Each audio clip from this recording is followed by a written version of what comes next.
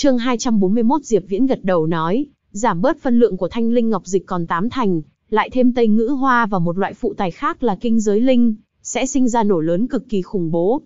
Cái này gần giống như đạo lý chế tạo thuốc nổ ở trong thế tục, nhưng thật ra là không khác nhiều lắm. Thiên Phong nghe vậy, sắc mặt không khỏi biến đổi.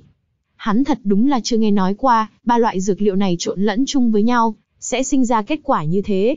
Ngay cả hắn cũng chưa nghe nói qua, tiểu tử này làm sao mà biết được.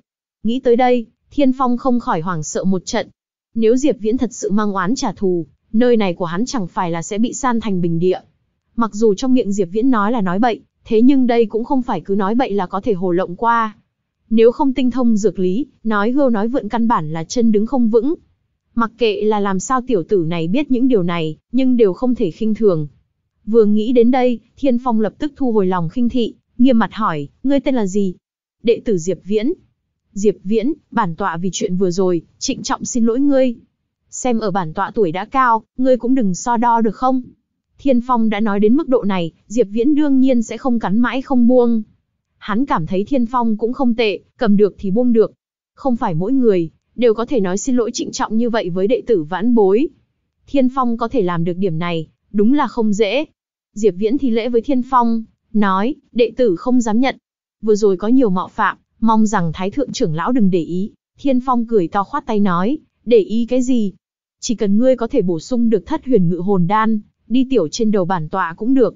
Đến, mời vào, chúng ta vào bên trong nói. Hai người đang muốn cất bước, đệ tử canh cổng lại yếu ớt hỏi, Thái, Thái thượng trưởng lão, còn... Lúc này tâm tình thiên phong rất tốt, phất ống tay áo một cái nói, người có công không tội, tiếp tục ở lại đây đi. Bảo vệ cho tốt cổng viện, ai đến cũng không cho vào. Đệ tử canh cổng đại hì, cảm ơn thái thượng trưởng lão. Đệ tử nhất định trông coi thật tốt. Trong sảnh, Thiên Phong và Diệp Viễn phân thành chủ khách ngồi xuống. Đây đã là lễ ngộ cực cao đối với Diệp Viễn rồi, đệ tử trước mặt Thiên Phong, trước nay chỉ có thể đứng, không có ngồi. Cũng chỉ có đường chủ cấp một tới đây, mới có tư cách ngồi xuống nói chuyện, ngay cả trưởng lão cũng không được. Sau lưng Thiên Phong, Vương Cật càng không ngừng đánh giá Diệp Viễn, trong ánh mắt tràn ngập tò mò. Hắn đi theo Thiên Phong rất nhiều năm, biết rất rõ bổ sung đan phương của thất huyền ngự hồn đan khó đến thế nào. Vương Cật biết, sư huynh sư tỷ và các trưởng lão từng nhận lấy nhiệm vụ này, đã không dưới mấy trăm người. Mà mấy trăm người này đều là tinh anh nhân sĩ của U Vân Tông, nhưng không ai có thể hoàn thành nhiệm vụ. Vậy mà thiếu niên chưa qua 16 tuổi này, lại có thể bù đắp đan phương sao. Thật sự là quá thần kỳ. Diệp Viễn phát giác được ánh mắt của Vương Cật liền quay qua cười với hắn một cái, Vương Cật cũng cười một tiếng đáp lại. Diệp Viễn, người mới vừa nói có điều là có ý gì? Chẳng lẽ dùng cực quang huyền kim quả đến bổ sung đan phương cũng không được? Thiên Phong lại hỏi. Hắn vô cùng tin tưởng vào cực quang huyền kim quả, phải nói, là mười mấy năm qua hắn cảm thấy lần này là một lần tiến gần đến thành công nhất, rồi, nhưng lời của Diệp Viễn, không khỏi làm trong lòng hắn bồn chồn.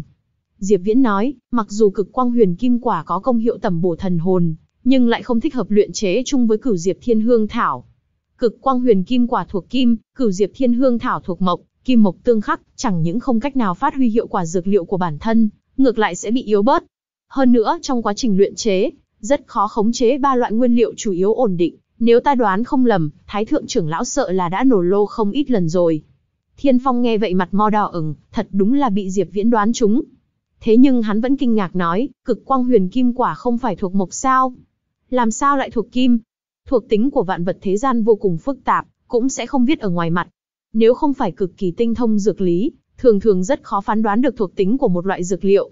Dược liệu càng cao cấp thì càng khó mà phán đoán thuộc tính, bởi vì quá trình sinh trưởng của chúng cực kỳ phức tạp. Đẳng cấp của dược liệu cấp 4 không cao không thấp, nhưng là đối với luyện dược sư ở U Vân Tông mà nói, tuyệt đối là dược liệu cao cấp rồi. Bằng vào trình độ nhận biết của bọn hắn, là rất khó phán đoán thuộc tính của dược liệu cấp 4. Cho nên, khi Thiên Phong chọn lựa dược liệu, trên cơ bản không cân nhắc đến thuộc tính ngũ hành của dược liệu, chỉ phán đoán bằng trực giác của bản thân, xác suất phạm sai lầm tự nhiên rất cao. Diệp Viễn cười nói, không phải cứ là cây thì đều thuộc mộc, bên trong tên cực quang huyền kim, quả sở dĩ mang một chữ kim, cũng là bởi vì nó sinh trưởng ở trên khoáng mạch, hấp thu khí kim linh mà thành quả. Mặc dù cực quang huyền kim quả cũng có một chút đặc điểm của thuộc tính mộc, nhưng thuộc tính chủ lại là kim. Nghe Diệp Viễn phân tích, Thiên Phong lại có loại cảm giác hiểu ra. Ánh mắt nhìn về phía Diệp Viễn, đã hoàn toàn khác biệt so với trước đó rồi. Lai lịch của cực quang huyền kim quả, trong lòng Thiên Phong tất nhiên biết rõ, chính là đệ tử tông môn thu hoạch được ở mỏ quạng, không khác chút nào với Diệp Viễn phân tích. Kiến thức như vậy, đến chính thái thượng trưởng lão như hắn, cũng có loại cảm giác theo không kịp. Vậy đan phương này, đến tột cùng nên bổ sung như thế nào? Trong giọng nói của Thiên Phong, đã có ý thỉnh giáo, ngay cả chính hắn cũng không có phát hiện. Diệp Viễn đương nhiên sẽ không của mình mình quý, mở miệng nói, thanh linh ngọc dịch ngũ hành cân đối, là vật trung tính, cửu diệp thiên hương thảo thuộc mộc, vậy dĩ nhiên muốn chọn lấy một loại vật liệu thuộc tính thủy đến bổ sung đan phương. Trong số dược liệu cấp 4, thì có băng tâm lộ là thích hợp nhất. A, tại sao phải dùng băng tâm lộ? Băng tâm lộ hẳn không có công hiệu tẩm bổ thần hồn mà. Vẻ mặt Thiên Phong vô cùng nghi hoặc. Cái này mười mấy năm qua, dược liệu gì hắn cũng đều đã nghĩ đến, cũng dùng qua, duy chỉ có không có nghĩ qua dùng băng tâm lộ đến bổ sung đan phương. Nếu thấy hay các bạn nhớ like và đăng ký kênh ủng hộ mình nha. Diệp Viễn cười nói, thanh linh ngọc dịch và cửu diệp thiên hương thảo dùng để tẩm bổ thần hồn, đều là dược liệu có hiệu quả cực cao, công hiệu tẩm bổ thần hồn đã đủ cho thất huyền ngự hồn đan. Mà băng tâm lộ lại có công dụng ngưng thần tĩnh khí, có hiệu quả ổn định thần hồn. Hơn nữa ở trong quá trình luyện chế, thuộc tính thủy của băng tâm lộ, còn tăng thêm tác dụng thuộc tính mộc của cửu diệp thiên hương thảo, không còn cái gì thích hợp hơn để luyện chế thất huyền ngự hồn đan so với nó. Sau khi thuật luyện dược đạt tới cảnh giới nhất định, đối với lý giải đan dược cũng sẽ càng thêm tinh thâm. Có đôi khi truy cầu dược hiệu của một vị trong đan dược, lại sẽ tạo thành hiệu quả trái ngược. Trình độ lý giải đan dược của Diệp Viễn, không phải thiên phong có thể so sánh. Theo Diệp Viễn, mỗi viên đan dược chính là một thế giới, luyện chế đan dược chính là sáng tạo ra một thế giới. Một thế giới hoàn hảo, quan trọng nhất chính là ổn định, sau đó mới có những thứ khác. Rất nhiều luyện dược sư truy cầu hiệu quả của một vị trong đan dược, kết quả của làm như vậy là đan dược có tỉ vết, tự nhiên là sẽ sinh ra tác dụng phụ. Một loại đan dược hoàn mỹ là tuyệt đối sẽ không có tác dụng phụ. Thật ra bằng vào thuật luyện dược của Diệp Viễn, hắn có thể chỉ đạo Thiên Phong dùng cực quang huyền kim quả, luyện chế ra thất huyền ngự hồn đan, nhưng loại đan dược kia hiển nhiên là có tác dụng phụ. Nghe Diệp Viễn nói xong, Thiên Phong và Vương Cật phía sau hắn đều rơi vào trong trầm tư. Ánh mắt Thiên Phong càng ngày càng sáng lên. Không giống như các trưởng lão khác, hắn là đan vương hàng thật giá thật, cũng là một vị cường giả hồn hải cảnh. Kiến thức của hắn, tất nhiên không phải bình thường. Thiên Phong so sánh một chút những dược liệu trước kia mình dùng để bổ sung đan phương, với băng tâm lộ, vậy mà cảm thấy tất cả đều là cạn bã. Mặc dù vẫn chưa có động thủ luyện đan, nhưng Thiên Phong lại cảm thấy băng tâm lộ nhất định được. Bởi vì căn bản là hắn tìm không thấy bất cứ sơ hở nào của đan phương này. Trước đó khi tự mình tìm ra những loại dược liệu kia, mặc dù mỗi một lần đều là lòng tin tràn đầy, nhưng kỳ thật chính hắn cũng biết, luôn luôn có một chỗ nào đó không hoàn hảo. Mà lần này, hắn cảm thấy cái đan phương này tuyệt đối hoàn mỹ. Hiện tại Thiên Phong hết sức xúc động, hơn 10 năm minh tư khổ tưởng, hơn 10 năm khi thắng khi bại, hơn 10 năm thất vọng trầm luân, đều tại thời khắc này đạt được giải thoát. Nếu như không phải còn phải giữ lại mấy phần uy nghiêm của Thái Thượng trưởng lão, không muốn quá mất phong thái ở trước mặt Diệp Viễn, thì hiện tại hắn đã khoa tay múa chân một phen rồi. Nếu không như thế thì không đủ để biểu đạt tâm tình của hắn. Vương Cật, ngươi nhanh đi hỏi U Dương Vũ một chút, tông môn còn băng tâm lộ hay không? Nếu như không có, để bọn hắn thu thập lấy bằng tốc độ nhanh nhất. Nhớ kỹ, nhất định phải dùng tốc độ nhanh nhất. Trong vòng một tháng, ta nhất định phải nhìn thấy băng tâm lộ. Thiên Phong vội vàng phân phó nói. Hôm nay Vương Cật cũng là được mở rộng tầm mắt, Diệp Viễn đã để hắn có một loại cảm giác sáng tỏ thông suốt. Kỳ thật mặc dù tính cách Vương Cật ôn hòa, nhưng cũng có ngạo khí mà người khác không có. Ở U Vân Tông, hắn cũng thuộc về loại thiên tài đan đạo chân chính, nếu không cũng sẽ không bị Thiên Phong chọn chúng, trở thành đệ tử nhập thất. Vương Cật vẫn luôn tự cao tự đại, cảm thấy mình đạt được thành tựu đan đạo vô cùng cao trong đám người đồng lứa, đã tuyệt đối là nhân tài kiệt xuất rồi. Nhưng lời của Diệp Viễn ngày hôm nay lại mở ra cho hắn bắt đầu một cánh, cửa sổ khác. Hôm nay Vương Cật mới biết, kiến thức cơ bản của mình không vững chắc đến cỡ nào, trước kia lý giải dược lý có bao nhiêu nông cạn. Nghe được Thiên Phong phân phó, Vương Cật cung kính nói, vâng, sư tôn. Theo lý thuyết, chuyện này hẳn là Diệp Viễn tới làm.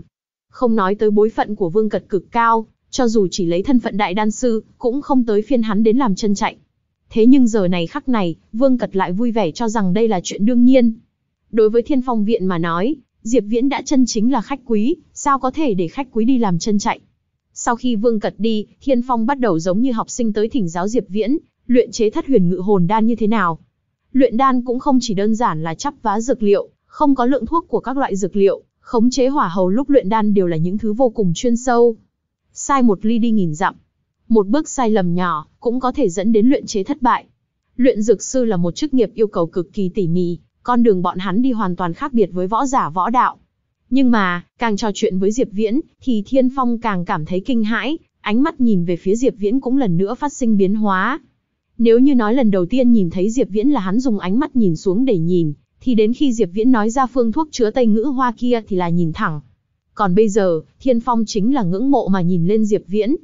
Mặc dù chỉ là đang nói chuyện một loại đan dược, nhưng những kiến giải thông thường của Diệp Viễn để Thiên Phong hiểu ra được rất nhiều thứ. Không biết tại sao, chỉ nói chuyện một hồi, Thiên Phong lại cảm thấy trình độ thuật luyện dược của mình tăng lên không ít. Diệp Viễn nói rất nhiều thứ mà trước kia Thiên Phong nghĩ cũng chưa từng nghĩ qua. Nhất là khi Diệp Viễn nói về thủ pháp luyện chế, Thiên Phong thường xuyên có loại cảm giác đan dược còn có thể luyện chế như vậy sao? Đan phương thất huyền ngự hồn đan không chọn vẹn này, chính là do tổ sư gia U Dương Thác Thiên ngẫu nhiên đoạt được, ngay cả hắn cũng không biết bổ sung. Đan phương khuyết thiếu cũng không chỉ là một vị nguyên liệu chủ yếu, còn thiếu không ít thủ pháp luyện chế. Thủ pháp luyện chế trước đó của Thiên Phong, có rất nhiều đều là tự mình suy diễn ra được, nổ lô cũng là chuyện trong dự liệu. Diệp Viễn, đan phương này là do chính ngươi nghiên cứu ra được sao? Thật lâu sau, Thiên Phong mới hỏi ra nghi vấn trong lòng. Cái đan phương của thất huyền ngự hồn đan này ngay cả tổ sư gia cũng không bổ sung được, nếu Diệp Viễn có thể nghiên cứu ra, vậy phần thiên phú đan đạo này cũng quá nghịch thiên rồi. Diệp Viễn đương nhiên sẽ không nói vốn là hắn biết đan phương này, đương nhiên, coi như hắn không biết, bổ sung cũng không phải việc gì khó. Dĩ nhiên không phải. Kỳ thật trước khi nhập tông, đệ tử đã có một sư phụ, đan phương này là người truyền thụ cho đệ tử. Lúc đệ tử tìm kiếm nhiệm vụ ở Lãm Tinh Các, vừa hay thấy được nhiệm vụ số 3 cấp 9, liền nhận lấy. Diệp Viễn cười nói. Thiên Phong nghe vậy thở phào nhẹ nhõm, xem ra sự yêu nghiệt của Diệp Viễn vẫn còn trong phạm vi hắn chấp nhận được. Dù vậy, từ cách nói của Diệp Viễn cũng có thể nhìn ra, căn cơ thuật luyện dược của hắn cực kỳ vững chắc. Thế nhưng Thiên Phong lại sinh ra lòng hiếu kỳ nồng đậm, với vị sư phụ có thể dạy dỗ ra đệ tử lợi hại như vậy. Theo Thiên Phong, người kia tuyệt đối là nhân vật lợi hại hơn so với mình, nói không chừng còn có thể là một vị đan hoàng. Diệp Viễn lại mang chuyện của sư phụ ra nói một lần, Thiên Phong mới bỏ đi ý nghĩ muốn cầu kiến. Thiên Phong đương nhiên không biết, trong lúc vô tình, hắn đã trao đổi qua với một vị đã từng là đan đế rồi. Cho dù hiện tại Diệp Viễn không thể luyện chế ra đan dược cấp cao, nhưng kiến thức và kinh nghiệm của hắn căn bản không ở cùng một cấp bậc với Thiên Phong. Nhìn như Diệp Viễn đang giao lưu với Thiên Phong, thật ra cũng coi là đang chỉ điểm cho hắn rồi. Có thể được đan đế chỉ điểm một hai, đã đủ cho Thiên Phong được lợi cả đời rồi. Bởi vì đời này của Thiên Phong, cũng không thể nào theo kịp được cái bóng của Diệp Viễn. Kiếp trước từng có vô số đan tông, đan thánh thậm chí đan tôm muốn được Diệp Viễn chỉ điểm, nhưng căn bản là không có cơ hội. Một đan vương như Thiên Phong, thì ngay cả tư cách yết kiến cũng không có. Cũng không phải Diệp Viễn muốn giữ cho riêng mình, mà là hắn thật không muốn lãng phí thời gian vào những chuyện như vậy. Sở dĩ bây giờ Diệp Viễn thoải mái như thế, thật ra là bởi vì đã từng hứa hẹn với Lô Ngạn. Theo Diệp Viễn xem ra, Thiên Phong hẳn là người mạnh nhất trên đan đạo của U Vân Tông rồi. Hắn có thể có chỗ đột phá, đối với toàn bộ tông môn tất nhiên là có rất nhiều chỗ tốt. Tác dụng của thất huyền ngự hồn đan, chính là trợ giúp thần hồn đột phá. Ở tuổi này của Thiên Phong, trên cơ bản là đã hao hết tiềm lực của bản thân. Ở tình huống không có ngoại lực tác dụng đến, trên cơ bản là sẽ dừng ở cảnh giới trước mặt. Chính Thiên Phong cũng hiểu ra điểm này, cho nên mới đặt toàn bộ tâm tư vào thất huyền ngự hồn đan. Truy cập halayzi.com hoặc link mình để ở phần mô tả để mời MC, ly cà phê nhé. Thực lực của tông môn có cường đại hay không, không liên quan nhiều lắm tới đám đệ tử, lịch sử tích lũy càng không có quan hệ, chỉ lấy quyết định ở người mạnh nhất của tông môn. Một tông môn có được võ giả hồn hải cảnh trung kỳ, chính là tông môn có thực lực mạnh hơn so với U Vân Tông rất nhiều, mà lại mạnh mẽ đến mức hoàn toàn nghiền ép. Nếu như không có hộ tông đại trận thủ hộ, một vị võ giả hồn hải cảnh trung kỳ là có thể san bằng toàn bộ U Vân Tông. Võ giả tu luyện đến cảnh giới nhất định, cũng không phải là chiến thuật biển người có thể bổ khuyết tranh lệch được. Thiên Phong càng trò chuyện càng ăn ý, càng trò chuyện càng cầu học như khát, mà Diệp Viễn cũng khống chế lại phân tắc rất tốt, lấy tư thái bình đẳng đến giao lưu với đối phương, không để Thiên Phong cảm thấy mình đang chỉ điểm. Có sư phụ làm hậu thuẫn, Diệp Viễn cũng không lộ vẻ quá mức kinh hãi thế nhân. Một chốc lát sau, Vương Cật có chút hưng phấn xông vào. Nhìn thấy Vương Cật trực tiếp xông tới, Thiên Phong nhướng mày, mất hứng nói, đã lớn như vậy rồi, làm sao vẫn còn nôn nôn nóng nóng. Không thấy ta và Diệp Viễn đang nói chuyện sao? Trong bất chi bất giác, Thiên Phong đã đặt Diệp Viễn ở vị trí ngang bằng với mình rồi. Xin lỗi sư tôn, đệ tử mạo muội. Vương Cật vội vàng thi lễ nói xin lỗi. Thiên Phong không kiên nhẫn phất phất tay, hỏi, có chuyện gì, ngạc nhiên như vậy. Vương Cật hưng phấn nói, bẩm sư tôn, vừa rồi đệ tử đi tìm tông chủ đại nhân, Hắn nói vài ngày trước vừa vặn có đệ tử thu được một chút băng tâm lộ, đệ tử đã lập tức lấy mang về. Thiên Phong nghe xong không khỏi đổi giận thành vui nói, thật sao? Quá tốt rồi. Nếu vật liệu đều chuẩn bị đầy đủ hết, vậy chúng ta liền bắt đầu luyện chế đi. Vừa rồi hắn học được không ít thứ từ chỗ Diệp Viễn, lúc này chính là ngứa nghề khó nhịn, thêm nữa có lẽ là đan phương đã được bổ sung hoàn chỉnh, cho nên vô cùng kích động. Sư tôn đừng nóng vội, lời còn chưa nói xong đâu. Lượng băng tâm lộ cũng không nhiều, dựa theo số lượng mà Diệp Viễn nói tới, chỉ đủ luyện chế một lần. Vương Cật nói. Thiên Phong cao mày nói, ít như vậy. Luyện một lần làm sao có thể thành công? Vương Cật nói, vốn là băng tâm lộ cực kỳ khó kiếm, lần này cũng là trong lúc một đệ tử tinh anh làm nhiệm vụ ngẫu nhiên lấy được, nộp lên tông môn đổi được một vạn điểm tích lũy. Cho dù tông môn toàn lực đi tìm, chỉ sợ trong vòng 3 tháng cũng rất khó tìm đến. Thiên Phong thân là thái thượng trưởng lão, làm sao lại không biết dược liệu cấp 4 hiếm có như thế nào. Thế nhưng hắn đã quá mức khát vọng thất huyền ngự hồn đan rồi, vật liệu khó kiếm hơn nữa hắn cũng muốn lấy tới tay. Chuyện này không riêng gì tác thành cho một mình hắn, cũng là thành toàn cho toàn bộ tông môn. Những năm này Thiên Phong tiêu hao vật liệu, cộng lại cũng đáng hơn ngàn vạn điểm tích lũy rồi, nhưng Lạc Thanh Phong vẫn không có lời oán giận nào, vì cái gì? Cũng bởi vì năm đó U Dương Thác Thiên, lấy sức một mình sáng lập ra U Vân Tông này. Cao tầng tông môn đều hiểu, tranh lệch giữa đan vương trung cấp và đan vương sơ cấp. Nghe Vương Cật nói, tâm tình của Thiên Phong vừa mới chuyển biến tốt lập tức toàn bộ tiêu tán, trong lòng bắt đầu phiền não. Thất huyền ngự hồn đan mặc dù là đan dược cấp 4 hạ cấp, nhưng đối với Thiên Phong mà nói hoàn toàn chính xác là có chút miễn cưỡng, duy nhất một lần thành công khả năng quá thấp. Một khi thất bại, lại phải đợi hơn 3 tháng thậm chí nửa năm. Thanh Linh Ngọc Dịch và Cửu Diệp Thiên Hương Thảo tìm về trước đó, cũng đã tiêu hao gần hết, tối đa cũng chỉ có thể luyện chế thêm một hai lần. Nếu như lần này luyện chế thất bại, hắn lại phải đi sưu tập hai loại dược liệu đó. Thanh Linh Ngọc Dịch và Cửu Diệp Thiên Hương Thảo đều là dược liệu cấp 4, cũng vô cùng hiếm thấy. Lại muốn luyện chế, thì không biết phải chờ thêm bao lâu. Nghĩ tới đây, chân mày Thiên Phong nhíu chặt hơn, áp lực phô thiên cái địa bao trùm tới. Mười mấy năm này trôi qua, dường như Thiên Phong không hỏi qua chuyện trong tông phái, toàn tâm toàn ý đặt trên thất huyền ngự hồn đan, thế nhưng mãi vẫn không có cách nào lấy được đột phá. Mặc dù Lạc Thanh Phong và những vị cao tầng khác trong tông môn không nói, nhưng áp lực lên Thiên Phong cũng rất lớn, nếu không tính tình hắn cũng sẽ không khó chịu như vậy. Thiên Phong tiếp nhận bình ngọc đựng băng tâm lộ trong tay Vương Cật, chỉ cảm thấy nặng tựa thiên quân. Hắn ngồi trở lại chỗ ngồi của mình, chủ trừ. Diệp Viễn nhìn ra tâm tư của Thiên Phong, mở miệng nói, Thái thượng trưởng lão, ta có một đề nghị, mặc dù không thể cam đoan ngài nhất định có thể luyện chế ra thất huyền ngự hồn đan, nhưng hẳn là có thể đề cao không ít xác suất thành công. Thiên Phong đang chìm trong phiền muộn, nghe được lời của Diệp Viễn thì suýt chút nữa nhảy dựng lên, gắt gao nhìn chằm chằm Diệp Viễn hỏi, biện pháp gì? Chỉ cần có thể luyện chế ra thất huyền ngự hồn đan, ta cho ngươi thêm thêm, 20 vạn điểm tích lũy. Câu nói này, đối với Thiên Phong đơn giản chỉ là một câu nói. Diệp Viễn biết chỗ tốt của điểm tích lũy, đương nhiên sẽ không cự tuyệt. Trên thực tế, chỉ cần hắn bổ sung xong đan phương của thất huyền ngự hồn đan thì đã xem như hoàn thành nhiệm vụ. Chỉ cần một câu lời nhắn của Thiên Phong là hắn có thể đi lĩnh phần thưởng. Thế nhưng hắn đã làm đến bước này, dứt khoát đưa Phật đưa đến Tây Phương đi. Lúc sư phụ truyền thụ cho ta đan phương thất huyền ngự hồn đan, còn nói cho ta biết một loại đan phương của một đan dược chuẩn cấp 4 khác, loại đan dược này tên là ngự hồn đan. Sư phụ nói, thất huyền ngự hồn đan chính là bản thăng cấp của ngự hồn đan, cả hai có cùng nguồn gốc, thủ pháp luyện chế cũng cực kỳ tương tự. Tuy luyện chế thất huyền ngự hồn đan phức tạp hơn so với ngự hồn đan rất nhiều, nhưng bản chất lại không khác biệt lắm. Nếu như Thái Thượng trưởng lão có thể mang ngự hồn đan ra luyện tập, đem thủ pháp luyện chế luyện tập trôi chảy, lại luyện chế thất huyền ngự hồn đan hẳn là sẽ nhẹ nhõm hơn rất nhiều. Diệp Viễn nói. Thiên Phong nghe thấy lời ấy, kích động run rẩy lên, quá tốt rồi. Thật sự là quá tốt rồi. Thật có loại đan dược này sao? Đan dược võ đạo dễ cầu, đan dược đan đạo lại khó được. Đan dược có thể có tác dụng với thần hồn, kỳ thật rất rất ít, so với đan dược võ đạo thì chỉ như chín châu mất một sợi lông mà thôi. Năm đó U Dương Thác Thiên, cũng là một lần tình cờ thu được tàn phương của thất huyền ngự hồn đan, cho nên tất nhiên Thiên Phong chưa từng nghe qua ngự hồn đan. Diệp Viễn gật đầu nói, sao đệ tử dám lừa gạt thái thượng trưởng lão? Dược liệu để luyện chế ngự hồn đan mặc dù cũng có chút chân quý, nhưng bằng vào thực lực của tông môn, đệ tử nghĩ hẳn là có chút tồn kho, chắc chắn đủ để thái thượng trưởng lão dùng để luyện tập rồi. Mau đem đan phương nói cho ta, ta để vương cật đi lấy dược liệu. Thiên Phong không kịp chờ đợi nói. Nói xong, Thiên Phong đột nhiên cảm giác được không ổn, không khỏi vỗ ót một cái lúng túng nói, ha ha, ngươi xem cái lão hồ đồ ta này.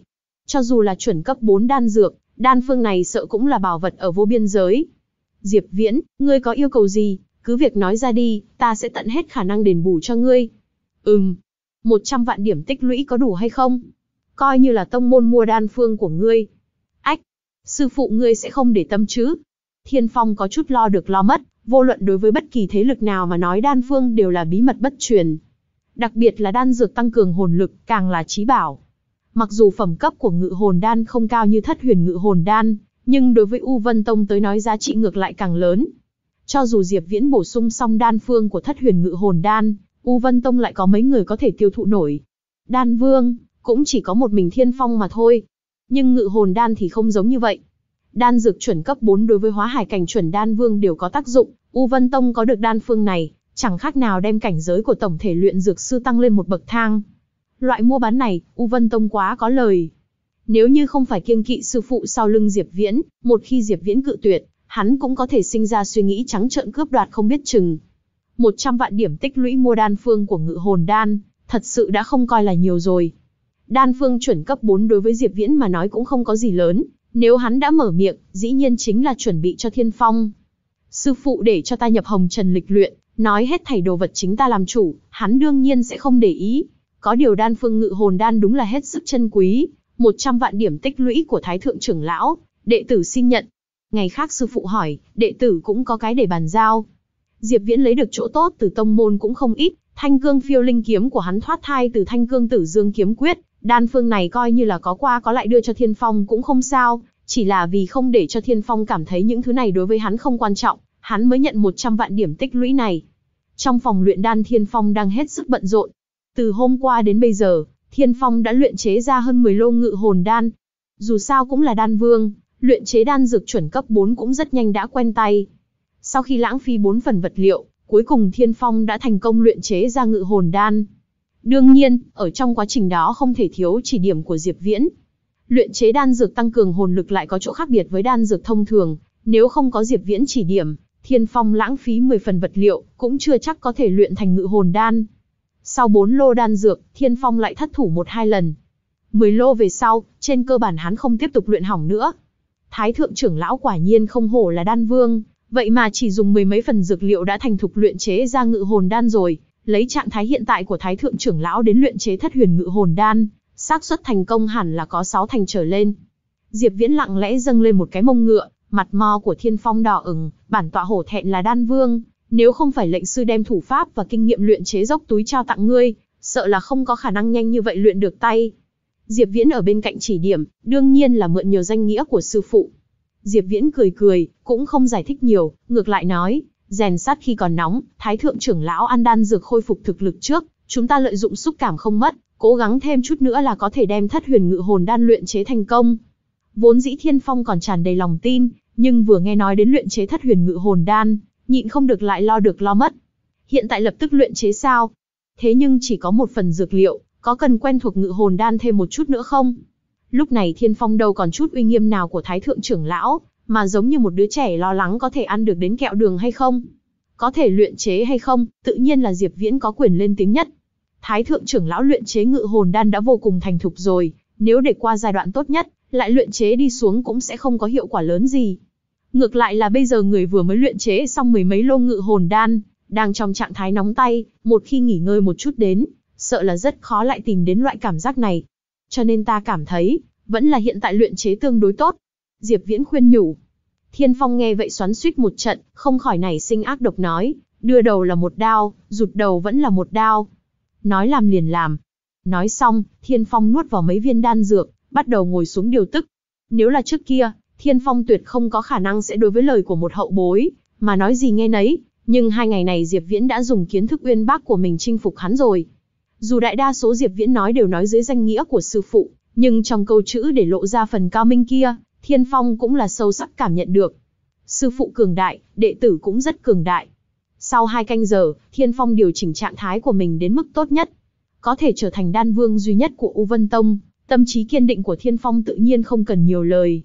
Nếu như đã quyết định luyện chế thất huyền ngự hồn đan, Thiên Phong sẽ không lại sợ đầu sợ đuôi. Vương Cật đã chuẩn bị kỹ càng vật liệu, Diệp Viễn chủ động sung làm nhân vật trợ thủ, Vương Cật lại trở nên nhàn rỗi không có việc gì làm. Công tác chuẩn bị đối với luyện đan mà nói cũng vô cùng quan trọng, cũng không phải là Diệp Viễn xem thường Vương Cật, chỉ là hắn tới làm công tác chuẩn bị, xác suất thành công hiển nhiên được nâng cao hơn không chỉ một chút. Công tác chuẩn bị lại không có hạn chế về cảnh giới, Diệp Viễn làm cực kỳ thuận buồm xuôi gió. Thủ trào để luyện pháp của Diệp Viễn tại trước mặt hai người lại làm bọn họ kinh diễm một hồi, lúc nhìn thấy phôi thuốc gần như hoàn mỹ kia, Thiên Phong trợn cả mắt lên. Quả nhiên là danh sư xuất cao đồ. Thiên Phong ở trong lòng thầm nghĩ, đem phôi thuốc chút vào dược đỉnh, lòng bàn tay Thiên Phong nổi lên một ngọn lửa, định nhóm lửa dược đỉnh. Càn Ngô chân hỏa. Diệp Viễn một ngụm nói ra tên của hỏa diễm. Ha ha, không ngờ ngay cả Càn Ngô chân hỏa ngươi cũng biết. Không sai, Càn Ngô chân hỏa dưới sự bồi dưỡng của ta, đã sắp tiến cấp thành nguyên hỏa cấp 4. Thiên Phong hơi có chút đắc ý nói. Ừm, hay là Thái Thượng trưởng lão dùng nguyên hỏa của đệ tử đến luyện chế đi, như vậy sẽ nắm chắc hơn một chút. Diệp Viễn hơi có chút quái dị nói. Ồ, vậy mà ngươi cũng có nguyên hỏa. Xem ra phúc duyên của ngươi thật sự không cạn. Có điều, luyện đan vẫn nên dùng nguyên hỏa của mình thì tốt hơn, điểm này hẳn là ngươi phải biết chứ. Đây là Thiên Phong đang chiếu cố đến mặt mũi của Diệp Viễn, hắn có chút kỳ quái, Diệp Viễn không có khả năng ngay cả điểm thưởng thức ấy cũng không biết, vì sao còn muốn đưa ra loại yêu cầu này. Chẳng lẽ nói, nguyên hỏa của Diệp Viễn còn tốt hơn so với mình? Cái này sao có thể? Hắn mới linh dịch cảnh, có thể có nguyên hỏa cấp 2 đã coi như phúc duyên thâm hậu rồi. Diệp Viễn cũng không để cho hắn nghi hoặc bao lâu, gật đầu nói, đương nhiên đệ tử biết, có điều dùng nguyên hỏa của đệ tử đến luyện chế, hẳn là có thể nắm chắc hơn một chút. Diệp Viễn lại lặp lại một lần, trong lòng bàn tay đã nhiều thêm một ngọn lửa. Thiên Phong nhìn thấy ngọn lửa màu vàng nhạt kia, hít vào một ngụm khí lạnh. Vương Cật ở bên cạnh hiển nhiên cũng nhận ra nguyên hỏa của Diệp Viễn, đầy mắt đều là vẻ hâm mộ. Hít, tịnh đàn thánh hỏa. Cái này, cái này, làm sao có thể? Thiên Phong nói chuyện cũng có chút lắp ba lắp bắp rồi. Ha ha, lúc ở học viện đan võ đệ tử từng tham gia vô biên thí luyện, trong lúc tình cờ đạt được một chút cơ duyên. Diệp Viễn hời hợt nói. Không phải Diệp Viễn, muốn khoe khoang, mà là nếu như Thiên Phong dùng nguyên hỏa cấp 4 đến luyện chế, hiển nhiên xác suất thành công sẽ lớn hơn một chút. Diệp Viễn biết Thiên Phong có nguyên hỏa, nếu như nguyên hỏa của hắn là cấp 4 thì không nói, kết quả là quả nhiên nguyên hỏa của Thiên Phong không tới cấp 4. Nếu như Thiên Phong có nguyên hỏa cấp 4, dùng nguyên hỏa của Diệp Viễn thật đúng là không bằng dùng nguyên hỏa của chính hắn. Thế nhưng là cấp 3 nha. Phẩm cấp thật sự là hơi kém một chút, lại càng không cần phải so sánh với loại nguyên hỏa thích hợp để luyện đan như tịnh đàn thánh hỏa rồi. Thiên Phong yếu ớt nhìn tịnh đàn thánh hỏa trong lòng bàn tay Diệp Viễn cả buổi, mới thở dài một cái nói, quả nhiên là người so với người làm người ta tức chết. Năm đó ta liều mạng, mới ở hóa hải cảnh thu được càn ngô chân hỏa. Người mới linh dịch cảnh, lại có thể có được tịnh đàn thánh hỏa. Đây chính là loại nguyên hỏa mà luyện dược sư tha thiết ước mơ đấy. Nói xong, Thiên Phong lặng yên thu hồi càn ngô chân hỏa trong lòng bàn tay, hiển nhiên là không có ý định lấy ra bêu xấu nữa. Diệp Viễn nhìn chằm chằm vào ánh mắt Thiên Phong, nếu như tâm hắn nảy sinh tham lam mà nói, thì duyên phận giữa Diệp Viễn và U Vân Tông cũng chỉ tới đây mà thôi. May mà Thiên Phong không để cho hắn thất vọng. Chuyện Diệp Viễn có được tịnh đàn thánh hỏa, thật ra đã sớm bị Diêu Thiên biết rồi, truyền đến tai Thiên Phong cũng chỉ là chuyện sớm hay muộn, cho nên Diệp Viễn mới không kiêng kỵ lấy ra. Trong quy định của U Vân Tông, đệ tử đoạt được thiên tài địa bảo ở bên ngoài, tất cả đều thuộc về bản thân người đệ tử đó, người khác không được cưỡng cầu. Nếu là không dùng được, có thể giao cho tông môn để đổi lấy điểm tích lũy. Nếu như một cái tông môn tùy ý cướp đoạt cơ duyên của đệ tử, không khác nào việc mổ gà lấy trứng, vậy tông môn này cách diệt vong cũng không xa. Ha ha, đệ tử lấy được nguyên hỏa cũng là cửu tử nhất sinh, cơ duyên xảo hợp mà thôi. Thái thượng trưởng lão, chúng ta bắt đầu chứ? Diệp Viễn qua loa một câu cho xong. Thiên Phong gật gật đầu, thu liễm tâm thần. Diệp Viễn đem bản thể của tịnh đàn hỏa liên triệu hoán đi ra, lại từ bản thể đốt lên dược đỉnh, để cho Thiên Phong bắt đầu luyện chế thất huyền ngự hồn đan. Luyện chế thất huyền ngự hồn đan tương đối thuận lợi. Để trợ giúp Thiên Phong luyện chế viên đan dược kia, Diệp Viễn đã làm chuẩn bị vạn toàn, ngay cả tịnh đàn thánh hỏa cũng vận dụng đến. Nếu là như vậy Thiên Phong còn không luyện chế ra được, thì một đan vương như hắn cũng có thể tìm khối đậu hũ đâm đầu vào chết được rồi. Khi Thiên Phong cầm thất huyền ngự hồn đan trong tay, kích động đến nỗi toàn thân run rẩy lên, suýt nữa trượt tay làm rơi đan dược xuống mặt đất. Ha ha cuối cùng ta cũng luyện thành thất huyền ngự hồn đan rồi. Thật sự là trời phù hộ thiên phong ta, trời phù hộ U Vân Tông ta mà. Lúc thiên phong nói chuyện, toàn bộ da mặt đều run rẩy lên. Chuyện được đọc bởi kênh Halazy Audio. Mười mấy năm qua, thiên phong đặt toàn bộ tâm thần lên viên đan dược kia, nhưng lại chẳng làm nên trò chống gì. Lúc này tự nhiên thiên phong hiểu ra, nếu Diệp Viễn không xuất hiện, chắc chắn thất huyền ngự hồn đan cũng không được luyện chế ra tới, đời này của hắn cũng khó tiến thêm nữa. Hiện tại đan dược đã được luyện chế ra, làm sao Thiên Phong có thể không kích động đây? Chúc mừng sư tôn, tâm nguyện 13 năm cuối cùng cũng được hoàn thành. Trong lời nói của Vương Cật cũng mang theo thanh âm rung động, thậm chí có chút nghẹn ngào, hiển nhiên hắn cũng có rất nhiều cảm xúc. Vương Cật đi theo Thiên Phong đã năm, 6 năm rồi, thời gian năm, 6 năm này đại bộ phận cũng là hắn hao phí trên thất huyền ngự hồn đan này. Trong đó ngậm bao nhiêu đắng, bị bao nhiêu mắng, chỉ có chính hắn rõ ràng. Đương nhiên, Vương Cật là người hiểu chuyện, hắn biết trong lòng Thiên Phong có bao nhiêu khổ sở và áp lực, cho nên mới một mực chịu mệt nhọc. Hiện tại, cuối cùng thất huyền ngự hồn đan cũng được luyện chế ra, trong lòng Vương Cật dâng lên một loại cảm giác khổ tận cam lai, nếm đến quả ngọt sau bao nhiêu cay đắng. Hắn nhịn không được nhìn thoáng qua Diệp Viễn, trong lòng tràn đầy kính sợ. Đúng vậy, chính là lòng kính sợ. Loại cảm giác này, trước kia chỉ có khi hắn đối diện với Thiên Phong. Diệp Viễn mới bằng chừng ấy tuổi mà đã có kiến thức, thủ đoạn như vậy, thật là quá nghịch thiên rồi. Vốn dĩ trong tông môn Vương Cật vẫn còn có chút đắc chí, hôm nay phần ngạo khí kia ở trong lòng của hắn bị dày vò đến thương tích đầy mình. Đây mới thật sự là thiên tài. Diệp Viễn cũng tiến lên chúc mừng, chúc mừng Thái Thượng trưởng lão đạt được ước muốn. Lúc này Thiên Phong mới từ trong kích động trở lại hiện thực, nhìn Diệp Viễn một chút rồi cảm thán nói, Diệp Viễn, bản tọa có thể luyện ra thất huyền ngự hồn đan, hoàn toàn là công lao của ngươi. Diệp Viễn cười nói, dược liệu là tông môn chuẩn bị, đan dược là Thái Thượng trưởng lão tự tay luyện chế, Diệp Viễn nào dám tranh công. Muốn nói thật có công lao, cũng chỉ là công lao cho mượn nguyên hỏa mà thôi, ha, ha. Ngoài mặt Thiên Phong không biểu thị cái gì, nhưng trong lòng thì âm thầm khen ngợi.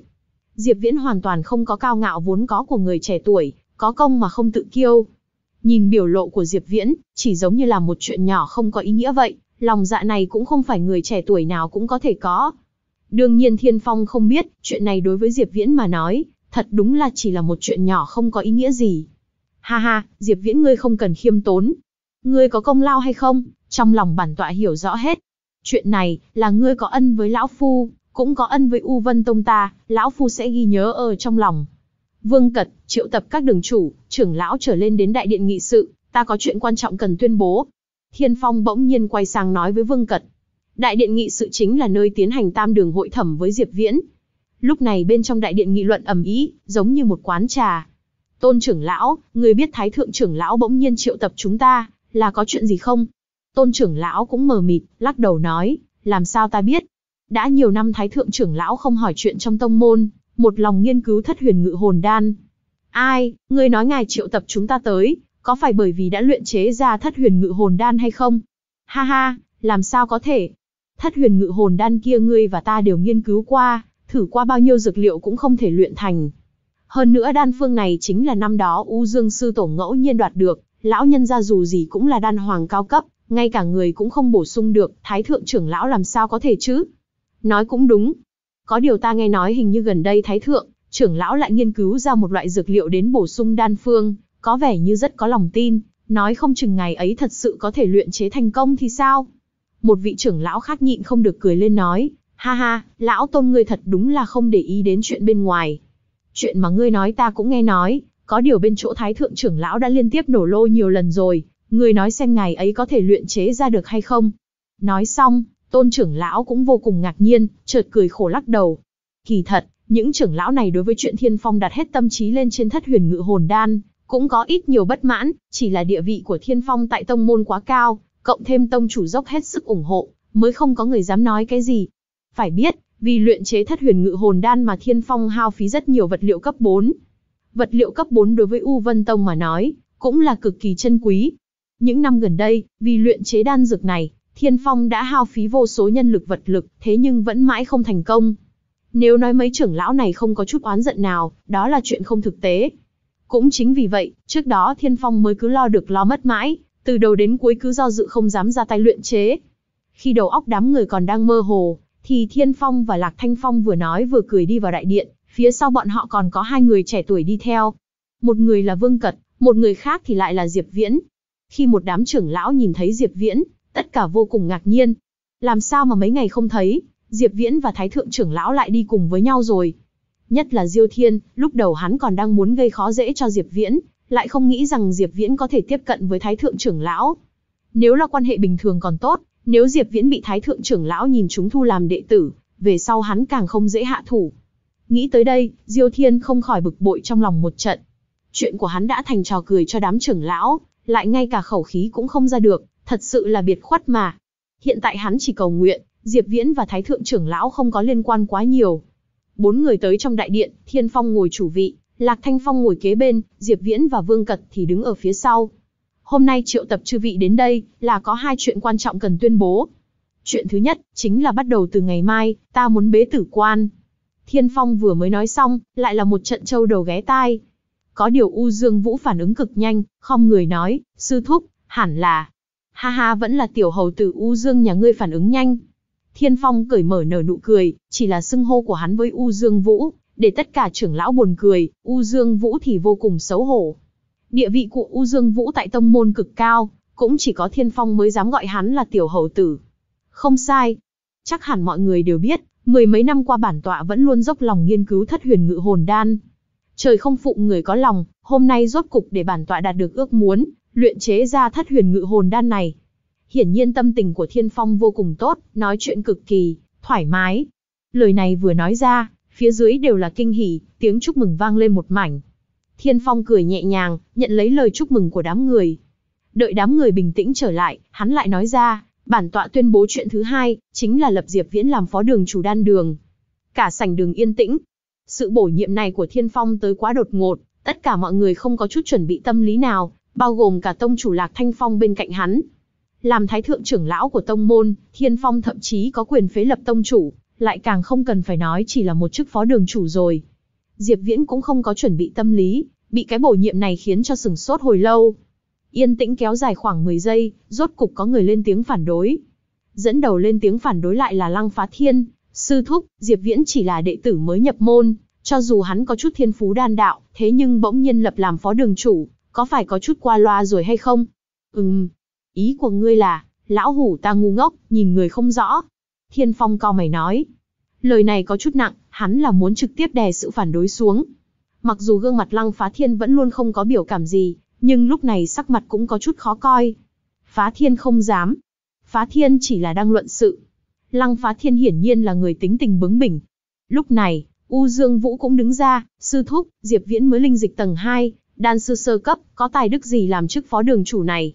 Hai vị đường chủ đều đứng ra phản đối, dũng khí của mọi người cũng lập tức mạnh lên, cả đám đều đứng ra phản đối. Nhất là U Dương Minh và Diêu Thiên, hai người này là hung hăng nhất.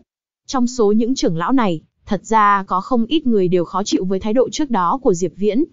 Theo bọn hắn nghĩ, mặc dù người trẻ tuổi Diệp Viễn kia có tài hoa, nhưng là quá không biết trời cao đất rộng, quá cuồng vọng, lấy đâu ra tư cách làm phó đường chủ. Đương nhiên, quan trọng nhất vẫn là tuổi Diệp Viễn còn rất trẻ, tư lịch quá nhỏ bé, căn bản không xứng làm phó đường chủ. Một tên thiếu niên mười mấy tuổi đã cưỡi lên đầu những trưởng lão như bọn họ, về sau bọn hắn nên cư xử như thế nào? Những lão đầu tử trên trăm tuổi này, nhìn thấy Diệp Viễn còn phải cung cung kính kính gọi một tiếng phó đường chủ sao? Làm sao có thể? Tâm trạng tốt đẹp của Thiên Phong bị phá tan không còn sót lại chút gì. Đương nhiên hắn biết bổ nhiệm Diệp Viễn làm phó đường chủ có chút đột ngột, nhưng là hắn biết trình độ của Diệp Viễn đủ để đảm đương chức vụ này. Mấy ngày nay hắn và Diệp Viễn nói chuyện rất nhiều, mặc dù Diệp Viễn vẫn luôn dùng lễ nghĩa của đệ tử đối với với hắn, ngôn tử cũng vô cùng áp chế, nhưng vẫn là, trong bất chi bất giác để lộ ra tri thức uyên bác của hắn trên đan đạo. Những thứ mà Diệp Viễn nói, đều vượt xa khỏi phạm vi hiểu biết của đan sư, thậm chí vượt qua cả chuẩn đan vương. Hắn tới làm phó đường chủ, tuyệt đối là có đủ năng lực. Thậm chí Thiên Phong còn có loại cảm giác, chỉ là bởi vì cảnh giới của Diệp Viễn không đến, mới không cách nào luyện chế đan dược cấp 3 và chuẩn cấp 4. Nếu như cảnh giới của Diệp Viễn đầy đủ, luyện chế đan dược cấp 3 và chuẩn cấp 4 sẽ dễ như trở bàn tay. Hơn nữa Thiên Phong còn có một loại suy tính khác, trọng dụng Diệp Viễn cũng cho thấy tông môn hết sức coi trọng hắn. Chuyện này đối với giao hảo với sư phụ thần bí kia sau lưng Diệp Viễn, khẳng định là có nhiều chỗ tốt. Sư phụ của Diệp Viễn, nhất định là nhân vật cấp đan hoàng, thậm chí có thể là đan hoàng cao cấp như U Dương Thác Thiên. Loại nhân vật này, dù chỉ là hơi chiếu cố U Vân Tông một chút, cũng có thể để tông môn được ích lợi không nhỏ. Những tên ngu ngốc này cái gì cũng không hiểu, còn hung hăng phản đối, Thiên Phong càng là giận không chỗ phát tiết. ầm, um, một bàn tay Thiên Phong đập vào trên bàn trà bên cạnh ghế bành, bàn trà bằng gỗ huyền cương cứng cỏi dị thường lập tức hóa thành bột mịn. Nhìn thấy một màn này, trong lòng tất cả mọi người đều giật mình, hiển nhiên Thái Thượng trưởng lão thật sự nổi giận rồi. Ánh mắt Thiên Phong đảo qua trên mặt mỗi người, những trưởng lão kia cũng không dám đối mặt với hắn. Tốt. Rất tốt. Mười mấy năm qua ta đều ở trong trạng thái nửa bế quan, xem ra là quá lâu không ra mặt, đã không ai coi lão đầu tử ta ra gì. Hôm nay ta muốn lập Diệp Viễn làm phó đường chủ đan đường, ai dám phản đối nữa, trục xuất tông môn. Thiên Phong trực tiếp tế ra đòn sát thủ. Lời Thiên Phong vừa nói ra, lập tức làm đám người câm như hến. Thật sự đúng là như Thiên Phong nói, hắn đã quá lâu không hề xuất đầu lộ diện, cho nên về mặt tư tưởng đám người ở đây ít nhiều có chút không để hắn vào mắt. Vừa rồi bọn hắn đều là nhất thời khí huyết dâng lên, bản năng cảm thấy một tên tiểu tử linh dịch cảnh làm phó đường chủ đan đường, thực sự quá buồn cười. Chỉ là bọn hắn không ngờ, thái thượng trưởng lão lại bởi vì Diệp Viễn, muốn trục xuất những trưởng lão này như bọn hắn khỏi tông môn. Lúc này, cuối cùng Lạc Thanh Phong vẫn luôn yên lặng không lên, tiếng mới đứng ra. Lời Thiên Phong đã nói đến mức độ này, hắn còn không mở miệng cũng nói không qua. Không biết vì sao sư thúc muốn lập Diệp Viễn làm phó đường chủ đan đường. Lạc Thanh Phong cung kính hỏi. Thấy là Lạc Thanh Phong đặt câu hỏi, sắc mặt Thiên Phong mới hơi hòa hoãn lại, trầm giọng nói, các ngươi đều biết bản tọa treo nhiệm vụ cấp 9 ở lãm tinh các chứ. Đương nhiên biết, nhiệm vụ sư thúc ban bố chính là bổ sung đan phương của thất huyền ngự hồn đan. Lạc Thanh Phong nói. Thiên Phong gật đầu, thật ra lần này bản tọa có thể luyện chế ra thất huyền ngự hồn đan, là do may mắn mà có Diệp Viễn bổ đủ đan phương. Hơn nữa trong quá trình luyện chế, Diệp Viễn còn xuất ra đại lực khí. Đương nhiên, đây không phải chủ yếu. Quan trọng nhất chính là, ta thay mặt tông môn thu được đan phương của đan dược chuẩn cấp 4 ngự hồn đan, từ chỗ Diệp Viễn. Nói cách khác, sau này các ngươi đều là người được hưởng lợi từ đan phương này. Chính các ngươi nói xem, Diệp Viễn có tư cách làm phó đường chủ này hay không? Hả? Lạc Thanh Phong nghe vậy động dung nói, lại có việc này. Diệp Viễn bổ sung được đan phương này. Chuyện này sao có thể? Hắn mới là đan sư sơ cấp thôi mà. Đúng vậy. Lúc trước hắn xuất ra đan phương của chân thăng linh đan, chẳng qua chỉ là đan dược cấp 1. Còn thất huyền ngự hồn đan lại là đan dược cấp 4 đấy. Chẳng lẽ nói, sau lưng Diệp Viễn thật sự có cao nhân? Hơn nữa, ngự hồn đan chuẩn cấp 4, cái tên này và thất huyền ngự hồn đan rất giống. Chẳng lẽ, chẳng lẽ chúng ta đều có cơ hội đột phá?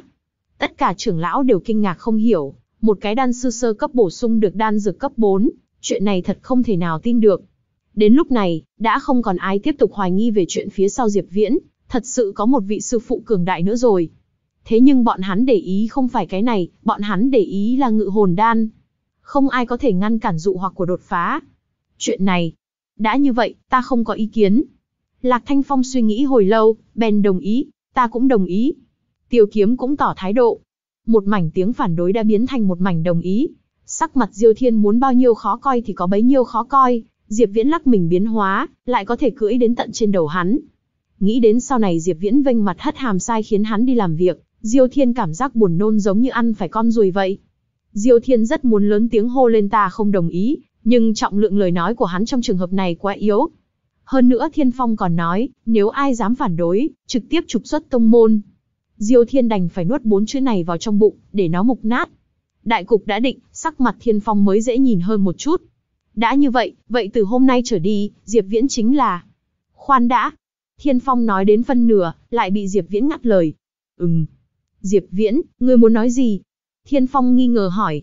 Diệp Viễn đứng ra, thi lễ với Thiên Phong và Lạc Thanh Phong, chậm rãi nói, Thái Thượng trưởng lão, Tông chủ, vị trí phó đường chủ đan đường này, đệ tử không thể nhận. Chuyện này lại phát sinh biến hóa không tưởng tượng được. Diệp Viễn thân là người trong cuộc, vậy mà cự tuyệt sự bổ nhiệm của Thái Thượng trưởng lão. Việc này biến đổi quá bất ngờ, khiến cho tất cả trưởng lão đều có chút không biết làm thế nào. Diệp Viễn, có phải ngươi lo lắng không chấn được những tiểu tử này hay không? Yên tâm, có ta ở đây, bọn hắn ai cũng không dám không nghe ngươi. Thiên Phong cũng không ngờ Diệp Viễn lại nhảy ra nói cự tuyệt, thế nhưng hắn rất nhanh ý thức được Diệp Viễn đang lo lắng cái gì. Diệp Viễn nói, không phải nguyên nhân này, đệ tử đa tạ sự hậu ái của Thái Thượng trưởng lão, chỉ là vị trí phó đường chủ này, đệ tử thật không thể tiếp nhận. Thiên Phong kinh ngạc nói, đây là vì sao? Đệ tử tới tông môn, vì tôi luyện võ đạo, cho nên mới tiến vào võ đường. Đệ tử thực lực thấp, vốn dĩ còn muốn ganh đua cao thấp với các sư huynh đệ ở võ đường. Một khi tiếp nhận chức vị này, về sau sẽ không tiện luận bàn võ đạo với những sư huynh đệ khác. Lý do mà Diệp Viễn đưa ra làm cho tất cả mọi người đều có chút ngoài ý muốn. Chuyện này, thiên phú đan đạo của ngươi siêu tuyệt như thế, đi theo võ đạo thật sự là quá lãng phí. Thiên Phong cảm thán nói, luyện dược sư tập trung tu hành nguyên lực là được rồi, căn bản không cần phải để ý đến chuyện về sức chiến đấu. Mà đối với võ giả tới nói, nguyên lực chỉ là phát huy chiến lực cơ bản, Điều bọn hắn phải làm, chính là đem sức chiến đấu cường hóa đến mức tối đa. Chính Thiên Phong cũng là luyện dược sư, nhìn thấy trên đan đạo Diệp Viễn lợi hại như thế, đương nhiên hy vọng hắn đi theo đan đạo. Thật tình không biết, đan đạo của Diệp Viễn đã sớm đạt tới đỉnh cao. Tạ ơn Thái Thượng trưởng lão nâng đỡ, có điều trước mắt đối với đệ tử mà nói, võ đạo vẫn có chút quan trọng hơn, xin Thái Thượng trưởng lão thành toàn. Diệp Viễn khẩn thiết nói. Nhìn thấy Diệp Viễn khăng khăng như thế, trên mặt Thiên Phong hiện lên một vòng bất đắc dĩ, không thể làm gì khác hơn nói, đã như vậy, việc này coi như thôi. Thế nhưng, ta vẫn còn muốn cho ngươi một cái danh phận trưởng lão trên danh nghĩa. Tại đan đường, địa vị của ngươi không thua bọn hắn. Nghe lời này, tâm trạng của Diêu Thiên vừa chuyển biến tốt đẹp, lại khôi phục nguyên trạng. Cái gọi là trưởng lão trên danh nghĩa, chính là có thể mặc kệ chuyện của đan đường, mà lại có thể hưởng thụ đãi ngộ của trưởng lão, hơi có chút dáng vẻ chỉ lấy tiền không làm việc. Nói cách khác, chỉ cần Diệp Viễn nhận lấy sự bổ nhiệm này, thì có thể ngồi ngang hàng với Diêu Thiên hắn rồi. Ngẫm lại hơn nửa tháng trước đó hắn còn là tiếp dẫn sứ, lúc đi đón Diệp Viễn tiến nhập tông môn, lúc ấy hắn còn nói Diệp Viễn ngay cả vị trí đệ tử hạch tâm cũng không gánh nổi. Thế nhưng hơn nửa tháng sau, Diệp Viễn lắc mình biến hóa, lại có thể ngồi ngang hàng với hắn rồi, thật sự là có loại cảm giác ở trước mặt bị đánh mặt. Nhanh cự tuyệt, nhanh cự tuyệt. Trong lòng Diêu Thiên không ngừng cầu nguyện, ngay cả vị trí trưởng lão này Diệp Viễn cũng cự tuyệt đi. Nếu Thái Thượng trưởng lão đã nâng đỡ như thế, vậy được rồi, đệ tử xin nhận lấy vị trí trưởng lão trên danh nghĩa này là được rồi. Có điều, đệ tử hy vọng tông môn không cần công khai thân phận này của ta, cũng không cần cho ta đãi ngộ đặc biệt gì, để cho ta lấy thân phận đệ tử bình thường tu hành. Hiện thực rất tàn khốc, đến cùng Diệp Viễn vẫn tiếp nhận sự bổ nhiệm này. Diệp Viễn biết trưởng lão có rất nhiều chỗ tốt, dù sao cũng chỉ là trên danh nghĩa, hắn làm sao lại không nhận. Trong U Vân Tông, trưởng lão có rất nhiều trách nhiệm, cũng có rất nhiều đặc quyền. Diệp Viễn là trưởng lão trên danh nghĩa không cần thực hiện trách nhiệm, mà một kẻ linh dịch cảnh như hắn muốn thực hiện cũng không thực hiện được, nhưng mà hắn lại có thể hưởng thụ đặc quyền. Đồ đần mới không đồng ý. Diệp Viễn cũng đoán được mấy phần ý nghĩ của Thiên Phong, mới có thể kiên quyết không nhận vị trí phó đường chủ. Thời gian của Diệp Viễn rất quý giá, cũng không muốn lãng phí ở trên chuyện trong tông môn. Nhưng là cái trưởng lão trên danh nghĩa này nha, hắn liền không có gánh nặng trong lòng rồi. Ha ha, ngươi đồng ý là tốt rồi, nếu không bản tọa thật đúng là không biết phải làm sao để cảm tạ ngươi. Thanh Phong, quay đầu chế tác một cái lệnh bài trưởng lão cho Diệp Viễn, đối với các đệ tử thì không cần phải công bố. Thiên Phong thấy Diệp Viễn đồng ý, cũng nhẹ nhàng thở ra. Lạc Thanh Phong lên tiếng vâng, ánh mắt lại hơi phức tạp nhìn Diệp Viễn một chút. Lấy linh dịch cảnh tấn thăng làm trưởng lão của tông môn, Diệp Viễn là người đầu tiên từ khi U Vân Tông lập tông đến nay đấy. Lạc Thanh Phong là người thông minh, hắn cũng đoán được mấy phần dụng ý của Thiên Phong, đối với chuyện này lại không có ý kiến gì. Đối với một cái tông môn đang xuống dốc mà nói, bọn hắn quá khát vọng thực lực. Thiên Phong quét qua đám người một chút, thấy trên mặt không ít người đều có thần sắc không phục, cười lạnh trong lòng. Sau khi bản tọa bế quan, Thanh Phong chủ trì đại cục, các ngươi phụ tá hắn cho tốt. Còn bên phía đan đạo có vấn đề gì, có thể giao lưu trao đổi với Diệp Viễn trưởng lão nhiều một chút, ta tin là hắn sẽ không để cho các ngươi thất vọng. Thiên Phong bất động thanh sắc nói. Diệp Viễn nghe xong thì toát mồ hôi, thế nhưng lúc này hắn lại không dễ mở miệng giải thích. Lão gia hỏa này, không phải kéo cừu hận tới cho mình sao? Các trưởng lão võ đường còn tốt, những trưởng lão đan đường kia lại nồng đậm địch ý, thật sự là quá rõ ràng. Quả nhiên, Thiên Phong vừa mới nói xong, Diệp Viễn lập tức cảm giác được một loạt ý chí chiến đấu dày đặc. Các trưởng lão đan đường từng người một lòng đầy căm phẫn, lại bực mình chẳng dám nói ra. Nếu như ánh mắt có thể giết người, Diệp Viễn lúc này đã bị giết vừa đi vừa về đến mấy lần rồi. Chỉ là một đan sư sơ cấp mà thôi, vậy mà thái thượng trưởng lão so sánh hắn với tất cả trưởng lão, cái này quá buồn cười. Hơn nữa mặc dù trong miệng thái thượng trưởng lão nói rất đúng mực chỉ là giao lưu, kỳ thật tất cả mọi người đều hiểu là chỉ giáo. Cho dù Diệp Viễn thật sự bổ sung được đan phương thất huyền ngự hồn đan, chắc chắn cũng là mèo mù vớ cá rán, trùng hợp biết cái đan phương này mà thôi. Muốn nói trình độ của Diệp Viễn có thể cao bao nhiêu, đánh chết bọn hắn cũng sẽ không tin. Phía sau Diệp Viễn có sư phụ lợi hại, sẽ dắt lưng mấy cái đan phương tương đối cao cấp cũng là bình thường. Nhưng là hắn mới mười mấy tuổi, lý giải đan đạo có thể sâu sắc bao nhiêu. Trong đại sảnh nghị sự của đan đường, một đám trưởng lão vây quanh lấy U Dương Vũ, có người cổ còn dãy đỏ lên. Đường chủ, ta thực sự nuốt không trôi khẩu khí này. Lão phu dốc lòng đan đạo hơn 150 năm, không dám nói tinh thông đan dược, nhưng cũng không thể không bằng một tên nhãi danh mười mấy tuổi đi. Đúng rồi. Thái thượng trưởng lão kiên trì để Diệp Viễn giữ vị trí trưởng lão trên danh nghĩa này, ta không có ý kiến, nhưng là để chúng ta đều tới thỉnh giáo hắn, đây không phải quá là quá mức rồi sao? Rõ ràng là thái thượng trưởng lão xem thường đan đường chúng, ta. Tại sao hắn có thể như vậy? Chính hắn cũng đi ra từ đan đường, sao có thể dèm pha đan đường chúng ta như thế? Chẳng lẽ nói, ở đây có bao nhiêu chuẩn đan vương, cũng không sánh nổi một tên đan sư sơ cấp như Diệp Viễn sao? Ta phải đi khiêu chiến với tên tiểu tử Diệp Viễn kia. Đúng, ta cũng muốn khiêu chiến với hắn. Ta lại thật muốn nhìn xem, Diệp Viễn hắn có phải có ba đầu sáu tay như vậy hay không? Ta cũng đi. Đám người lao nhau, nói đến U Dương Vũ đau cả đầu. Có điều lời của những trưởng lão này, thật đúng là nói đến trong tâm khảm của hắn. Mặc dù Thiên Phong không điểm danh nói hắn, nhưng hiển nhiên là, cũng nói bao gồm cả hắn trong đó U Dương Vũ là đường chủ đan đường, cũng là luyện dược sư mạnh nhất đan đường, chỉ thiếu chút nữa là có thể tiến vào cảnh giới đan vương. Đương nhiên, một bước này với hắn mà nói lại là một đường lạch trời. Loại nhân vật như vậy, mà phải nhận chỉ điểm của một tên đan sư sơ cấp như Diệp Viễn. Nói đùa cái gì? U Dương Vũ quét mắt tất cả trưởng lão một chút, cười nhạt nói, ta không có nghe thấy cái gì. Nói xong, hắn xoay người rời đi. Tất cả trưởng lão cực kỳ ngạc nhiên, chợt lộ ra hiểu ý mỉm cười. Thiệu Doãn xếp thứ 5 trong đám trưởng lão đan đường, năm ngoái mới vừa vặn đột phá đến cảnh giới chuẩn đan vương cao cấp. Là lực lượng tân sinh trẻ trung khỏe mạnh của đan đường, địa vị của hắn ở đan đường vô cùng cao, được đánh giá là nhân tuyển có lực cạnh tranh nhất cho vị trí đường chủ đan đường hại nhiệm.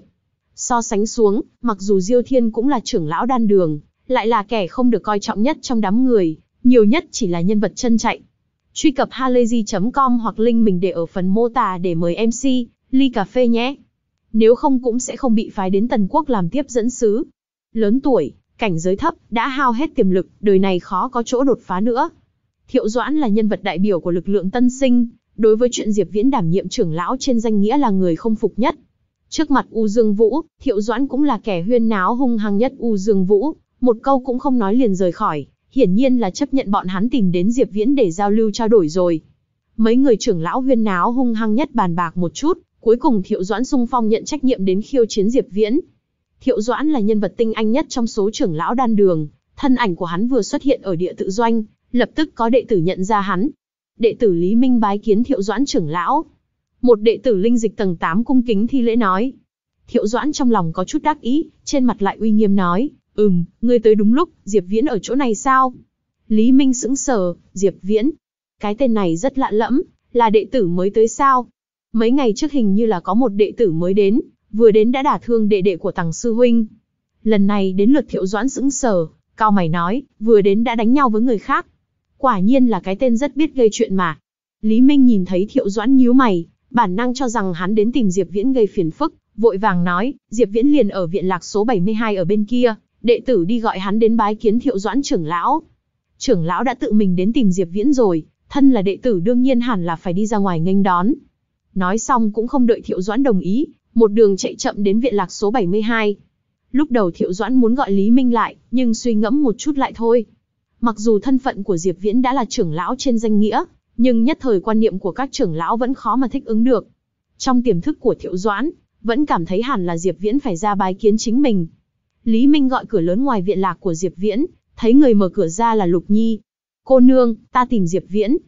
Nhìn thấy một vị mỹ nữ mở cửa, Lý Minh vô cùng khách khí. Lục Nhi thấy người này lạ mặt, bản năng liền muốn từ chối khéo. Thiếu gia đang nghỉ ngơi, không biết vị sư huynh này có chuyện gì.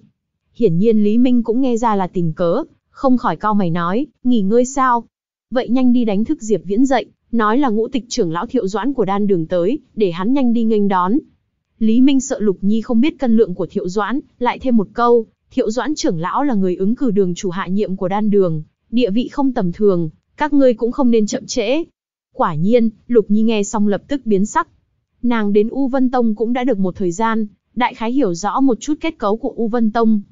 Cái danh hiệu đường chủ đan đường này, tuyệt đối là đại nhân vật ở U Vân Tông, cho dù chỉ là đường chủ đan đường tương lai. Lục Nhi không dám thất lễ, lập tức đi vào bẩm báo. Diệp Viễn nghe xong là cái gì mà đường chủ đan đường tương lai, lông mày không khỏi nhíu một cái, nhanh như vậy đã có người đến tìm phiền phức rồi. Thế nhưng, có phải có chút phô trương quá rồi hay không? Tất cả mọi người đều là cấp bậc trưởng lão, còn muốn để mình ra cổng đón hắn.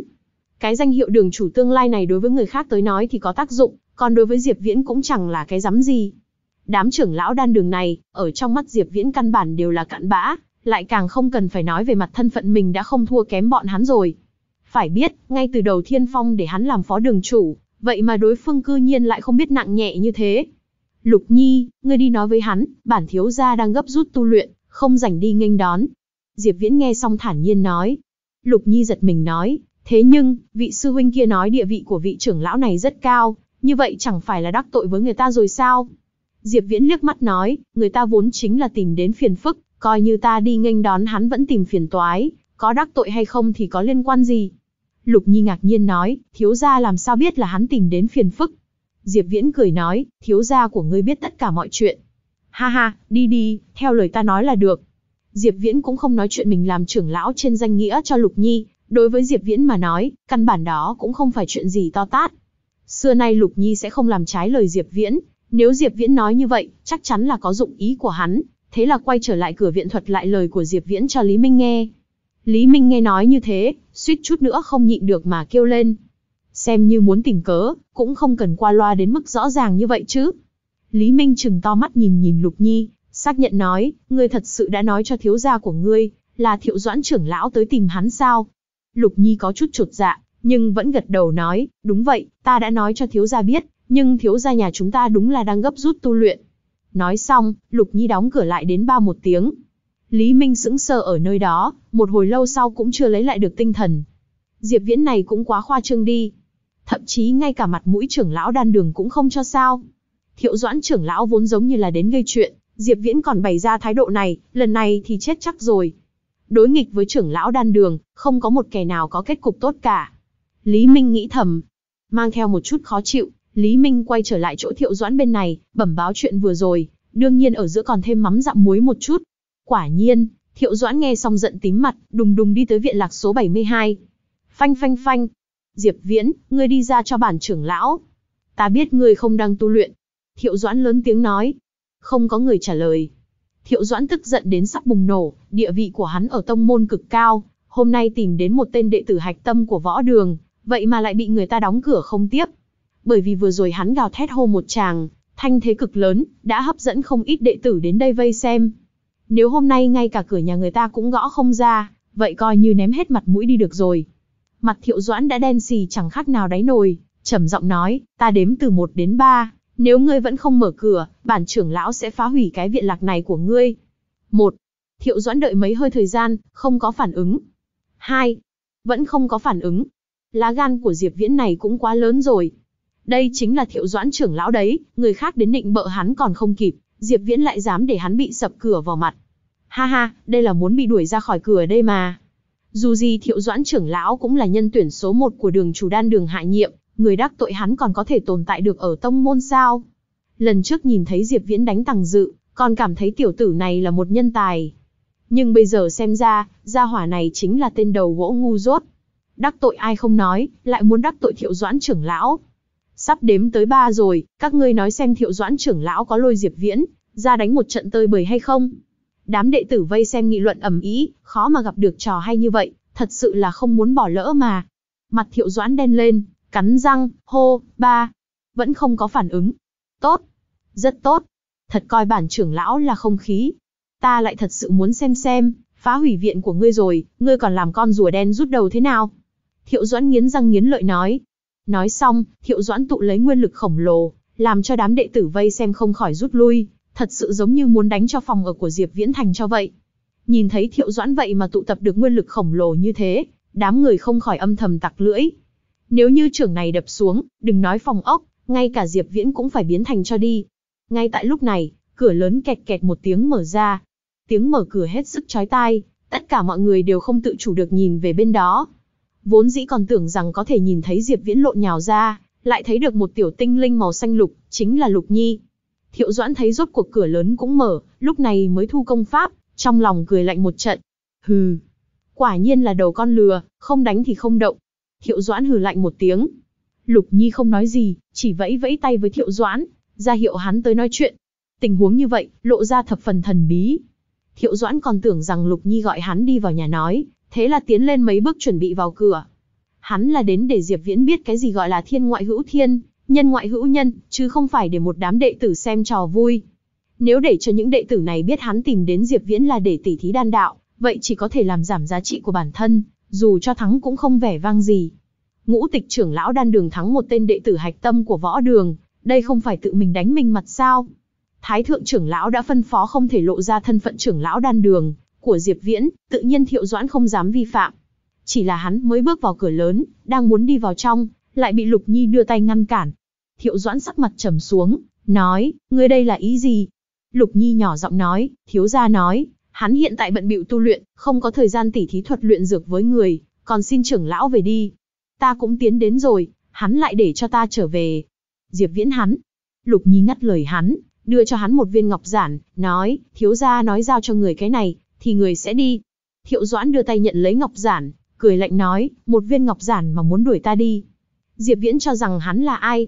Một tên linh dịch tầng 4 nho nhỏ, vậy mà đã không coi ai ra gì đến mức độ này rồi. Lục Nhi nói, sao trưởng lão không xem trước ngọc giản một chút? Thiếu gia đã nói như vậy, tự nhiên có mấy phần lòng tin. Ha ha, thật sự là buồn cười. Được, ta lại thật muốn nhìn xem, Diệp Viễn dùng một viên ngọc giản đến đuổi ta đi như thế nào. Thiệu Doãn là người hiếu thắng, Lục Nhi thoáng làm phép khích tướng, gia hỏa này đã trúng chiêu rồi. Kỳ thật Lục Nhi cũng không biết trong ngọc giản có gì, chỉ là thiếu gia nói như vậy, hắn tự nhiên không đánh trận chiến không nắm chắc. Đương nhiên, càng quan trọng hơn là, Thiệu Doãn căn bản cũng không tin tưởng, Diệp Viễn sử dụng một viên ngọc giản là có thể đuổi hắn đi. Thiệu Doãn suy đoán, trong ngọc giản hẳn là một loại đan phương, có lẽ Diệp Viễn muốn dùng một loại đan phương đến thu mua chính mình. Hắn nghĩ quá đơn giản, coi là dắt lưng được mấy cái đan phương thì ngon. Có đan phương không có nghĩa là hiểu biết về thuật luyện dược. Coi như Diệp Viễn có người sư phụ rất đáng gờm đằng sau, dạy cho hắn vô số loại đan phương, hắn cũng chỉ là đan sư sơ cấp.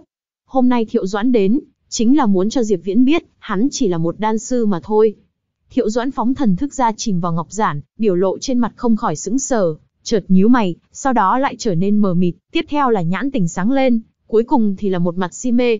Lục Nhi nhìn chằm chằm vào Thiệu Doãn, nhìn thấy biểu tình trên mặt hắn biến hóa phong phú như thế, sau khi hiếu kỳ, cảm thấy thiếu gia thật sự là quá lợi hại rồi. Mới đầu nghe được thiếu gia nói trưởng lão này, tới là muốn tìm hắn tỉ thí thuật luyện dược, Lục Nhi kinh ngạc mất nửa ngày. Ở trong nhận biết của Lục Nhi, chuẩn đan vương thế nhưng là nhân vật cực kỳ lợi hại, còn phải lợi hại hơn so với lão gia. Nhân vật như vậy, lại tìm đến thiếu gia tỉ thí thuật luyện dược. Có điều kinh ngạc thì kinh ngạc, nàng vẫn lựa chọn tin tưởng thiếu gia. Loại tín nhiệm không có lý do này, ngay cả chính nàng cũng không biết vì cái gì. Dù sao cũng chính là nàng tin tưởng, thiếu gia mạnh nhất, dù là chuẩn đan vương so ra cũng kém. Tuy nhiên, tin tưởng là một chuyện, một viên ngọc giản có thể để cho một vị chuẩn đan vương, xéo đi lại là một chuyện khác.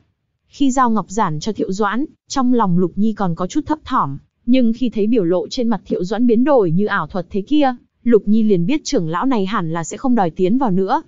Quả nhiên, thiếu gia là mạnh nhất. Trong ánh mắt ngạc nhiên của mọi người, Thiệu Doãn cứ thế rời đi. Lúc đến khí thế hùng hổ, thiếu chút nữa phá hủy phòng ở của người ta. Thế nhưng vào nhà không đến nửa khắc, Thiệu Doãn trưởng lão lại một mặt si mê từ trong viện ra rồi, giống như là đã đạt được cái bảo bối gì vậy. Thiệu Doãn trưởng lão đây là thế nào? Cái tư thế vừa rồi của hắn, nhìn thế nào cũng như là đi gây chuyện, làm sao lại như bây giờ rồi? Ngươi hỏi ta, ta đi hỏi ai đây? Trước trước sau sau hắn tiến vào trong viện chờ đợi không đến nửa khắc đồng hồ, cho dù là nói chuyện phiếm cũng không thể nào nhanh như vậy chứ. Ai ra, ngươi có cảm thấy, tên Diệp Viễn vừa mới tới này thần thần bí bí, dáng vẻ giống như sâu không lường được hay không? Nghĩ lại, còn thật sự là có chút như vậy đấy. Ngươi có phát hiện, Tằng Thành Sư Huynh đã trở về thời gian rất lâu rồi, nhưng cũng vẫn không đến gây sự với Diệp Viễn không? Hà hà, cái này thì ta lại có nghe nói. Hai người bọn hắn thật đúng là có gặp mặt qua, có điều sau khi Tằng Thành Sư Huynh xem lệnh bài thân, phận của Diệp Viễn, trực tiếp sững sờ ở nơi đó, ngay cả người ta đi như thế nào cũng không biết. Hơn nữa, ngươi có biết không, lần trước Diệp Viễn đi lãm tinh cát, đã tiếp nhận một nhiệm vụ cấp 9. Không phải chứ? Khoa trương như vậy sao? Vậy hắn có hoàn thành được không? Không biết, hẳn là không hoàn thành được mới phải chứ. Một linh dịch tầng 4 như hắn, xem như có nghịch thiên hơn nữa, cũng làm sao có thể hoàn thành nhiệm vụ cấp 9 đây. Ách, nói cũng đúng. Sau khi Diệp Viễn nhập tông môn vẫn luôn ở trong phòng không ra ngoài, chỉ làm mấy chuyện. Nhưng mấy chuyện này, lại để hắn trở nên thần bí trong mắt đám đệ tử. Mà sau khi Thiệu Doãn đạt được ngọc giản kia từ chỗ Diệp Viễn, trực tiếp trở lại phòng luyện đan của mình bế quan, cũng không nói tiếng nào cho những người khác. Một đám trưởng lão còn đang chờ tin tức của hắn, thế nhưng hắn lại giống như là bốc hơi khỏi nhân gian rồi vậy. Đợi thật lâu cũng không thấy tin tức gì của Thiệu Doãn, các trưởng lão mới phái người đến địa tự doanh nghe ngóng. Có điều sau khi nghe ngóng, mới biết được Thiệu Doãn đã tới, nhưng là đến vội vàng đi cũng vội vàng. Một đường hỏi thăm xuống, bọn hắn mới biết được Thiệu Doãn đã về chỗ ở của mình rồi. Nhưng khi các trưởng lão lại đến chỗ ở hỏi một chút, mới biết được Thiệu Doãn trực tiếp bế quan, ai cũng không gặp. Lượn quanh một vòng lớn, lại chờ đến một tin tức như thế, thật là làm cho mọi người vô cùng kinh ngạc. Lão tiểu tử này, cũng quá không chịu trách nhiệm mà. Người bế quan thì cũng phải thông báo một tiếng chứ. Phải biết rằng tất cả mọi người còn đang chờ tin tức của người đấy. Có điều khó chịu thì khó chịu, đám người càng cảm thấy nghi ngờ. Coi như trình độ của Diệp Viễn thật sự cực cao, thì cũng sẽ không thể nào trong nửa khắc đồng hồ liền để Thiệu Doãn thất bại tan tác, mà quay trở về đi. Đến cùng là Thiệu Doãn đã trải qua chuyện gì tại nơi ở của Diệp Viễn chứ? Đan đường, không ít trưởng lão tụ tập cùng một chỗ, thảo luận chuyện Thiệu Doãn đột nhiên bế quan. Chuyện được đọc bởi kênh Halazy Audio. Các người nói xem, đến cùng là Thiệu Doãn đã gặp chuyện gì ở chỗ Diệp Viễn? Làm sao ta càng nghĩ lại càng thấy quỷ dị? Theo lý thuyết, khả năng Thiệu Doãn bế quan lớn nhất có lẽ là bại trận rồi, cảm thấy mất hết mặt mũi, ngại tới gặp chúng ta, cho nên mới lựa chọn bế quan. Nhưng vấn đề là, Thiệu Doãn tiến vào nơi ở của Diệp Viễn tổng cộng cũng không đến nửa khắc đồng hồ, như vậy đủ cho bọn hắn nói mấy câu đây. Đúng vậy, nửa khắc đồng hồ, cũng không đủ giải thích rõ ràng một cái đan phương, có thể làm gì. Cái này lại không phải võ giả luận võ, Diệp Viễn còn có thể miểu sát hay sao? Tân trưởng lão, ngài là lão đại của chúng ta, việc này hay là đến ngài ra mặt đi. Chẳng lẽ, một đám trưởng lão đan đường chúng ta, lại thật không bằng một tên đan sư nho nhỏ.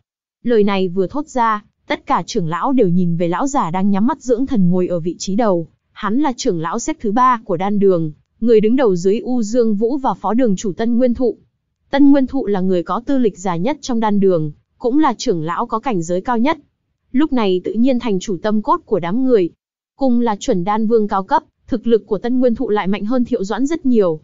Hắn đã tấn thăng chuẩn đan vương cao cấp mấy chục năm, So với U Dương Vũ mặc dù có chút không kịp, nhưng cũng sẽ không kém quá nhiều. Đối với Diệp Viễn như vậy, một cái đan sư trở thành trưởng lão trên danh nghĩa của đan đường, tất nhiên Tân Nguyên Thụ cũng có chút không thoải mái, bằng không hôm nay hắn cũng sẽ không xuất hiện ở chỗ này. Có điều hắn luôn luôn kính phục Thái Thượng trưởng lão, cho nên mới một mực không lên tiếng. Đối với chuyện Thiệu Doãn đi khiêu chiến Diệp Viễn, Tân Nguyên Thụ cũng có chút mong đợi, lại không nghĩ rằng vậy mà hắn cũng rơi vào trong. Kể từ đó, tự nhiên hắn bị mọi người đẩy ra, Thấy tất cả trưởng lão vây tới, Tân Nguyên Thụ mở hai mắt ra, nhìn lướt qua mọi người, lại thở dài nói, được rồi, lão phu đi một lần, gặp Diệp Viễn này xem. Tuổi tác Tân Nguyên Thụ đã cao, cho dù trong lòng khó chịu, cũng không muốn làm loại chuyện tranh cường háo thắng này. Mặc dù thực lực của Thiệu Doãn không bằng mình, nhưng được xếp thứ năm cũng tuyệt đối không phải chỉ là hư danh. Vốn dĩ tưởng rằng hắn đi là sẽ giải quyết được mọi chuyện, không ngờ lại thành ra thế này.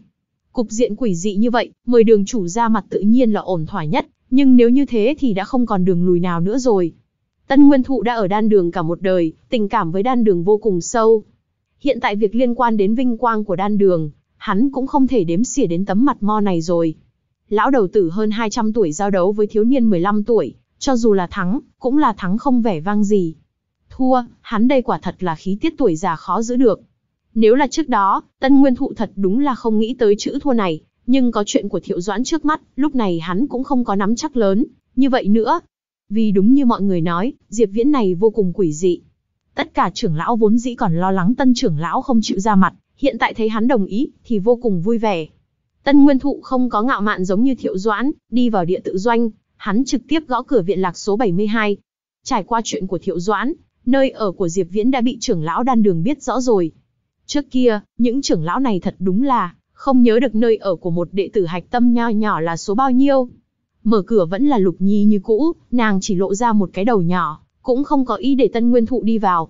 Tân Nguyên Thụ đang muốn nói chuyện, Lục Nhi lại giành mở miệng trước, xin hỏi tục danh của vị trưởng lão này là gì? Tân Nguyên Thụ sững sờ, nhưng vẫn tự giới thiệu, lão phu Tân Nguyên Thụ, chính là trưởng lão đứng thứ ba của đan đường, ta là... ầm, um. lời của Tân Nguyên Thụ còn chưa dứt, Lục Nhi đã đóng cửa lại. Đầu tiên Tân Nguyên Thụ sững sờ, ngay sau đó là vô tận khuất nhục và tức giận. Quả nhiên là chủ nào tới nấy. Chủ nhân không hiểu chuyện thế nào, nha hoàn cũng không hiểu chuyện y như vậy. Có đạo đãi khách nào như thế này? Cho dù Diệp Viễn ngươi có là trưởng lão đan đường thật, Tân Nguyên Thụ ta cũng là tiền bối của ngươi đấy. Tân Nguyên Thụ đang muốn nổi bão, cửa lớn lại kẹt kẹt một tiếng mở ra. Lần này Lục Nhi cũng lộ ra một cái đầu nhỏ, cộng thêm một cánh tay. Tân Nguyên Thụ trưởng lão đúng không? Đây là Ngọc Giản đưa cho người, thiếu gia nói người xem xong thì sẽ tự mình trở về. Lục Nhi sợ Tân Nguyên Thụ không xem, lại bổ sung, ừm. Trước đó có thiệu doãn trưởng lão kia, cũng là sau khi xem xong Ngọc Giản thì rời khỏi. Nói xong, lại phanh một tiếng đóng cửa lại, rốt cuộc không một tiếng động. Tân Nguyên Thụ cầm ngọc giản trong tay, vô cùng ngạc nhiên. Hắn đã không để ý đến đạo đãi khách của Diệp Viễn và Lục Nhi nữa, đem lực chú ý đặt vào nửa câu nói sau của Lục Nhi. Thiệu Doãn bế quan lại bởi vì một viên ngọc giản này. Bằng vào cảnh giới của Diệp Viễn, hắn khắc xuống ngọc giản có thể là thứ gì chứ? Nếu như nói Diệp Viễn có đồ vật gì để Thiệu Doãn để mắt tới, vậy chỉ có thể là đan phương. Diệp Viễn biết rất nhiều đan phương mà tông môn không biết, đây đã là nhận thức chung của các trưởng lão rồi. Nhưng Thiệu Doãn lại bởi vì một loại đan phương mà từ bỏ khiêu chiến sao? Đây cũng quá không biết nặng nhẹ rồi đi. Nghĩ nửa ngày, Tân Nguyên Thụ cũng không hiểu nổi, hắn quyết định hay là nhìn trước Ngọc Giản một chút. Khi thần thức của Tân Nguyên Thụ chìm vào Ngọc Giản, trong nháy mắt hắn đã hiểu vì sao Thiệu Doãn bế quan. Tiếp đó, nét mặt của hắn cũng trở nên đặc sắc giống như Thiệu Doãn. Tân trưởng lão đi lâu như vậy, sao vẫn chưa trở lại? Không biết nữa, chẳng lẽ nói hai người đánh đến mức khó hòa giải được? Làm sao có thể? Trình độ của tân trưởng lão, dường như đã có thể sánh bằng đường chủ rồi, dạy dỗ một tên Diệp Viễn còn không phải chuyện một bữa ăn sáng. Vậy giải thích chuyện đến bây giờ hắn còn không trở lại thế nào? Trong đan đường, hai trưởng lão đồng thời trầm mặc xuống, bỗng nhiên liếc nhau một cái, trong ánh mắt tràn đầy không tin, lại chăm miệng một lời, sẽ không phải cũng bế quan rồi chứ? Kết quả là, bọn hắn phái người đi tìm hiểu, kết quả đạt được quả nhiên là bế quan. Một đám trưởng lão hai mặt nhìn nhau, lại là không biết nên nói cái gì. Loại tình huống này, thật sự là quá quỷ dị. Trưởng lão đứng thứ ba và thứ năm của đan đường đi khiêu chiến với Diệp Viễn, kết quả lại không giải thích được không thông báo tiếng nào mà bế quan, tình huống như thế nào. Đến cùng Diệp Viễn này đã làm cái yêu pháp gì, mà có thể để tân trưởng lão và thiệu trưởng lão không nói tiếng nào, cứ như vậy bế quan. Không phải bọn hắn trúng cái tà pháp gì chứ. Thấy được tình huống không cách nào giải thích được, có người tự nhiên nghĩ đến chuyện có tà pháp gì đó. Tất cả trưởng lão không phản bác được. Thật lâu, một trưởng lão bỗng nhiên đứng lên, trầm giọng nói, ta cũng đi chiếu cố Diệp Viễn xem, ta còn không tin, hắn tiếp tục có thể đem ta cũng đi bế quan luôn. Nói xong, không đợi đám người ngăn cản, trực tiếp xông cửa ra mà đi. Khi đi vô cùng khí thế, nhưng mà kết quả lại là, cũng không trở về nữa. Người trưởng lão này đúng là trực tiếp bế quan. Tình thế phát triển càng ngày càng quỷ dị, tất cả trưởng lão có loại cảm giác như gặp phải quỷ. Một người hai người còn chưa tính, ba người thế này thì có chút không giải thích được đi. Nhưng mà chuyện này vẫn chưa kết thúc, hai ngày tiếp theo, lại có mấy tên trưởng lão tự cao tự đại không phục tới khiêu chiến Diệp Viễn. Thế nhưng, kết quả của bọn hắn đều là bế quan. Trưởng lão đan đường tấp nập bế quan, đưa tới một trận bàn tán sôi nổi trong tông môn. Các ngươi có nghe nói không, trưởng lão bát tịch trở lên của đan đường chúng ta, hễ đi qua nơi ở của một đệ tử hạch tâm tên là Diệp Viễn ở địa tự doanh, thì sau đó tất cả đều bế quan. Làm sao có thể chưa nghe nói qua? Trưởng lão đan đường tấp nập ra vào địa tự doanh, đã gây huyên náo xôn xao ở tông môn, muốn không, nghe nói cũng khó. Hiện tại còn có người nói, đệ tử tên Diệp Viễn kia là yêu nhân. Nghe nói tám vị trưởng lão đều là đến tìm Diệp Viễn gây phiền phức, thế nhưng bọn hắn còn chưa làm gì Diệp Viễn, lại trực tiếp lựa chọn bế quan. Yêu nhân cái gì? Mấy vị trưởng lão đều là pháp lực thông thiên, cũng là cường giả hóa hải cảnh cấp cao, làm sao lại bị một tên võ giả linh dịch cảnh nho nhỏ thi pháp được? Ừm. Chẳng lẽ nói, người biết nội tình gì? Đệ tử này hiển nhiên cũng là kẻ nhiều chuyện, nghe đối phương nói vậy không khỏi hiếu kỳ hỏi. Một đệ tử khác cười thần bí, nói ra, hê hê, muốn nói nội tình ấy hả, có lẽ ngoại trừ người trong cuộc, ai cũng không biết. Nhưng bản thiên tài kín đáo suy luận một hồi, lại phát hiện ra một chút kỳ quặc. Đệ tử nhiều chuyện hai mắt tỏa sáng, chuyện này đã trở thành chủ đề sốt dẻo nhất trong tông môn mấy ngày nay, thế nhưng ai cũng không biết ở giữa đã xảy ra chuyện gì, bao gồm cả những vị trưởng lão đan đường kia. Hiện tại lại có người nói có thể biết nội tình, hiển nhiên đủ để khiến cho người khác tò mò không thôi. Mau nói, người đã phân tích ra được cái gì rồi? Gã đệ tử kia cười đắc ý, thần bí nói, từ sau khi chuyện này phát sinh, ban đầu ý nghĩ của ta cũng giống như ngươi, cho rằng Diệp Viễn làm yêu pháp. Nhưng là về sau tưởng tượng lại thấy không đúng, mấy vị trưởng lão bản lĩnh thông thiên, cho dù Diệp Viễn yêu pháp nghịch thiên hơn nữa, cũng làm sao có khả năng vượt qua hai đại cảnh giới thi triển yêu pháp được. Đệ tử kia nghĩ nghĩ, gật đầu nói, cũng đúng, lời giải thích này không thông. Cho nên, ta liền suy nghĩ thêm một chút, muốn tìm đến cái điểm chung nào đó giữa tám vị trưởng lão. Có thể để cho tám vị trưởng lão đồng thời bế quan, chắc chắn thủ đoạn mà Diệp Viễn dùng phải giống nhau, vậy cái này triệu chứng ở chỗ nào? Đệ tử kia cố ý thừa nước đục thả câu, khoai khoang nói. Quả nhiên tên đệ tử nhiều chuyện rất phối hợp, nghi ngờ nói, đúng vậy, triệu chứng này ở chỗ nào? Ai nha, Ngươi mau mau nói đi, cố ý làm cho người khác tò mò mới vui sao? Ta phát hiện tám vị trưởng lão đều treo nhiệm vụ cấp 8 ở lãm tinh các. Cái gì? Đây chính là điểm giống nhau mà ngươi nói. Ha ha, nói đùa cái gì? Ý của ngươi là nói, Diệp Viễn giải đáp được toàn bộ những nhiệm vụ cấp 8 này, mới có thể để toàn bộ 8 vị trưởng lão bế quan sao? Ngươi cảm thấy có khả năng ư? Đệ tử nhiều chuyện kia có loại cảm giác bị đùa bỡn, cười nhạo nói. Hừ hừ, ngươi đừng có không tin. Ngay từ đầu ta cũng bị ý nghĩ này của ta làm cho giật nảy mình, có điều đây là khả năng duy nhất mà ta có thể nghĩ tới, cho nên ta liền đến lãm tinh các hỏi thăm một chút. Hê, hey, ngươi đoán xem ta hỏi được gì? Lần này tên đệ tử kia không khỏi nói, thế nào? Chẳng lẽ, thật sự là Diệp Viễn đã tiếp nhận những nhiệm vụ cấp 8 này? Thế thì không có. Thế nhưng, một ngày trước khi Thiệu Doãn trưởng lão đi tìm Diệp Viễn, Diệp Viễn có đi qua lãm tinh cát, hơn nữa còn ngẩn ngơ cả một buổi chiều. Hắn cũng không có nhận nhiệm vụ, chỉ là không ngừng tra nhiệm vụ trên Ngọc Tường. Chỉ bằng cái này, chỉ bằng cái này. Ngươi phải biết, trước đó Diệp Viễn còn nhận qua nhiệm vụ cấp 9 của Thái Thượng trưởng lão. Nếu như hắn thật sự có thể hoàn thành nhiệm vụ cấp 9, mấy cái nhiệm vụ cấp 8 đó thì coi là cái gì? Thế nhưng mà, điều này có thể sao? Y, mặc dù ta cũng không tin, nhưng là ta thực sự tìm không thấy giải thích nào hợp lý hơn rồi. Tông chủ, Diệp Viễn này tuyệt đối là tên yêu nhân. Ngươi nhìn một chút đan đường hiện tại xem, còn lại mấy vị trưởng lão. Trước mặt Lạc Thanh Phong, dáng vẻ u dương vũ đau lòng nhức óc, lên án Diệp Viễn là yêu nhân. Hai ngày nay, phàm là những trưởng lão đi qua nơi ở của Diệp Viễn, tất cả đều tuyên bố bế quan. Thật ra trong lòng Lạc Thanh Phong cũng vô cùng nghi ngờ, mặt ngoài lại lặng lẽ nói, Diệp Viễn chỉ là võ giả linh dịch cảnh, các trưởng lão đều là cường giả hóa hải cảnh, hơn nữa mấy vị trưởng lão này đều là cường giả hóa hải cảnh trung hậu kỳ, Diệp Viễn làm sao có thể thi triển yêu pháp với bọn họ? Vậy tông chủ, người giải thích thế nào về chuyện này? Lại tiếp tục như thế, đan đường chúng ta đã sắp không vận hành được. Không có mấy vị trưởng lão này luyện chế đan dược chuẩn cấp 4, các trưởng lão võ đường cũng vô pháp tu luyện nữa. Tông chủ, ta đề nghị trước hết khống chế Diệp Viễn lại, để hắn nói cho rõ ràng. U Dương Vũ nổi nóng nói. Mặc dù lời này có chút ý tứ uy hiếp, nhưng U Dương Vũ nói cũng đúng sự thật. Tám vị trưởng lão này đều là những nhân vật đứng đầu đan đường, không có bọn hắn thì không cách nào luyện chế đan dược.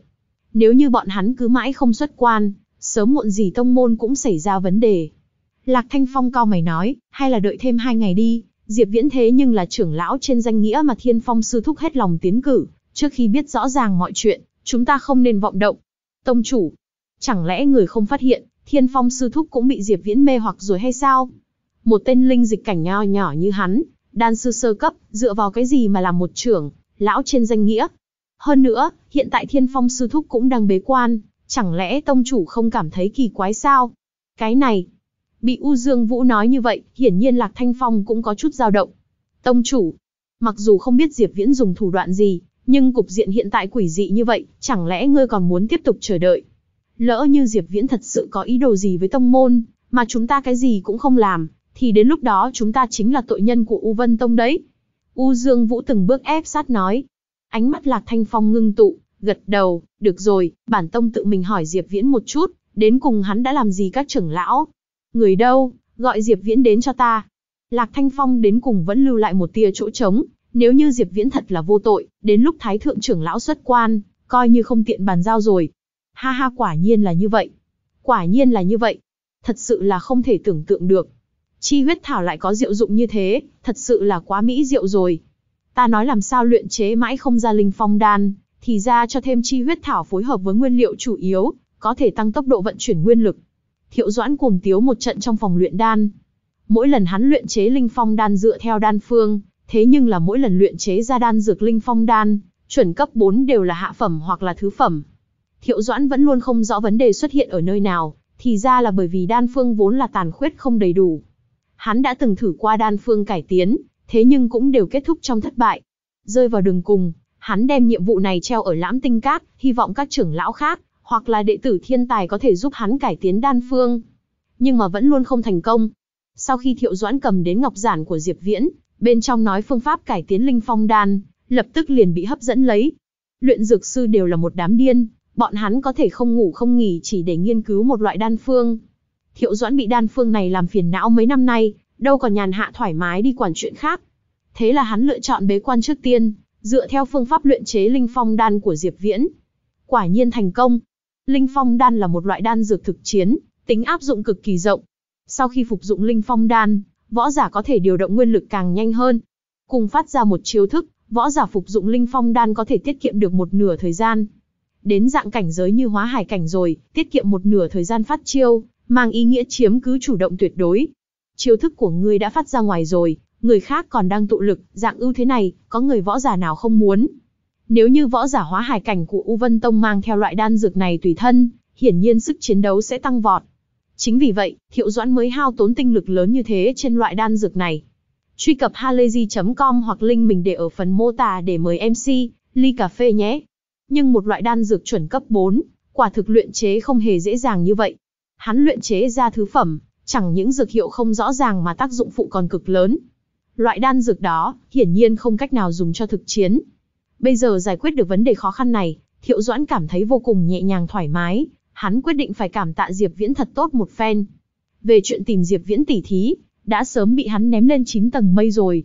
Sau khi xuất quan, Thiệu Doãn đi thẳng đến viện lạc số 72 ở địa tự doanh, lại vừa vặn đụng phải Diệp Viễn đi ra ngoài với một người trẻ tuổi. Hừ, Diệp Viễn, Quách Bân, các ngươi đây là muốn đi nơi nào? Thiệu Doãn mặt mũi tràn đầy tươi cười nói. Vẻ mặt Diệp Viễn mờ mịt, căn bản hắn cũng không nhận ra người này, chỉ nhớ hình như Thiệu Doãn là một vị trưởng lão đan đường. Còn tên gọi là gì, hắn cũng không nhớ nổi. Quách Bân nhìn thấy Thiệu Doãn thì mặt mũi tràn đầy kinh ngạc, lập tức vội vàng tiến lên thi lễ nói, đệ tử Quách Bân bái kiến Thiệu sư thúc, bẩm sư thúc, tông chủ bảo ta gọi Diệp Viễn đến tra hỏi. Thiệu sư thúc đây là xuất quan rồi sao? Hử. Cha hỏi. Xảy ra chuyện gì ư? Thiệu Doãn sầm mặt lại hỏi. Quách Bân do dự một chút, vẫn nói sơ qua mọi chuyện một chút. Nói đến, Thiệu Doãn vẫn là người đầu tiên bị Diệp Viễn làm cho bế quan. Nhưng mà Thiệu Doãn nghe xong lại giận tím mặt, nói hưu nói vượn. Yêu nhân cái gì, Diệp Viễn hắn là đại công thần của U Vân Tông. Ta đây không phải còn đang rất tốt sao, làm sao lại chúng ta rồi? Là kẻ não tàn nào ăn nói hàm hồ, đây là đang rủa bản trưởng lão sao? Đi, ta cùng các ngươi cùng đi gặp tông chủ. Hắn lại quay sang Diệp Viễn nói, Diệp Viễn, ta là Thiệu Doãn, chính là trưởng lão đứng thứ năm đan đường. May mắn mà có ngươi, ta mới có thể luyện chế thành công linh phong đan. Diệp Viễn nghe xong, lập tức biết đối phương là ai. Mấy cái nhiệm vụ cấp 8 kia, đối Diệp Viễn tới nói tự nhiên vô cùng đơn giản, thế là, chuẩn bị tầm 10 phần ngọc giản.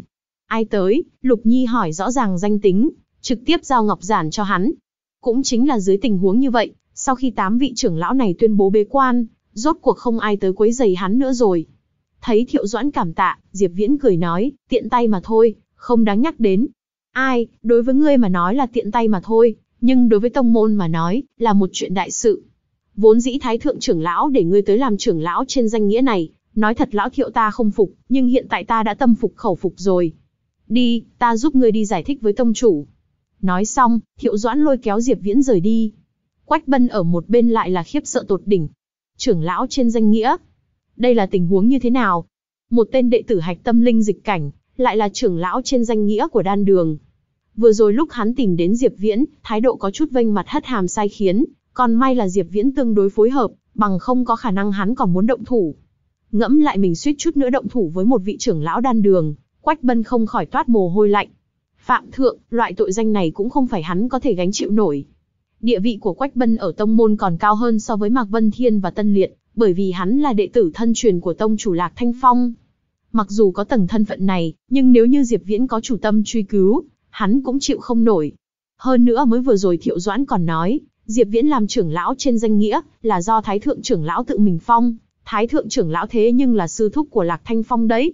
Vừa đi hai bước, Thiệu Doãn chợt nhớ tới cái gì, quay người nói với Quách Bân, lời vừa rồi ngươi nghe được là được rồi, không cho phép nói lung tung khắp nơi, có nghe hay không?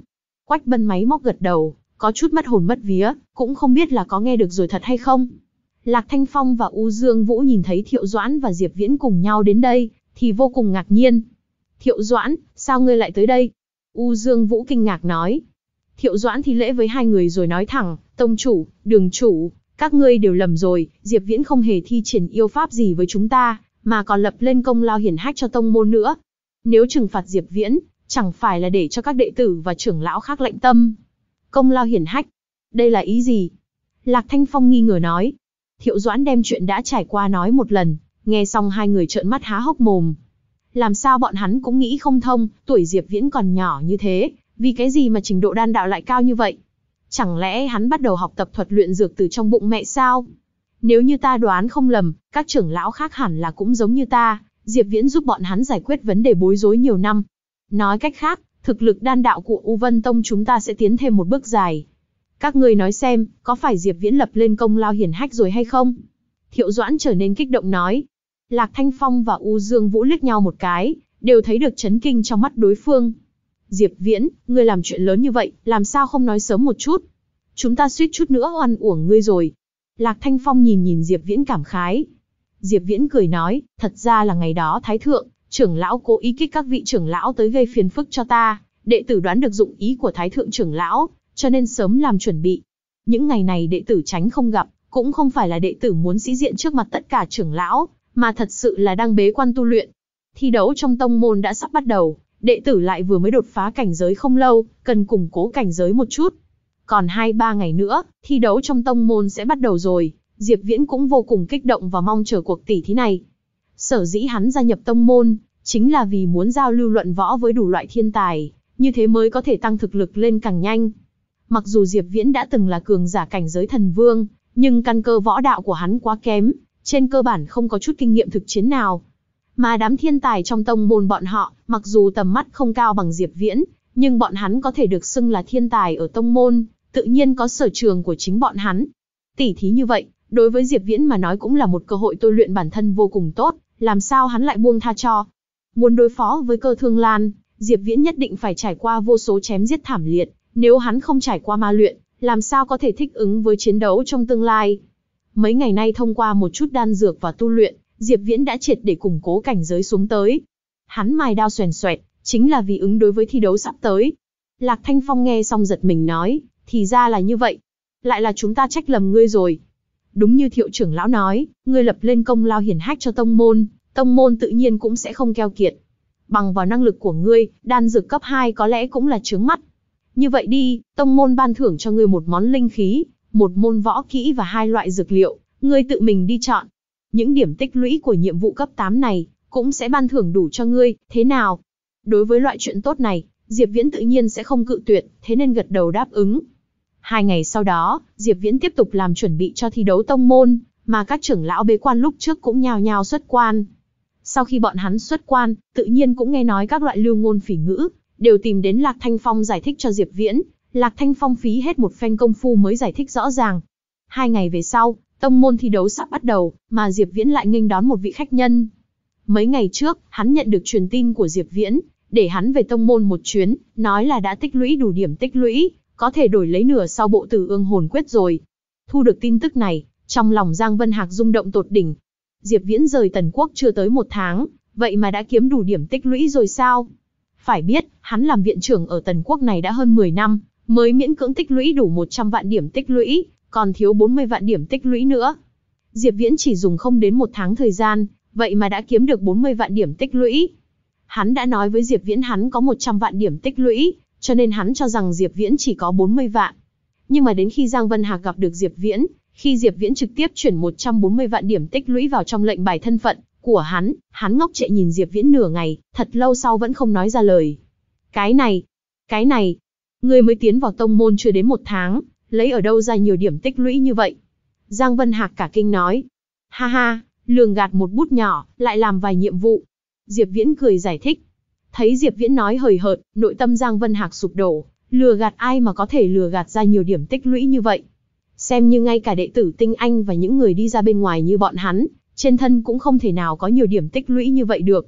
Đầu óc Giang Vân Hạc có chút quá tải, nửa ngày mới lắc đầu nói, không được, mấy năm nay ta đã tích lũy được khoảng 100 vạn điểm tích lũy, không dùng đến nhiều như vậy, chỉ cần 40 vạn là đủ rồi, còn lại ta trả lại cho ngươi. Ngươi mới vừa vào tông môn, không biết chỗ chân quý của điểm tích lũy, những điểm tích lũy này chính ngươi giữ lại dùng đi.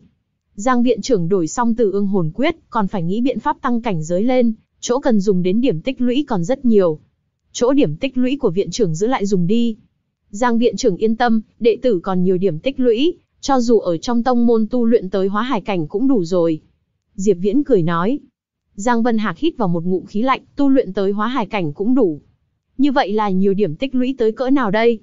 Diệp Viễn chuẩn bị 10 viên ngọc giản kia cuối cùng đều có đất dụng võ, trong số những ngọc giản này thấp nhất cũng là nhiệm vụ cấp 7. Điểm tích lũy của 10 cái nhiệm vụ cộng lại, cũng gần bằng số điểm tích lũy nhiệm vụ cấp 9 của Thiên Phong, cũng có gần 30 vạn điểm tích lũy. lại thêm bán đan phương 100 vạn điểm tích lũy và thiên phong cho 50 vạn, trên tay Diệp Viễn cũng có khoảng 300 vạn điểm tích lũy. Chuyển 140 vạn cho Giang Vân Hạc xong, hắn còn thừa lại 160 vạn điểm tích lũy. Cho dù mỗi ngày ngâm mình ở trong phòng tu luyện giáp cấp, cũng có thể qua đến 20 năm. Nếu thật sự muốn tu luyện như vậy, Diệp Viễn đâu chỉ là hóa hải cảnh. Đương nhiên, Diệp Viễn sẽ không dùng phương thức tu luyện nhàm chán như thế, hóa hải cảnh đối với Diệp Viễn mà nói, cũng không có xa xôi như trong tưởng tượng của người khác vậy. Số điểm tích lũy này, Diệp Viễn sẽ không tiêu xài như vậy, hắn sẽ tiêu càng xa xỉ. Mấy ngày nay, Diệp Viễn đã tiêu hết mấy vạn điểm tích lũy, đại đa số đều dùng để đổi một chút dược liệu cấp 2 và cấp 3 tương đối chân quý. Đối với Diệp Viễn mà nói, điểm tích lũy cũng chỉ là số lượng, vật thật mới là căn bản nhất. Khi ở Tần Quốc, dược liệu cấp 3 đã cực kỳ hiếm có. Cho dù Diệp Viễn có tài năng thông thiên, cũng là không bột đố gột nên hồ. Nhưng trong U Vân Tông có thật nhiều dược liệu quý hiếm, mà căn bản không gặp được ở trong thế tục. Diệp Viễn có thể dùng chúng luyện chế ra rất nhiều đan dược, chuẩn bị cho bất cứ tình huống nào. Đối với lời của Diệp Viễn, Giang Vân Hạc vẫn có chút hoài nghi như cũ, nhưng sau khi nhìn qua lệnh bài thân phận của hắn, cuối cùng Giang Vân Hạc cũng tiếp nhận sự trợ giúp của Diệp Viễn. Vốn dĩ ta còn tưởng rằng phải chờ ở Tần Quốc thêm mấy năm, lại không nghĩ rằng hạnh phúc đến đột nhiên như thế. Diệp Viễn, cảm ơn ngươi. Giang Vân Hạc nói lên từ đáy lòng. Ở U Vân Tông, đối với luyện dược sư mà nói, đại đan sư đến chuẩn, đan vương là một đường danh giới cực lớn. Có thể vượt qua được, thì sẽ trở thành trưởng lão, thuộc về cao tầng trong tông môn. Nếu như không bước qua được, thì cũng chẳng khác nào người thường, trở thành nhân sĩ quản lý ngoại môn của tông môn. Giang viện trưởng quá khách khí. Nếu như không phải ngài để hô diên lão sư bảo vệ đệ tử, thì hiện tại đệ tử đã thành vong hồn dưới lòng bàn tay Tô Vũ Bách rồi. Chút chuyện nhỏ này, không đáng nhắc đến. Diệp Viễn cười nói. Nếu như thế, ta cũng không khách sáo. Phần đại lễ này, ta xin nhận. Đúng rồi, Diệp Viễn, ngày mai là ngày thi đấu trong tông môn, ta biết thực lực của ngươi cực mạnh, nhưng dù sao cảnh giới cũng quá thấp, có mấy người ngươi phải chú ý một chút. Giang Vân Hạc bỗng nhiên nói. Diệp Viễn nghe xong, cũng nổi lên hứng thú. Hắn tiến vào U Vân Tông đã gần một tháng, đa số thời gian lại bận rộn với đám trưởng lão đan đường, thật đúng là không có thì giờ tìm hiểu xem võ đường có nhân vật nào lợi hại. Xin lắng tai nghe. Diệp Viễn lộ ra tư thế lắng tai nghe. Giang Vân Hạc gật gật đầu, nói ra, theo ta thấy, mặc dù bây giờ ngươi ở địa tự doanh, nhưng thực lực của bản thân ngươi đã không kém hơn đệ tử hạch tâm của thiên tự doanh. Bên trong thiên tự doanh, có mấy người thực lực tương đối nghịch thiên, khi ngươi đụng phải bọn hắn thì phải cẩn thận một chút. Đương nhiên, sở dĩ bọn hắn mạnh, là bởi vì cảnh giới của bọn hắn cao hơn ngươi rất nhiều, nếu như các ngươi cùng cảnh giới, ta tin tưởng ngươi nhất định có thể miểu sát bọn hắn. Giang Vân Hạc đánh giá về thực lực của Diệp Viễn, cũng gần giống như Mạc Vân Thiên đánh giá. Diệp Viễn linh dịch tầng 4, sợ là đã không kém hơn so với những đệ tử tinh anh ở thiên tự doanh kia. Nhưng so với những kẻ đứng đầu bên trong thiên tự doanh như thế nào, Giang Vân Hạc lại không có bao nhiêu nắm chắc. Thực lực của Diệp Viễn hôm nay, sợ là đã không kém hơn so với võ giả ngưng tinh cảnh bình thường. Thế nhưng, ngay cả Tằng Thành, cũng có thể làm đến vượt cấp giết chết võ giả ngưng tinh cảnh bình thường, thì cũng có thể tưởng tượng được thực lực của đệ tử ở thiên tự doanh. Đừng thấy Tằng Thành rất ghê gớm ở địa tự doanh, đến thiên tự doanh cũng chỉ là thứ cạn bã mà thôi. Đối với thực lực của mình, Diệp Viễn đương nhiên rất rõ ràng. Có điều đến tột cùng hắn có thể làm được đến một bước nào, chính hắn cũng không nắm chắc. Ha ha, Giang viện trưởng quá khen, đến cùng mấy người đó là những người nào? Ngươi cần phải chú ý có ba người, người đầu tiên là Lạc Thừa Phong, tuy người này mới chỉ linh dịch tầng 9 đỉnh phong, nhưng một thân thực lực đã đứng vững vàng trong ba vị trí đầu ở thiên tự doanh. Rất nhiều đệ tử nửa bước ngưng tinh, ở thiên tự doanh đều không phải là đối thủ của hắn, có thể thấy được thực lực của hắn mạnh thế nào. Kẻ này người cũng như tên, am hiểu nhất tấn công nhanh, đối thủ thường đều rất khó đuổi theo tốc độ của hắn. Nếu như ngươi và hắn đối đầu, tuyệt đối không nên đối công với hắn. Giang Vân Hạc nói. Diệp Viễn gật gật đầu, ngoài miệng không có nói cái gì. Nhưng so về tốc độ, hắn thật đúng là không sợ hãi. Giang Vân Hạc nói tiếp, người thứ hai là một nữ tử, tên là Đường Ngọc Nhi. Nàng chính là tiên thiên thủy linh thể cực kỳ hiếm thấy, chỉ lớn hơn ngươi 2 tuổi, cũng đã là cường giả nửa bước ngưng tinh. Tốc độ tu luyện nhanh nhất trong U Vân Tông. Nếu như không ngoài dự liệu, chỉ sợ chậm nhất sang năm là nàng có thể đột phá ngưng tinh cảnh. Giang Vân Hạc nói xong, đột nhiên cảm giác được có chút bất thường, nhịn không được nhìn thoáng qua Diệp Viễn. Muốn nói tốc độ tu luyện yêu nghiệt, chỉ sợ không có người nào có thể so sánh được với vị trước mắt này đi. Lúc này mới chưa đến một tháng, tiểu tử này lại liên phá hai tầng cảnh giới. Giang Vân Hạc cũng là biết, từ nguyên khí tầng 1 đến linh dịch tầng 4, Diệp Viễn chỉ dùng tới 3, 4 tháng. Đường Ngọc Nhi kia lại yêu nghiệt hơn nữa, sợ là cũng phải dùng đến 5 năm. Diệp Viễn âm thầm gật đầu, nhớ kỹ tên của Lạc Thừa Phong và Đường Ngọc Nhi. Giang Vân Hạc trịnh trọng như vậy, chắc chắn hai người này là những nhân vật đứng đầu trong thiên tự doanh, sợ là sức chiến đấu đã không thuộc về cường giả ngưng tinh cảnh nữa rồi. Thi đấu tông môn không phải sinh tử chiến, cho nên Diệp Viễn không thể nào dùng tới tất cả át chủ bài. Mặc dù lá bài tẩy của hắn cường đại, thế nhưng một khi phát ra thì ngay cả chính hắn cũng rất khó khống chế được. Dạng chiêu thức như thiên lưu phi hoa, một khi phóng xuất ra kia là không chết không thôi. Linh dịch cảnh có thể điều động thiên địa nguyên lực hoàn toàn chính xác là vô cùng yêu nghiệt, nhưng một khi chiêu thức thành hình, chính hắn cũng không có cách nào khống chế uy lực. Về phần nguyên hỏa cấp 4, một khi phát ra tới càng là trong nháy mắt có thể đem đối phương đốt thành hư vô. Mặc dù Diệp Viễn đã luyện hóa tịnh đàn hỏa liên, nhưng uy lực của nguyên hỏa cấp 4, bây giờ hắn muốn khống chế hiển nhiên là cực kỳ miễn cưỡng. Cứ như vậy, thủ đoạn mà Diệp Viễn có thể dùng để uy hiếp võ giả linh dịch cảnh, cấp bậc cao liền cực kỳ giảm, bớt. Cũng may hiện tại Diệp Viễn đã tu luyện đến cảnh giới viên mãn của linh hư phá không, tầng thứ nhất, tốc độ đã không thua võ giả linh dịch cảnh cấp bậc cao rồi. Lại thêm thức thứ hai của võ kỹ linh trá cửu dương thần quyết nguyên lực nhiên thiêu, hắn cũng có đủ vốn liếng để đánh một trận chiến. Về phần thắng bại, ngay cả chính hắn cũng không dám bảo đảm. Đến lúc đó, phải xem lâm chàng phát huy. Còn người cuối cùng kia là ai? Diệp Viễn hỏi. Mặt Giang Vân Hạc lộ vẻ ngưng trọng, nói, người cuối cùng kia ngươi càng nên cẩn thận, tên của hắn là Thiên Vũ, chính là cháu ruột của Thái Thượng trưởng lão Thiên Phong. Ở trong đám đệ tử hạch tâm, hắn được công nhận là người có thiên tư cao nhất. Diệp Viễn nghe xong hứng thú, hỏi, ồ, Thiên Vũ này có chỗ nào lợi hại? Thiên Vũ từ nhỏ đã có ngộ tính cực cao, cũng đã xông qua cửu thiên lộ giống như ngươi. Mặc dù không xông qua cửu thiên lộ khi ở nguyên khí cảnh như ngươi, nhưng cũng là vừa mới đột phá linh dịch cảnh không lâu. Ba năm trước lúc xông qua cửu thiên lộ hắn mới linh dịch tầng 1, bây giờ qua ba năm, hắn đã là cường giả nửa bước ngưng tinh.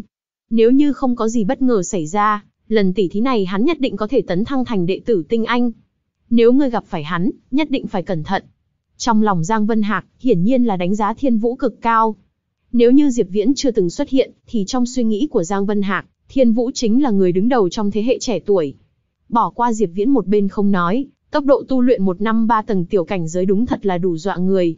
Huống chi hắn còn bước ra một bước mấu chốt để đột phá ngưng tinh cảnh, là nửa bước ngưng tinh. Ở U Vân Tông, xông qua cửu thiên lộ càng sớm, thì đại biểu cho tiềm lực càng lớn, Mạc Vân Thiên và Tân Liệt đều là như thế. Hơn nữa người xông qua cửu thiên lộ, sức chiến đấu đều cực kỳ cường đại, trên cơ bản là có thể quét ngang võ giả cùng cấp bậc. Thiên Vũ có thể xông qua cửu thiên lộ lúc mới linh dịch tầng 1, có thể thấy được hắn yêu nghiệt đến mức nào rồi. Đa tạ Giang viện trưởng nhắc nhở. Diệp Viễn nói. Đưa tiễn Giang Vân Hạc xong, Diệp Viễn cũng không lựa chọn bế quan nữa, mà đi dạo một vòng quanh tông môn. Đại chiến sắp đến, nước đến chân mới nhảy hiển nhiên là không có tác dụng gì, còn không bằng buông lỏng một chút để điều chỉnh tâm tình còn hữu dụng hơn. Ngày thứ hai, thi đấu trong tông môn cuối cùng cũng kéo màn che ra. Đắc Thắng Phong, nơi thiết trí rất nhiều lôi đài cho cuộc tỷ thí thi đấu tông môn. Lúc này, đỉnh núi tụ tập hơn 1.000 đệ tử, những đệ tử này đều là tương lai hy vọng của tông môn. Hơn 1.000 đệ tử này, ai ai cũng là ngàn chọn vạn tuyển từ 10 nước U Vân ra tới, đặt ở trong thế tục đều là những nhân vật kinh thế hãi tục. Thế nhưng phần lớn người trong số bọn họ, lại chỉ có thể trở thành đệ tử ngoại môn, chẳng khác nào người thường trong tông môn. Số lượng đệ tử hạch tâm là 200 người, mà số lượng đệ tử tinh anh, lại chỉ có 20 người. Sân đấu của đệ tử tinh anh, đệ tử hạch tâm và đệ tử ngoại môn là ngăn cách nhau, mà được chú ý nhất không thể nghi ngờ là sân đấu của đệ tử tinh anh. 20 người này đại biểu cho trình độ cao nhất của thế hệ trẻ tuổi, bất kể là đệ tử hạch tâm hay là đệ tử ngoại môn, tự nhiên không ít người đến xem cuộc tỉ thí của bọn hắn, hy vọng từ đó lĩnh ngộ được một chút gì đó. Có điều, thi đấu là đồng thời tiến hành, chỉ có tranh tài xong sớm, mới có thời gian đi xem những người khác tranh tài. Rất hiển nhiên, bởi vì nhân số đệ tử ngoại môn đông đảo, cho nên lịch đấu được sắp xếp chặt chẽ nhất. Diệp Viễn, ngươi rút được số bao nhiêu? Biết trận đầu đối chiến với ai không? Nam Phong nhược tình hỏi. Đan đường cũng có tỷ thí, nhưng thời gian lại lâu hơn nhiều so với tỷ thí của võ đường, cho nên cô cháu Nam Phong vẫn có thể đến góp phần trợ uy cho Diệp Viễn. Ta rút được số 52, còn chưa biết đối thủ trận tỷ thí đầu tiên là ai. Diệp Viễn nói. Hắn cũng không quan tâm đối thủ là ai, còn tình nguyện gặp luôn Thiên Vũ đây. Võ giả linh dịch tầng 7-8, Diệp Viễn thật đúng là không để vào mắt. Ừm, nói cách khác đối thủ của ngươi là số 149, không biết số 149 là ai đây? Nam Phong chỉ nhu nói. Nhân số đệ tử hạch tâm là cố định 200 người, các đệ tử sẽ rút thăm quyết định đối thủ là ai. Sau khi rút thăm hoàn tất, từ số 1 giao đấu với số 200, số 2 giao đấu số thứ 199, cứ thế mà suy ra. Diệp Viễn rút được số 52, đối thủ của hắn tất nhiên là số 149. Đương nhiên, vì không cho top đệ tử hạch tâm mạnh nhất sớm gặp nhau, đến mức tiêu hao quá lớn ảnh hưởng phía sau tranh tài, 10 hạng đầu của lần thi đấu trước tự động trở thành tuyển thủ hạt giống, cũng chính là từ số 1 đến số 10. Đối thủ của 10 người này thực lực tương đối yếu kém, vừa mới bắt đầu cơ bản không có gì đáng xem. Đối thủ đi lên trên cơ bản chỉ có thể chịu thua. Cũng có nhiều lần thi đấu xuất hiện qua tình huống đặc thù, ví dụ như tên đệ tử đứng, thứ 11 bất hạnh rút được số 191 trở lên, vậy trận đấu thứ nhất này lập tức có cái để xem. Có điều tương đối mà nói, loại tình huống này cực kỳ hiếm thấy. Diệp Viễn rút được số 52, tỷ lệ đối chiến với cường giả cũng không phải rất lớn rồi. Mặc kệ nó, binh đến tướng chắn, nước đến đất chặn. Long Đường, ngươi rút được số bao nhiêu? Diệp Viễn hỏi Long Đường đứng một bên. Khi thi đấu, đệ tử hạch tâm không phân thiên địa nhân tự doanh. Số 170. Long Đường nói. Ồ, như vậy là, giao đấu với số 31. Cảm giác là gặp phải cường giả đây. Diệp Viễn nói. Long Đường thản nhiên nói, không quan trọng, binh đến tướng chắn, nước đến đất chặn. Ha ha, như thế rất tốt. Lấy thực lực của ngươi, lường trước giết tiến đến 50 vị trí đầu là không có vấn đề gì cả. Diệp Viễn cười to nói. Chỉ hy vọng như thế. Long Đường cũng là người đã xông qua cửu thiên lộ, có thể thấy được ngộ tính của hắn cao thế nào. Trong vòng 1-2 tháng nay, Long Đường tiến bộ cực nhanh, chỉ là còn chưa có cơ hội biểu diễn ra mà thôi. Diệp Viễn tin tưởng, không bao lâu nữa hắn chắc chắn sẽ bộc lộ tài năng. Các đệ tử nghe lệnh, tông môn thi đấu lập tức sẽ bắt đầu, các ngươi dựa theo dãy số mau chóng tìm tới lôi đài của mình. Một vị trưởng lão võ đường vận khởi nguyên lực cao giọng hô. Diệp Viễn và Long Đường nghe vậy nhìn nhau cười một tiếng, tự mình đi đến lôi đài của mình. Diệp Viễn là số 52, cũng chính là lôi đài số 52. Khi hắn đi vào lôi đài của mình, đệ tử mang số 149 lại đã sớm ở đó rồi. Chuyện được đọc bởi kênh Halazy Audio. Khi Diệp Viễn nhìn thấy đối phương, không khỏi ngạc nhiên một trận. Thật đúng là vô xảo bất thành thư mà. Tăng dự nhìn Diệp Viễn ở đối diện, sắc mặt xanh xám. Hắn chẳng thể nghĩ tới, ngay vòng đầu tiên đã đụng phải tên sát tinh này. Lần trước sau khi Tằng Thành trở về đã từng khuyên bỏ qua hắn, tuyệt đối không cho phép lại chọc vào Diệp Viễn. Nói đùa, một tên đệ tử mới nhập môn trên người có hơn 100 vạn điểm tích lũy, ai biết có thể có bối cảnh đáng sợ gì. Ngay cả trưởng lão bình thường cũng không có nhiều điểm tích lũy như vậy, mà trên người một tên đệ tử linh dịch cảnh lại có, cái này quá kỳ quái. Nghe lời ca ca, Tăng Dự cũng biết Diệp Viễn là người mà hắn không chọc nổi. Thế nhưng hắn chẳng thể nghĩ tới, mình lại trùng hợp như vậy, ở vòng đầu tiên đã đụng phải Diệp Viễn. Thi đấu tông môn, hiện tại bắt đầu. Thanh âm của trưởng lão võ đường lần nữa truyền đến, thi đấu chính thức bắt đầu. Tiếng đánh nhau kịch liệt liên tiếp vang lên, trong nháy mắt bao phủ toàn trường. Thế nhưng có lôi đài lại lặng yên im ắng, ví dụ như lôi đài số 52. Diệp Viễn không động, Tằng Dự cũng không hề động. Tằng Dự không phải người ngu, khi Diệp Viễn linh dịch tầng 2 đã có thể đánh bại hắn, lại càng không cần phải nói hiện tại đã là linh dịch tầng 4 rồi. Ta nhận thua. Không có bao nhiêu do dự, Tằng Dự nhanh chóng nhận thua. Lôi đài số 52, số 52 thắng. Thanh âm của trưởng lão vang lên lần nữa. Trên mỗi sàn đấu đều sắp đặt trận pháp, trưởng lão có thể thông qua trận pháp, biết được động tĩnh trên lôi đài trước tiên. Tiếng nói của trưởng lão hơi có chút chần chờ, hiển nhiên không ngờ người đầu tiên thắng được lại là số 52 không có danh tiếng gì. Bình thường người đầu tiên thắng được không phải số 1 thì chính là số 2, bởi vì tranh lệch của song phương quá lớn. Có điều thi đấu tông môn cũng là một cơ hội lịch luyện khó mà có được, có thể lĩnh giáo đệ tử hạch tâm hạng nhất hoặc hạng hai là, chuyện đệ tử khác cầu cũng không được, cực ít người sẽ nhận thua. Tăng dự trực tiếp nhận thua, đã làm cho Diệp Viễn trở thành người đầu tiên thắng được trong số 100 lôi đài. Trên lôi đài số 52 là ai? Không phải là đối thủ cố ý nhường đấy chứ? Đúng vậy, Dĩ vãng thi đấu trên cơ bản đều là số một dẫn đầu thắng được, thực lực của Thiên Vũ Sư Huynh hơn quá xa so với chúng ta. Lần này lại xuất hiện số 52, là cái quỷ gì? Ai biết được?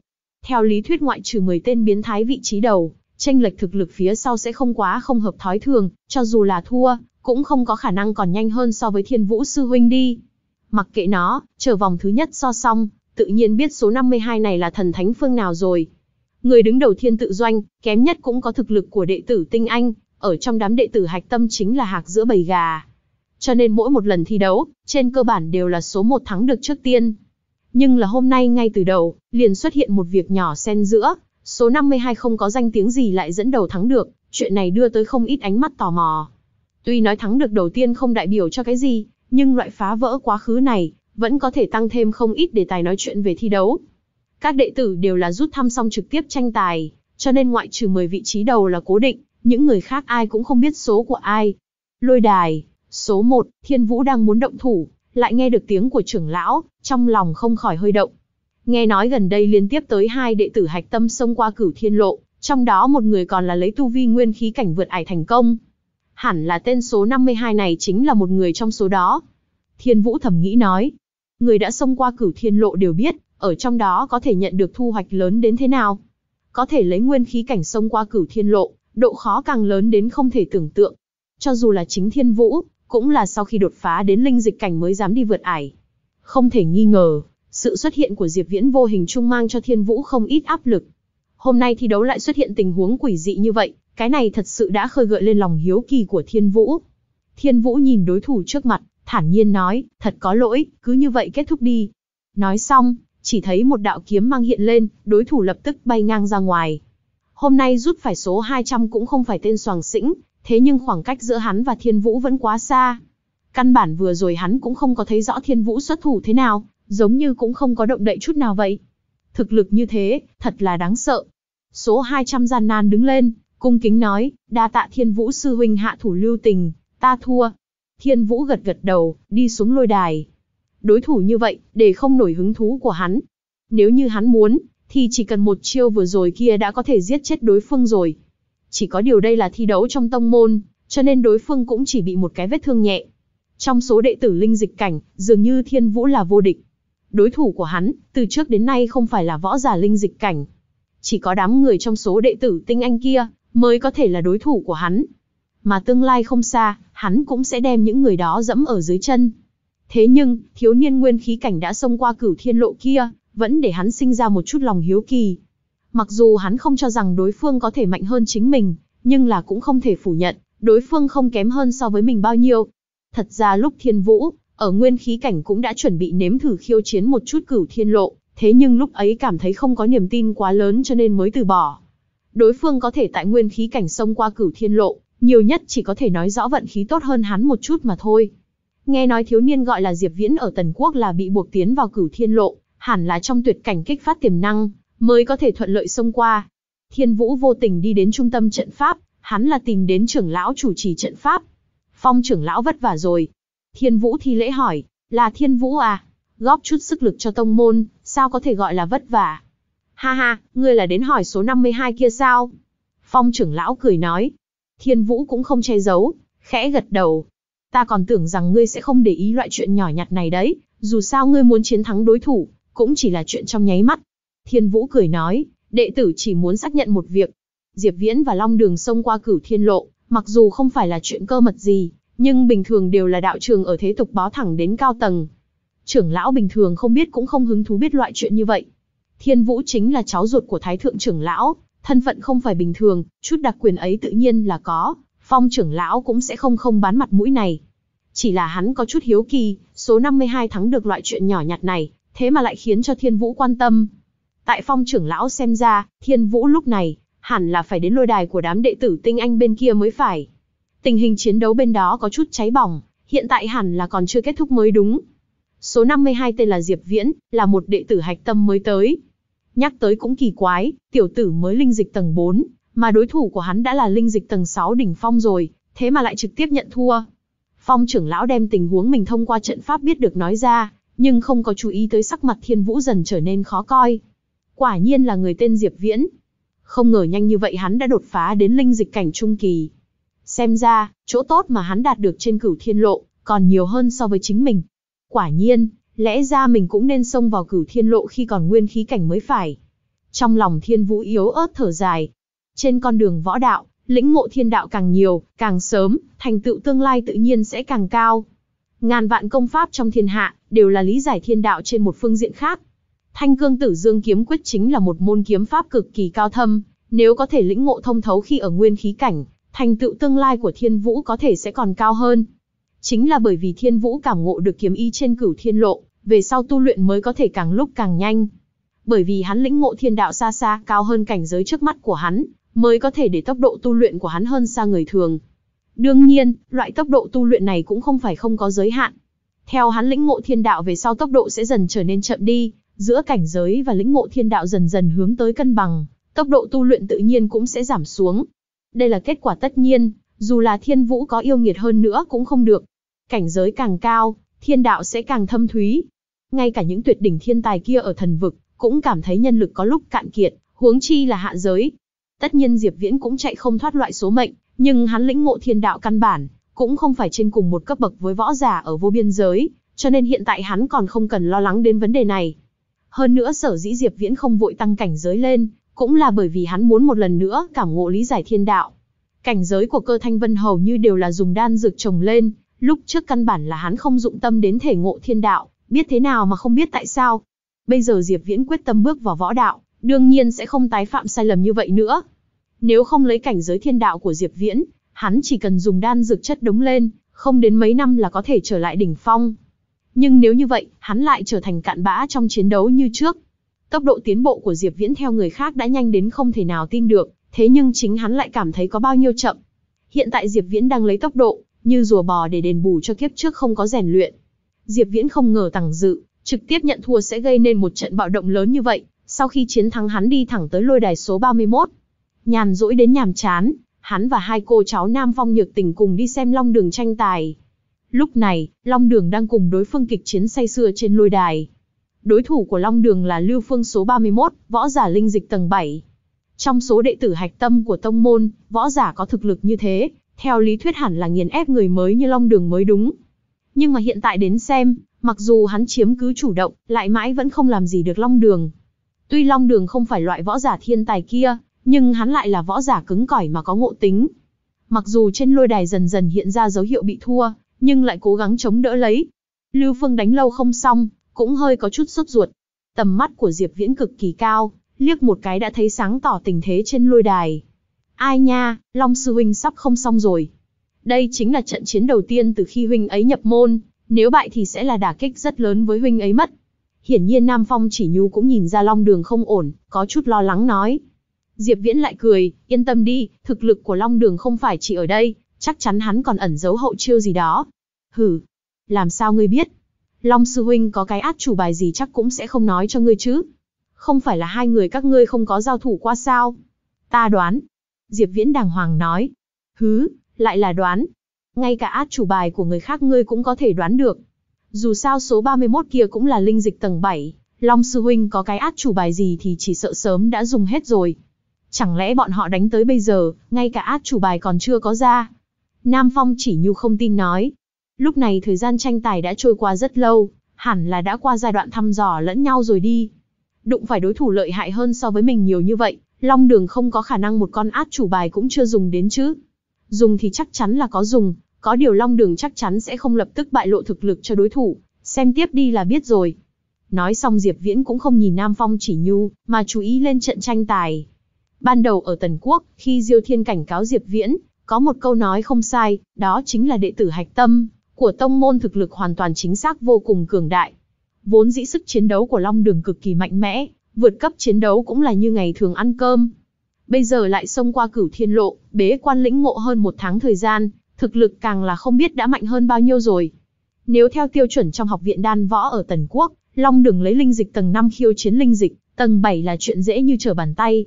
Nhưng bây giờ đối mặt với Lưu Phương, dường như Long Đường đã dùng hết tất cả vốn liếng, lại nửa điểm tiện nghi cũng không chiếm được. Nếu như Long Đường không có hậu thủ mà nói, suy tàn chỉ là chuyện sớm hay muộn mà thôi. Từ đó có thể thấy được đệ tử hạch tâm của tông môn cường đại đến mức nào.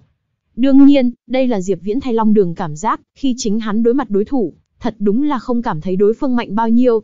Dù sao Diệp Viễn và những kẻ được, gọi là thiên tài này, căn bản cũng không ở trong cùng một thế giới. Trên lôi đài, Long Đường đã bị Lưu Phương dồn vào trong góc, tình thế vô cùng nguy cấp, tùy thời đều có nguy cơ bị đánh bại. Ha ha, khá lắm người mới, có thể ép ta đến mức này, cũng đủ để ngươi kiêu ngạo rồi. Tiếp theo, đi đến tổ kẻ bại đi. Trích diễm trưởng. Mắt thấy Long Đường đã sắp bị đánh bại, Lưu Phương quyết định thừa thế xông lên đánh bại đối phương.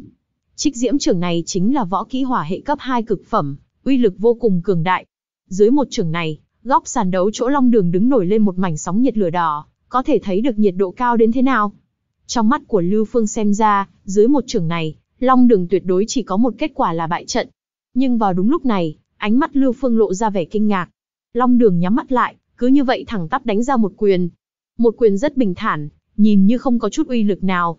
Nhưng mà một quyền này, lại tùy tiện có thể xé rách sóng nhiệt mà chiêu trích diễm trưởng của hắn tạo ra. Cũng chính là một quyền đơn giản này, thế không thể đỡ đột phá phòng ngự của hắn, đánh vào lồng ngực hắn. ầm, um, cả người Lưu Phương bay ra ngoài, hôn mê bất tỉnh. Mấy hơi về sau, tiếng của phong trưởng lão vang lên lần nữa, lôi đài số 31, số 170 thắng. Diệp Viễn nhìn nhìn một quyền này của Long Đường, không khỏi mỉm cười. Năng lực lĩnh ngộ của gia hỏa này thật đúng là không phải mạnh bình thường, lúc trước mình chỉ điểm Vũ Lạc Trần một chỉ kia, lại bị Long Đường lĩnh ngộ ra một chút da lông. Hơn nữa Long Đường còn thành công chuyển hóa kiếm ý của Diệp Viễn làm quyền ý của mình, đi ra một con đường riêng thuộc về hắn. Tương lai nếu Long Đường có thể hoàn thành loại quyền ý này, thành tựu nhất định bất phàm. Có điều loại con đường tự sáng tạo quyền ý này cũng không dễ đi, độ khó lớn hơn gấp 10 thậm chí mấy chục lần người bình thường. Nhưng mà một khi đi đến cuối con đường này, tương lai Long Đường nhất định là cường giả một phương. Chí ít, phá vỡ hư không, tiến vào thần vực hẳn là không có vấn đề. Long Sư Huynh ở tình thế như vậy mà còn có thể thắng. Thật lợi hại. Nam Phong chỉ nhu kinh ngạc nói.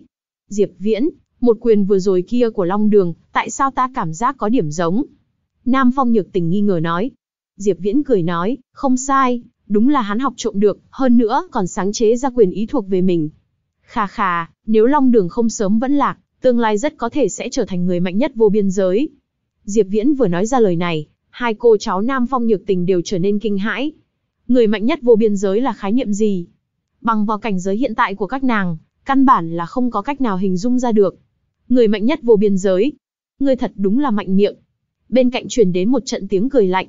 Diệp Viễn nhìn lại, thì thấy một người trẻ tuổi mặt như quan ngọc, tầm khoảng 18-19 tuổi. Người này chính là Thiên Vũ. Sau khi hắn từ chỗ phong trưởng lão ra ngoài, quyết định đến xem một người khác cũng xông qua cửu thiên lộ long đường, lại không ngờ vừa tới nơi này liền nghe thấy Diệp Viễn phát ngôn bừa bãi ở đây.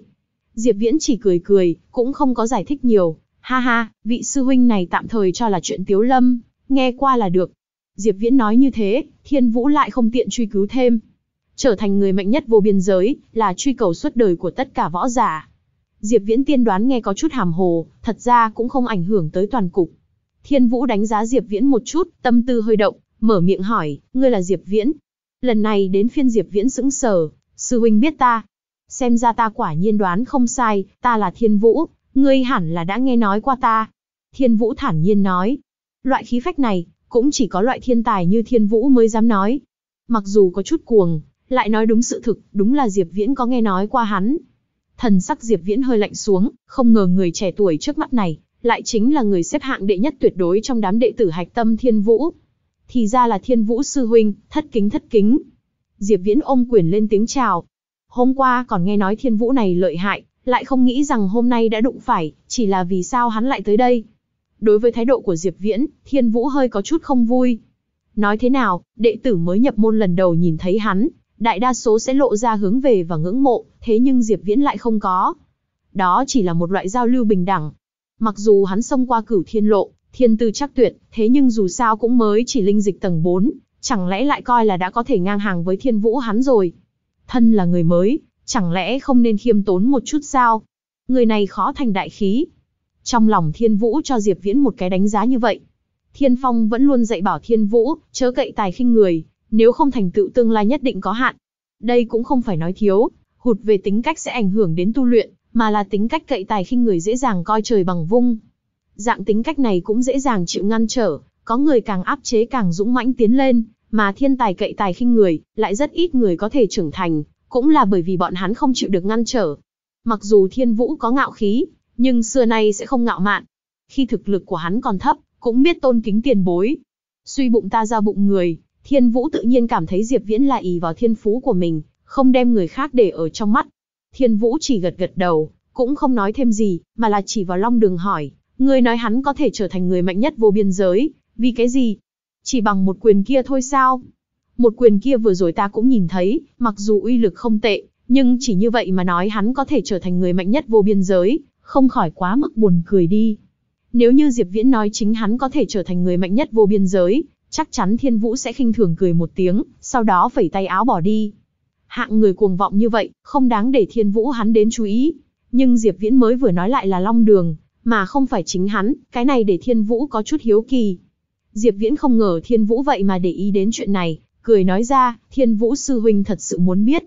Thiên Vũ nói, tất nhiên, ta muốn biết ngươi là ăn nói bịa chuyện, hay là dựa vào đâu để nói như vậy.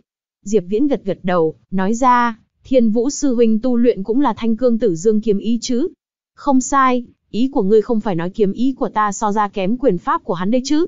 Thiên Vũ nghe được Diệp Viễn nói bóng gió. Diệp Viễn lại là cười nói, từ một loại trình độ nào đó đã nói, kiếm ý của Thiên Vũ sư huynh chỉ sợ thật sự không bằng quyền ý của hắn. Diệp Viễn thốt ra lời này, không riêng gì Thiên Vũ, ngay cả Nam Phong Nhược Tình và Nam Phong Chỉ Nhu, cũng cảm thấy hắn có chút nói hưu nói vượn rồi.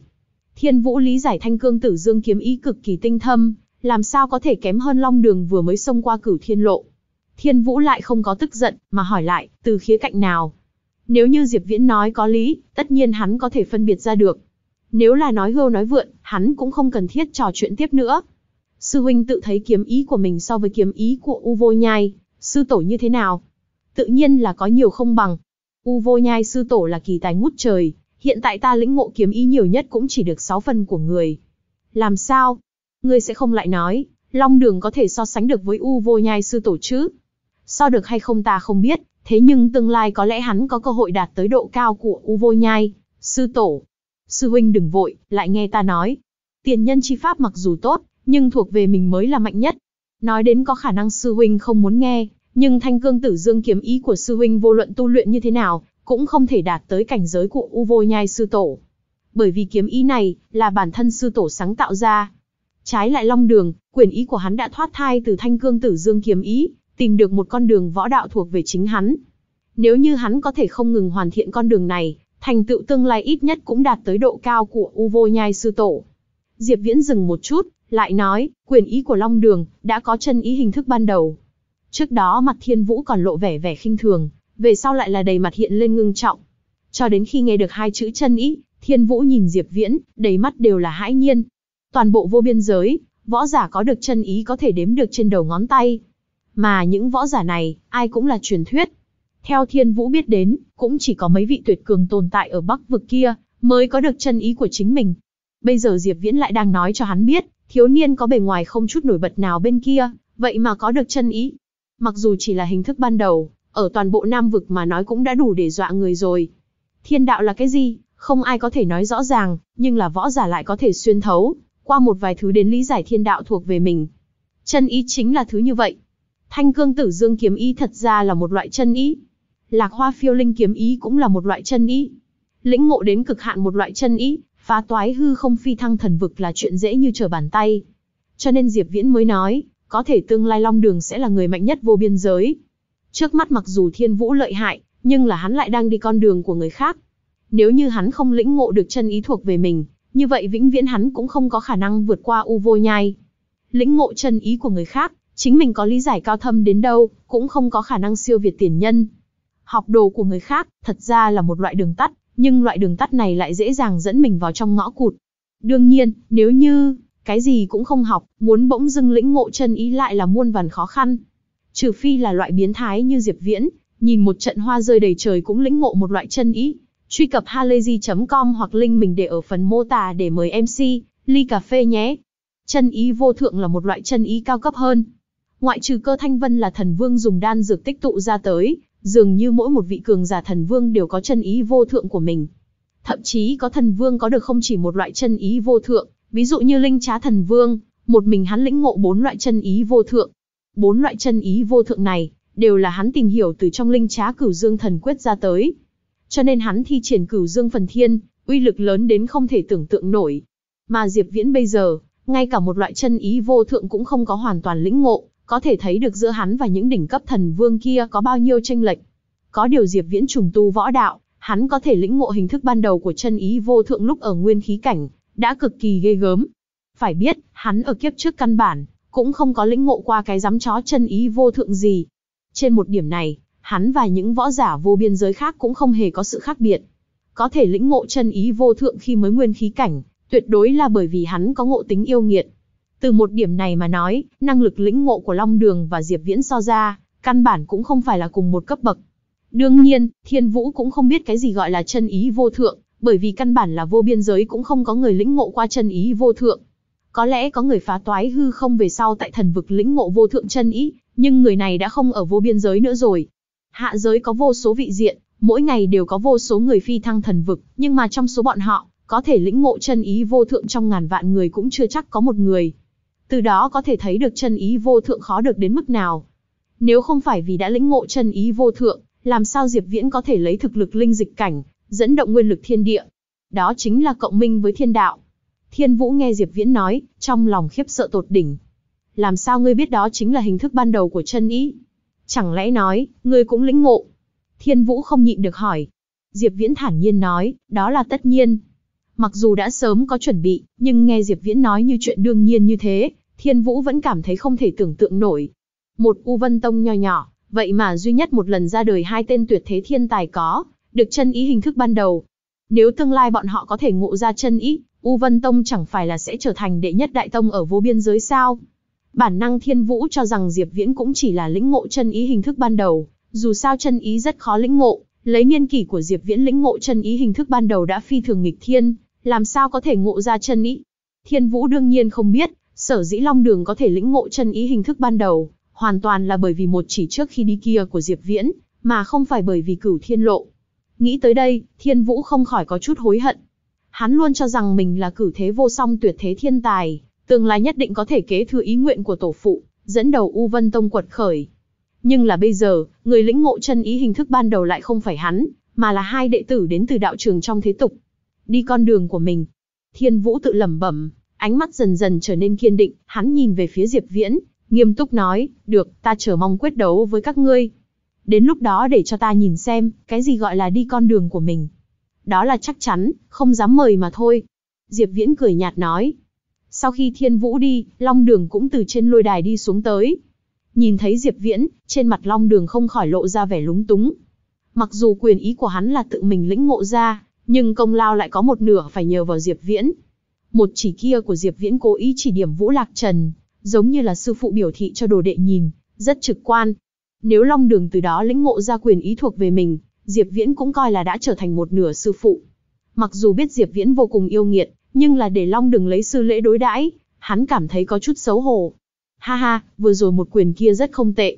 Có thể lĩnh ngộ ra chân ý hình thức ban đầu, đó là bản lãnh của huynh, không cần có khúc mắc trong lòng. Diệp Viễn tự nhiên nhìn ra Long Đường xấu hổ, cười một tiếng bỏ qua. Ánh mắt Long Đường ngưng tụ, vẻ lúng túng kia bị quét sạch sành xanh, kinh ngạc nói, chân ý hình thức ban đầu. Huynh nói là, ta lĩnh ngộ chân ý. Đến bây giờ chính Long Đường cũng không biết, hắn đã bước lên một con đường tiền đồ tươi sáng. Cũng không trách Long Đường không biết, thật sự là võ giả ở vô biên giới có được chân ý thực sự quá ít. Hơn nữa, võ giả có được chân ý phần lớn của mình mình quý, tự nhiên không có khả năng biểu diễn trước mặt mọi người giống như Diệp Viễn vậy, Long Đường không biết cũng không có gì là lạ. Có điều lĩnh ngộ chân ý với hắn mà nói ý vị như thế nào, Long Đường lại rõ rõ ràng ràng. Không sai. Mặc dù còn rất đơn giản, nhưng một quyền vừa rồi kia xác thực đã có chân ý hình thức ban đầu. Diệp Viễn xác định nói. Đạt được câu trả lời khẳng định chắc chắn, toàn thân Long Đường chấn động, kích động run rẩy lên. Ha ha, vừa rồi Diệp Viễn còn nói tương lai huynh có thể trở thành người mạnh nhất vô biên giới, nữa đấy. Nam Phong chỉ nhu cười nói xen vào. Long Đường kinh ngạc nhìn về phía Diệp Viễn, nghĩ không ra đối phương lại đánh giá mình cao như vậy. Như vậy, nếu mình là người mạnh nhất vô biên giới, còn Diệp Viễn thì sao? Chỉ dựa vào một chỉ kia, Long Đường liền cảm nhận được sâu sắc tranh lệch giữa mình và Diệp Viễn. Chính mình cũng có thể trở thành người mạnh nhất vô biên giới, vậy Diệp Viễn còn phải đạt tới dạng độ cao nào? Nếu như nói mình đã lĩnh ngộ chân ý hình thức ban đầu, đây chẳng phải là nói, Diệp Viễn biểu thị một chỉ kia, là một đạo chân ý hoàn chỉnh sao? Vừa nghĩ đến đây, Long Đường hít vào một ngụm khí lạnh. Ha ha, các ngươi xem hắn kích động đến không nói ra lời kìa. Nam Phong chỉ nhu trêu chọc nói. Long Đường một mặt thẹn thùng, Diệp Viễn lại cười nói, lĩnh ngộ hình thức ban đầu của chân ý chỉ là vừa mới bắt đầu, con đường tương lai còn rất dài, muốn sáng chế một đạo chân ý hoàn chỉnh, cần nỗ lực cố gắng gấp 10 gấp trăm lần người khác. Long Đường gật đầu nói, ừm, con đường này có khó khăn hơn nữa, ta cũng muốn đi đến cuối cùng. Đạo tâm võ đạo của Long Đường vô cùng kiên định, điểm này Diệp Viễn có thể nhìn ra, đương nhiên sẽ không nói thêm cái gì. Có điều trong lòng Long Đường vẫn có chút chán nản, người khác cần cố gắng, cần trả giá gấp 10 lần gấp trăm lần mới có thể lĩnh ngộ chân ý, vậy còn ngươi thì sao? Thật sự là người so với người tức chết người mà. Đúng rồi, Quyền ý của huynh ứng thuộc thượng thừa, có danh tự chưa? Diệp Viễn đột nhiên hỏi. Long đường mờ mịt lắc đầu, ta cũng không biết mình lĩnh ngộ chân ý, làm sao có thể có danh tự. Đã như vậy, ta tặng huynh một cái tên đi. Diệp Viễn nói. Theo lý thuyết, chân ý của mình hẳn là mình đến đặt tên. Yêu cầu này của Diệp Viễn có chút đi quá giới hạn rồi. Có điều Long Đường biết Diệp Viễn cũng không phải là người lỗ mãng, lời ấy tất có thâm ý. Nghĩ nghĩ, Long Đường gật đầu nói, cầu còn không được. Vừa rồi ta xem quyền ý của huynh tùy tiện có thể đánh vỡ hỏa vực cỡ nhỏ, mà đối thủ kiến ra, uy lực cực mạnh, ta thấy. Liền gọi nó là phá vọng đi. Diệp Viễn cười nói. Phá vọng quyền ý. Long Đường nghiền ngẫm lấy cái tên này, ánh mắt dần dần sáng lên, vui vẻ nói, đa tạ Diệp sư huynh ban tên. Hai chữ phá vọng thể hiện tất cả những gì mà hắn lĩnh ngộ, cũng chỉ rõ phương hướng con đường sau này hắn phải đi. Vòng thứ hai, đối thủ của Diệp Viễn là số 49. Bởi vì vòng thứ nhất Diệp Viễn thắng được, cho nên hắn tự động tiến vào bên tổ thắng. Võ giả bên tổ thắng, đã đặt vững địa vị đệ tử hạch tâm. Mà đệ tử bị đánh bại ở vòng thứ nhất, thì phải tiến hành quyết đấu trong tổ bại trận. Tổ bại trận cũng phải một mực tỉ thí xuống, thẳng đến vòng sinh ra 5 người thất bại cuối cùng, bọn hắn sẽ quyết đấu với 5 vị trí đầu của đệ tử ngoại môn bên thắng tiếp tục lưu giữ lại thân phận đệ tử hạch tâm, kẻ bại thì bị đào thải trở thành đệ tử ngoại môn. Bên tổ thắng cũng phải một mực tiếp tục đối quyết, cho đến khi xác định ra ba vị trí đầu. Đệ tử ba vị trí đầu sẽ tiến hành quyết đấu, với ba vị trí cuối cùng trong số đệ tử tinh anh, bên thắng tấn thăng làm đệ tử tinh anh, kẻ bại trở thành đệ tử hạch tâm. Chế độ thi đấu tàn khốc như vậy, mặc cho ngươi là thiên tài đến cỡ nào cũng không dám có một chút lười biếng. Buông thả một chút, lập tức sẽ bị người khác vượt qua. Cho dù là đệ tử hạch tâm kiếm sống bằng hình thức như tàng dự, bọn hắn cũng tiêu tốn rất nhiều thời gian để tu luyện, nếu không sớm muộn cũng có một ngày sẽ bị đào thải. Một vòng này nếu như Diệp Viễn thắng được lần nữa, thì sẽ tiến vào 50 vị trí đầu. Đừng thấy số lượng đệ tử hạch tâm có tới 200 người, nhưng là có thể thắng liên tiếp hai vòng tiến vào 50 vị trí đầu, đều là những nhân vật có thực lực cường đại. Hạng người đục nước béo cò, coi như may mắn qua vòng thứ nhất, trên cơ bản vòng thứ hai đều sẽ bị gạt xuống. Đối thủ của Diệp Viễn tên là Vương Đông, võ giả linh dịch tầng 8. Dương Hạo ở đan tự doanh cũng là linh dịch tầng 8, nhưng thực lực của hắn so với Vương Đông, căn bản không đáng giá nhắc tới. Thực lực của Vương Đông, ở địa tự doanh cũng thuộc về thượng thừa, ngoại trừ những cường giả linh dịch tầng 9 và linh dịch tầng 9 đỉnh phong kia, Vương Đông hắn trên cơ bản được cho là mạnh nhất. Lần trước thi đấu, Vương Đông gãy kích trầm xa ở vòng thứ hai. Bây giờ thực lực của hắn lại có bước tiến dài, Lần thi đấu này, hắn định mục tiêu cho mình chính là tiến vào vòng thứ ba. Khi hắn nhìn thấy Diệp Viễn mới linh dịch tầng 4 ở đối diện, không khỏi cảm thấy vui mừng. Đây thật là lễ vật thượng thiên ban cho hắn mà, ngươi chính là số 52. Vương Đông chợt nhớ tới, đối thủ của mình không phải là số 52, người thắng được đầu tiên vòng thứ nhất sao? Diệp Viễn biết hắn đang suy nghĩ gì, không khỏi cười nói, đương nhiên, không phải thì sao ta lại đứng ở chỗ này. Vương Đông không khỏi lấy làm kỳ lạ nói, thực lực linh dịch tầng 4, Ngươi làm thế nào trở thành người đầu tiên thông qua vòng thứ nhất? Vậy mà còn nhanh hơn cả thiên vũ sư huynh. Mấy ngày trước ta vừa vặn giao thủ qua với đối phương, hắn biết không phải là đối thủ của ta, cho nên trực tiếp nhận thua. Diệp Viễn lại không có giấu giếm, đàng hoàng nói. a thì ra là như vậy, vậy vận khí của ngươi thật đúng là quá tốt rồi. Đoán chừng đối thủ của ngươi hẳn là mấy kẻ cùi bắp nhất nhân tự doanh đi. Nếu không bằng vào thực lực của ngươi, thì rất khó thắng được. Vương Đông không khỏi cảm khái không thôi. Hắn cảm khái vận khí Diệp Viễn tốt, cũng đang cảm khái vận khí của mình không tồi. Có thể đụng phải đối thủ như vậy ở vòng thứ hai, đây không phải ý trời sao. Vương Đông không khỏi huyễn tưởng, nếu như vận khí tốt thêm một chút nữa, vòng thứ ba đụng phải đối thủ hơi kém hơn thực lực của mình, nói không chừng còn có thể tiến vào vòng thứ tư đấy. Đây chính là đột phá mang tính lịch sử. Thanh danh của Diệp Viễn lan xa trong đám trưởng lão đan đường, nhưng ở trong đám đệ tử hạch tâm thì cũng không có nổi danh cho lắm. Mặc dù vài ngày trước không ngừng có trưởng lão tìm đến gây chuyện, nhưng Diệp Viễn vẫn luôn không hề lộ diện, cho nên số đệ tử hạch tâm nhận ra Diệp Viễn cũng không nhiều. Đương nhiên, coi như Vương Đông biết Diệp Viễn, cũng không ảnh hưởng đến phán đoán của hắn về thực lực của Diệp Viễn. Loại mặt hàng như tên tàng dự này, Vương Đông dùng một tay cũng có thể giải quyết. Người sư đệ này mặc dù có chút lợi hại, có thể chiến đấu vượt cấp, nhưng muốn vượt qua bốn cái tiểu cảnh giới để giao đấu với mình, hiển nhiên vẫn còn non lắm. Làm sao Diệp Viễn lại không biết tính toán của Vương Đông? Nhưng hắn cũng không nói ra, chỉ là cười nói, đúng vậy, vận khí thật sự không tệ. Trong lúc đối phương cảm khái vận khí tốt, Diệp Viễn làm sao lại không đang cảm khái vận khí tốt đây? Thi đấu tông môn phải so mấy vòng, đối thủ phía sau càng ngày càng mạnh. Nếu như hắn trực tiếp đụng phải cường giả, không khỏi tiêu hao sẽ rất lớn. Những đối thủ linh dịch tầng 9 đỉnh phong thậm chí nửa bước ngưng tinh kia, cũng không phải có thể chiến thắng dễ dàng như vậy. Mà bây giờ, mục tiêu của Diệp Viễn cũng không có người nào khác, chính là nhóm ba người đám thiên vũ mà thôi. Đúng lúc này, tiếng nói của phong trưởng lão vang lên lần nữa, vòng thứ hai, hiện tại bắt đầu. Diệp Viễn và Vương Đông thi lễ lẫn nhau, vòng thứ hai chính thức bắt đầu. Thi lễ xong, Vương Đông lại không động, đứng chắp tay, rộng rãi nói, sư đệ xuất chiêu trước đi, ta sợ ta vừa ra tay, ngươi sẽ không có cơ hội. Có lẽ là cảm thấy đụng phải đối thủ yếu như thế có chút băn khoăn, Vương Đông cảm thấy vẫn là để Diệp Viễn xuất chiêu trước thì hơn. Diệp Viễn lại không ngờ Vương Đông lại đem quyền chủ động đưa đến trong tay mình, không khỏi sừng sốt nói, sư huynh xác định. Vương Đông gật gật đầu, đương nhiên. Từ trước đến nay Vương Đông ta đều là nói một không nói hai. Diệp Viễn sao cũng được nói, vậy sư đệ không khách khí. Vừa mới nói xong, trong nháy mắt Diệp Viễn hóa thành chín đạo thân ảnh. Cửu kiếm thức. Diệp Viễn quát nhẹ một tiếng, chín đạo kiếm quang phân loạn ra, bay thẳng về phía Vương Đông. Lúc mới bắt đầu Vương Đông còn một bộ tư thái cao thủ, thế nhưng nhìn thấy chín đạo kiếm quang phô thiên cái địa bay tới, hắn lập tức không ngừng kêu khổ. Nếu chiếm được tiên cơ, hắn còn có thể dây dưa một phen với Diệp Viễn. Thế nhưng để Diệp Viễn có thời gian chuẩn bị đại sát chiêu, làm sao Vương Đông có thể chống đỡ được? Phải biết lúc trước khi Diệp Viễn vẫn ở nguyên khí cảnh, đã từng dùng chiêu này bức lui cả viên phi. Bây giờ Diệp Viễn đã linh dịch tầng 4, uy lực của chiêu thức này đã lớn gấp bao nhiêu lần, làm sao Vương Đông mới linh dịch tầng 8 có thể ngăn cản. Vương Đông lóe lên ba đạo kiếm quang, lại dùng binh khí đỡ được hai đạo, cuối cùng bị đạo kiếm quang thứ 6 đánh trúng. Sau đó, đạo kiếm quang thứ 7, thứ 8, thứ 9 như cắt đậu hũ cắt ra từng vết lớn trên người hắn.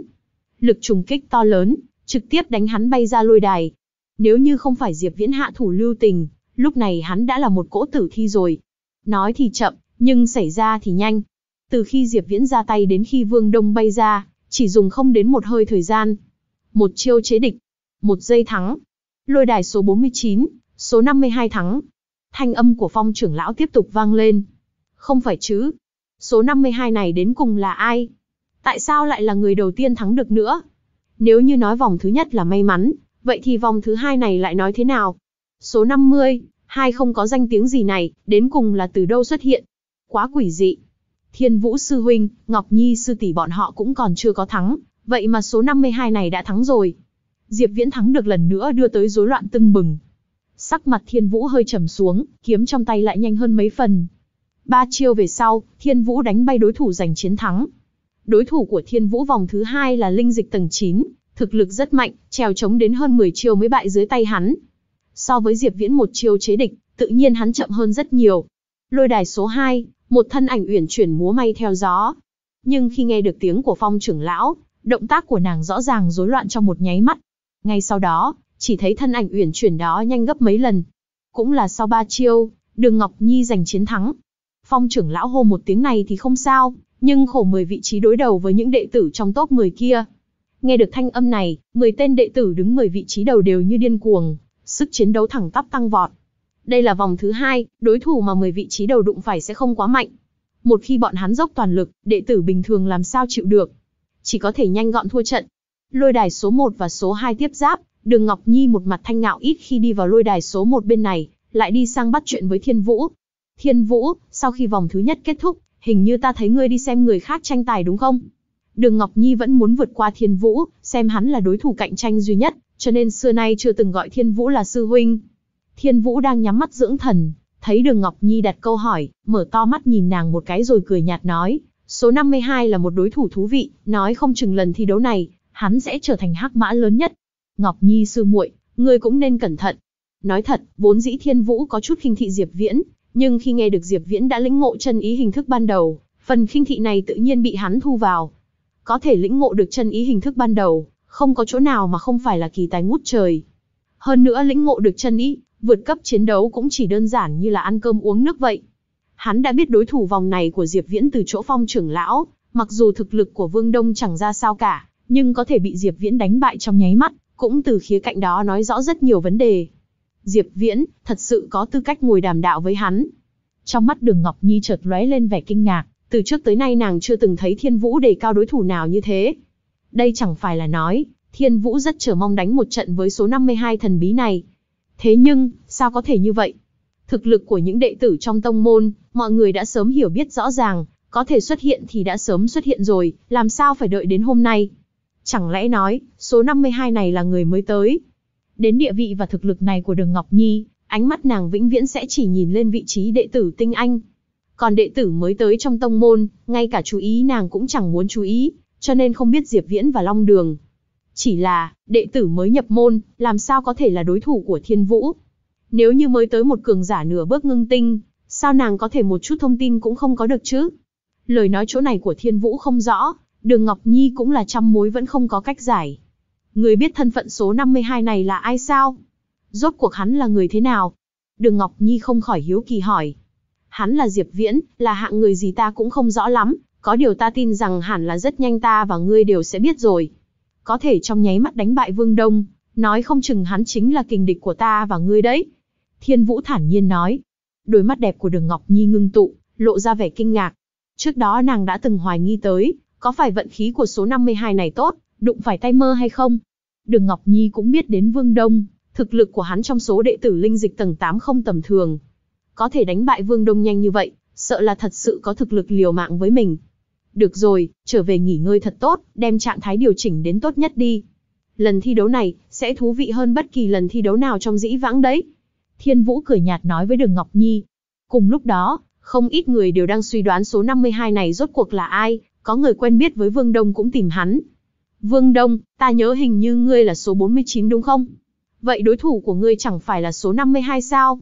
Người số 52 này đến cùng là ai? Lại là người thắng đầu tiên liên tục hai vòng.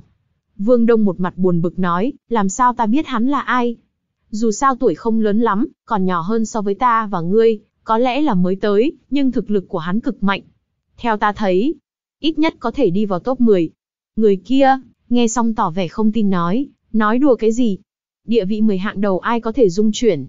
Ngươi không phải là vì thất bại của mình mà kiếm cớ đây chứ? Vương Đông nghe xong cười lạnh nói, không tin ngươi nhìn xem là được rồi.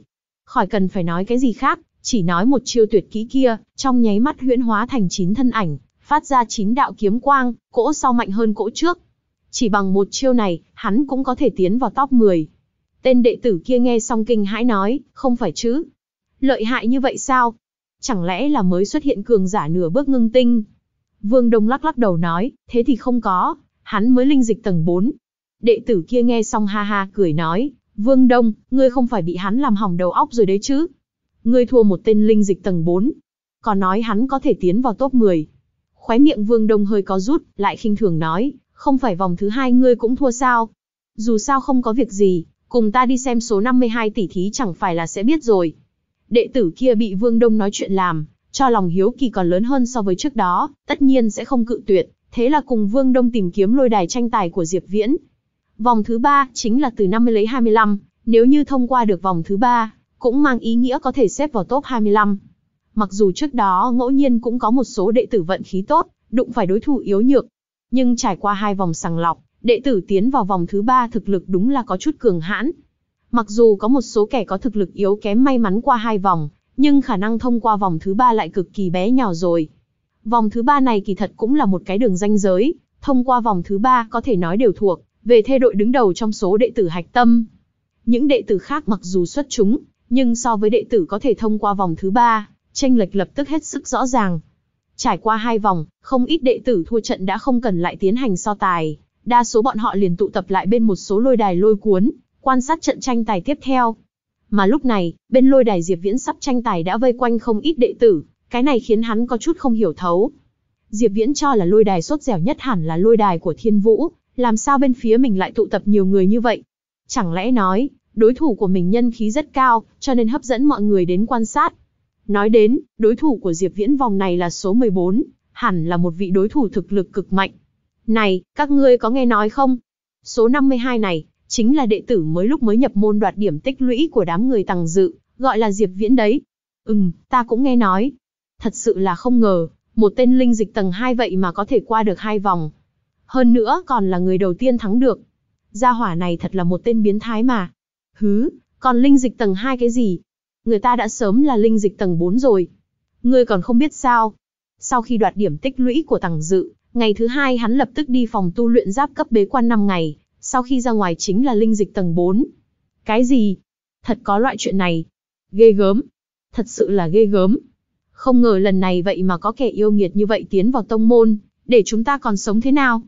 Thế nhưng, coi như hắn đột phá đến linh dịch tầng 4, thực lực như vậy làm sao có thể qua được hai vòng, hơn nữa còn là người đầu tiên thắng được. Chuyện được đọc bởi kênh Halazy Audio. Khà khà, không phải trước đó chúng ta còn đang tranh tài sao? Hiện tại ta lại muốn xem cho rõ, số 52 này đến cùng có chỗ nào hơn người. Ngươi có biết đối thủ lần này của hắn là ai hay không? Hử, ai vậy? Đối thủ của hắn là số 14, chính là nhân vật đứng đầu địa tự doanh, Trương Kính. Đừng thấy bình thường Tằng Thành và Khâu Bằng huyên náo tưng bừng, nhưng địa vị vững chắc đứng đầu địa tự doanh, lại luôn là Trương Kính vững vàng ngồi xuống. Trương Kính, chính là đệ tử sắp xếp chỗ ở cho đám người Diệp Viễn ngày đầu nhập môn. Khi Diệp Viễn nhìn thấy Trương Kính trên lôi đài, thì không khỏi sững sờ. Trương Kính nhìn thấy Diệp Viễn, cũng sững sờ y như vậy. Hai người mắt to trừng mắt nhỏ đứng đối diện nhau. Hồi lâu sau, Trương Kính nhìn Diệp Viễn cười khổ nói, ta thật không ngờ, số 52 thần bí này lại là Diệp sư đệ. Hả? Lời này là thế nào? Làm sao ta lại thành số 52 thần bí rồi? Nghe Trương Kính nói, Diệp Viễn có chút không hiểu hỏi lại. Trương Kính sững sờ, hai vòng đấu vừa rồi, sư đệ ngươi đã thành tiêu điểm chú mục của mọi người rồi, chẳng lẽ ngươi không biết? Ngươi nhìn những sư huynh đệ dưới lôi đài kia một chút. Ách, ta còn tưởng rằng bọn họ tới vì Trương sư huynh đấy. Diệp Viễn bất đắc dĩ nói. Làm sao lại như vậy? Những lần thi đấu trước trên cơ bản đều là lôi đài số 1 dẫn đầu thắng được, thế nhưng hai vòng trước đều là sư đệ thắng được đầu tiên, mọi người muốn không chú ý cũng không được. Trương Kính cảm khái nói. Làm sao Trương Kính cũng không thể nào ngờ được, số 52 thần bí này lại chính là Diệp Viễn. Hơn nữa hiện tại Diệp Viễn mới chỉ linh dịch tầng 4, vậy mà hai vòng trước có thể tùy tiện thắng được, rốt cuộc thực lực của hắn mạnh bao nhiêu. Mặc dù cao hơn Diệp Viễn năm tiểu cảnh giới, nhưng không biết sao Trương Kính lại có chút chột dạ. Nhớ ngày đó hắn còn cảm thấy bản thân tốt đẹp trước mặt Diệp Viễn, bây giờ nghĩ đến lại thấy buồn cười đến mức nào. Có điều Trương Kính cũng là người phóng khoáng, rất nhanh đã bình thường trở lại. Bây giờ hồi tưởng lại cử động của Mạc Sư Huynh lúc trước, càng phát hiện ra một số chi tiết không giống bình thường. Sợ là khi đó, Mạc Sư Huynh biết thực lực của Diệp Viễn, có khả năng đã đạt tới cấp độ thiên tự doanh rồi đi. Bằng không làm sao Mạc Sư Huynh lại do dự không biết sắp xếp Diệp Viễn ở chỗ nào. Thế nhưng, đây chẳng phải là nói, khi Diệp Viễn linh dịch tầng 2, mình đã không phải là đối thủ của hắn rồi sao? Cái này, thật đúng là một chuyện để cho người ta bi thương mà. Nghe Trương Kính giải thích, Diệp Viễn mới chợt hiểu ra, thì ra là như vậy. Ta còn tưởng rằng nhân duyên của Trương Sư Huynh tốt, bọn họ đều là đến xem Trương Sư Huynh đấy. Ha ha, Diệp Sư Đệ diễu cợt, ta nào có bản lĩnh như vậy. Thật ra những lần thi đấu trước mọi người tụ lại nhiều nhất ở lôi đài, của đường Ngọc Nhi Sư tỷ mà nhân số dưới lôi đài của chúng ta lần này, sợ là đã vượt qua nàng rồi. Trương Kính cũng cười nói. Trong tông môn người thành đạt vi sư, mặc dù tuổi tác của Trương Kính lớn hơn so với đường Ngọc Nhi, nhưng thực lực lại có nhiều không bằng, cho nên cũng tôn xưng đối phương một tiếng sư tỷ. Diệp Viễn nghe xong cười to nói, hy vọng đường Ngọc Nhi sư tỷ chớ có trách ta đoạt danh tiếng của nàng. Đang khi nói chuyện, vòng thứ ba chính thức bắt đầu. Hai bên thi lễ hoàn tất, Trương Kính nói, lúc trước khi nhìn thấy Diệp sư đệ, ta còn thực sự là nhìn lầm, nghĩ không ra thực lực của sư đệ lại mạnh như vậy. Đợi chút nữa ta sẽ dốc toàn lực ứng phó, còn xin Diệp sư đệ vui lòng chỉ giáo. Đối với chuyện này tự nhiên Diệp Viễn cầu còn không được, cười nói, không dám nhận, tiểu đệ cũng sẽ toàn lực ứng phó. Mời, mời. Hai người cùng làm một cái thủ hiệu mời, khí thế chợt dâng lên. Tử Dương thanh khiếu, kiếm trong tay Trương Kính run rẩy kịch liệt, vô số kiếm khí màu xanh lan tràn mà ra, đánh thẳng đến Diệp Viễn. Vừa ra tay, chính là chiêu thức cực kỳ bén nhọn. Không phải chứ? Trương sư huynh vừa lên chính là Tử Dương thanh khiếu, thế này thì có phải quá mức rồi không? Kiếm khí bén nhọn như vậy, Trương sư huynh đã đem Tử Dương thanh khiếu tu luyện tới cảnh giới đại viên mãn rồi đi. Tử Dương thanh khiếu thế nhưng là chiêu thức cực kỳ lợi hại, trong thức thứ hai của Thanh Cương Tử Dương kiếm quyết, vậy mà Trương sư huynh trong bất chi bất giác đã luyện nó đến cảnh giới đại viên mãn, thật không hổ là nhân vật đứng đầu địa tự doanh. Chỉ bằng một chiêu này, nói không chừng lần này Trương sư huynh có thể tiến vào 10 vị trí đầu, trở thành đệ tử thiên tự doanh đấy. Ha, cái này thật đúng là khó mà nói, đám biến thái thiên tự doanh kia, không thể tính toán theo lẽ thường được. Trương sư huynh tiến bộ, chẳng lẽ bọn hắn lại dậm chân tại chỗ ư? Người nói vậy cũng đúng. Có điều, số 52 này có thể tiếp được tử dương thanh khiếu sao? Cái này, sợ là khó đấy. Tuy số 52 này lợi hại, nhưng uy lực của tử dương thanh khiếu đại viên mãn cả người ta đều biết, chính là đám biến thái 10 vị trí đầu kia tới đoán chừng cũng có chút quá sức. Diệp Viễn còn là lần đầu tiên đối đầu chính diện, với kiếm chiêu của thanh cương tử dương kiếm quyết. hắn trực tiếp lĩnh ngộ kiếm ý ở trong cửu thiên lộ, chẳng khác nào trực tiếp hiểu rõ bộ kiếm quyết này rồi, căn bản cũng không cần đổi công pháp trong tông môn. Mà trên thực tế, Thanh Cương Tử Dương kiếm quyết là một bộ công pháp, trong đó đã bao hàm rất nhiều võ kỹ. Bản Thanh Cương Tử Dương kiếm quyết ở U Vân Tông tổng cộng có 4 tầng, mỗi tầng tương ứng với một đại cảnh giới. Mà trong mỗi tầng công pháp, đều bao hàm mấy bộ kiếm pháp võ kỹ. Tử Dương Thanh Khiếu chính là một bộ võ kỹ cực kỳ cường đại trong tầng thứ hai, độ khó tu luyện cực lớn, uy lực vô cùng mạnh. Có thể tu luyện bộ võ kỹ này tới cảnh giới đại viên mãn, có thể thấy được thực lực của Trương Kính cường đại thế nào. Chỉ là, dùng một chiêu này tới đối phó Diệp Viễn, vẫn còn có chút không đáng để hắn chú ý. Mặc dù cảnh giới của Diệp Viễn kém hơn Trương Kính quá nhiều, nhưng bàn về lĩnh ngộ thanh cương tử dương kiếm ý, Trương Kính có thúc ngựa cũng không đuổi kịp Diệp Viễn. Một kiếm cuối cùng kia bên trong cửu thiên lộ chính là toàn bộ lý giải của U Vô Nhai, về thanh cương tử dương kiếm ý. Diệp Viễn đã hoàn toàn lĩnh ngộ một kiếm kia, nghĩa là đối với lý giải kiếm ý mà nói, đã đứng trên cùng một độ cao với U Vô Nhai rồi. Một chiêu tử dương thanh khiếu này của Trương Kính, nhiều nhất cũng chỉ có một phần mười trình độ của trước 333 bậc thang, kém quá xa so với một kiếm cuối cùng kia. Đương nhiên, ưu thế của Trương Kính là cảnh giới của hắn. Lấy thực lực linh dịch tầng 9 đỉnh phong thôi động kiếm chiêu, cho dù là thứ chiêu thức cạn bã, thì mức thương tổn đối với linh dịch tầng 4 cũng quá lớn, lại càng không cần phải nói bản thân thanh cương tử dương kiếm quyết đã cực kỳ cường đại. Chỉ thấy kiếm của Diệp Viễn lượn vòng một cái chắn ngang thân. Phát ra ngoài không phải một đường kiếm hoa, mà là vô số đạo kiếm khí. Trong không khí, từng đạo kiếm khí màu xanh đụng thẳng vào những đạo kiếm khí màu vàng nhạt. Sau khi mỗi đạo kiếm khí va chạm lập tức biến thành hư vô. Mấy hơi qua đi, Trương Kính phát ra vô số đạo kiếm khí, vậy mà không có tia kiếm khí nào xuyên qua đoàn kiếm khí của Diệp Viễn, đánh được tới trước người hắn. Công kích cuồng bạo của Tử Dương Thanh Khiếu vậy mà cứ như vậy bị chôn vùi, không hề có tác dụng. Trời, trời ạ, hắn, hắn là thế nào làm được? Số 52, hắn chỉ xuất ra một kiếm thôi mà. Tử Dương Thanh Khiếu cứ như vậy bị phá sao? Thật không thể tin nổi. Ngươi có thấy không? Căn bản một kiếm kia của số 52 cũng không phải là chiêu thức gì, đây chẳng qua chỉ là một kiếm vô cùng đơn giản. Thế nhưng một kiếm này đánh ra, làm sao lại sinh ra nhiều kiếm khí như vậy? Ta không chịu nổi. Ta không chịu nổi. Người số 52 này, quá biến thái. Tử Dương Thanh Khiếu, thế nhưng được xếp thứ ba trong tất cả các chiêu thức ở tầng thứ hai, vậy mà lại bị hắn phá giải một cách dễ dàng như vậy. Tử Điện Thanh Sương. Lôi đài số 1, Thiên Vũ quát nhẹ một tiếng, đánh bại đối thủ. Vòng thứ ba, tiếng nói số một thắng được rốt cuộc cũng vang lên đầu tiên, chỉ là đã không có ai để ý những chuyện này nữa. Ngay cả chính Thiên Vũ, cũng không có lòng nghe, hắn trực tiếp đi xuống lôi đài, đi về phía lôi đài Diệp Viễn và Trương Kính đối chiến. Phượng Vũ Cửu Thiên. Trên lôi đài số 2, Đường Ngọc Nhi khẽ kêu một tiếng, hồng lăng trong tay quỷ dị quấn về phía đối thủ, cũng chiến thắng trong vài phút. Đường Ngọc Nhi thu hồi hồng lăng, ngay cả chào hỏi với đối phương cũng không, trực tiếp đi về phía lôi đài của Diệp Viễn. Chuyện giống vậy còn phát sinh ở trên người mấy đệ tử xếp hạng 10 vị trí đầu, bọn hắn đều muốn nhanh chóng đến chỗ lôi đài của số 52 xem một chút, người số 52 này, đến cùng là thần thánh phương nào. Giờ này khắc này, tỷ thí của đệ tử Tinh Anh cũng tiến hành đến giai đoạn gây cấn. Nhân số của đệ tử Tinh Anh và đệ tử Hạch Tâm là cố định. Đệ tử Tinh Anh, mãi mãi cũng chỉ có 20 người. 20 người này, có thể nói là tương lai hy vọng của tông môn. Phương thức giao đấu của đệ tử Tinh Anh lại có chỗ khác với đệ tử Hạch Tâm, Mỗi lần thi đấu tông môn, bọn hắn đều là tiến hành xa luân chiến. Nói cách khác, 20 người này mỗi người đều phải trải qua 19 vòng chiến đấu. Cuối cùng ai giành được nhiều chiến thắng nhất, người đó xếp hạng nhất. Mà ba người xếp hạng cuối cùng, phải tiến hành đọ sức với top 3 đệ tử hạch tâm đứng đầu để quyết định đi ở. Trên lôi đài số 3, quyền ảnh tràn ngập, một thanh niên mạnh mẽ đánh cho đối thủ chỉ có thể cố gắng chống đỡ, không hề có lực hoàn thủ. Chỉ thấy quyền thế của hắn vừa thu lại, khẽ quát một tiếng, vô phương bá quyền. Sau đó oanh một tiếng, đối thủ bị đánh bay ra khỏi lôi đài.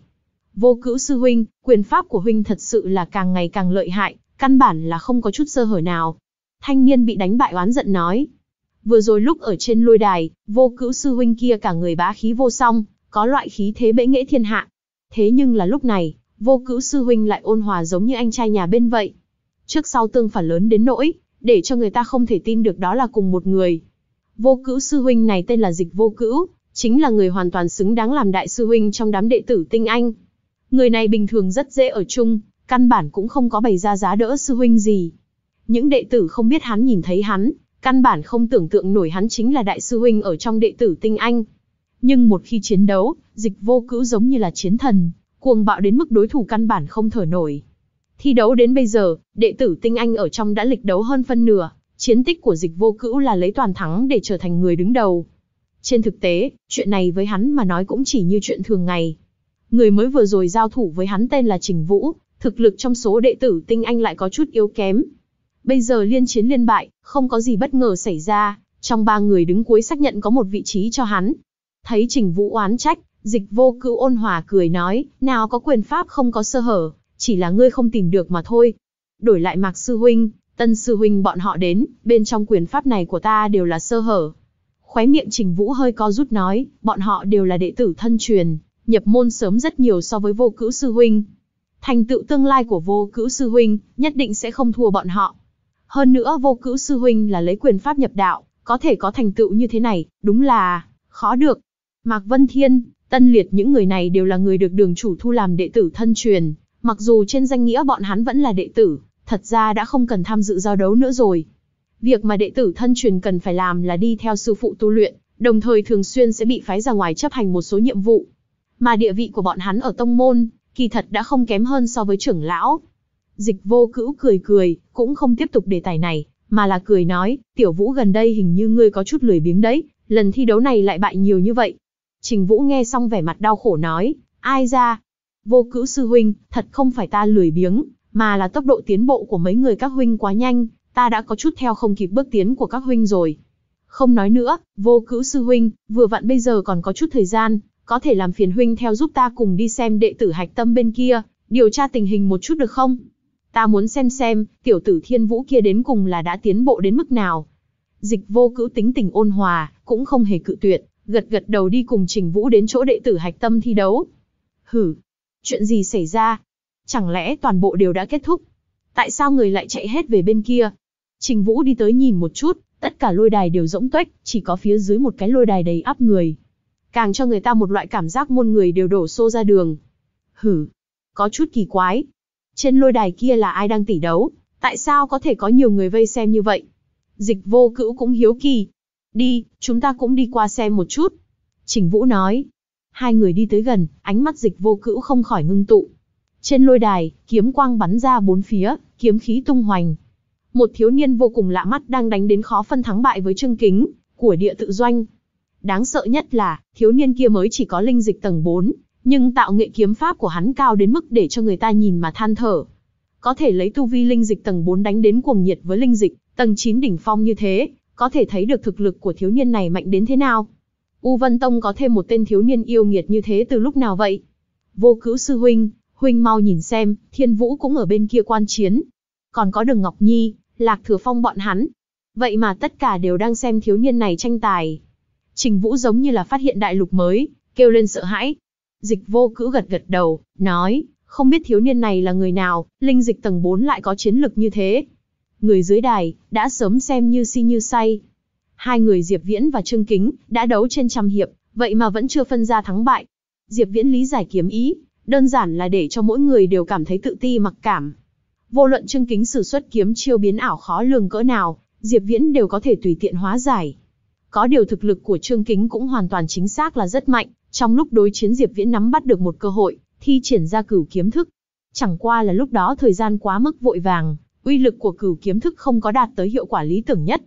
Vậy mà Trương Kính có thể linh hoạt tránh khỏi chín đạo kiếm quang. Qua lần đó, Trương Kính toát mồ hôi lạnh cả người, từ đó về sau cẩn thận dị thường, tuyệt không cho Diệp Viễn nửa điểm cơ hội thi triển cửu kiếm thức. Lúc này, sự cường đại của Trương Kính phát huy vô cùng tinh tế, Diệp Viễn không còn tìm được bất cứ cơ hội nào, cứ như vậy, hai bên lâm vào tình trạng ngươi tới ta đi vô cùng cuồng nhiệt. Tất cả công kích của Trương Kính hoàn toàn vô hiệu, nhưng hắn cũng không cho Diệp Viễn có nửa điểm cơ hội xuất thủ. Hai người cứ như vậy một mực đánh tới hiện tại. Tất cả tranh tài đều đã kết thúc, chỉ còn lại trận chiến này.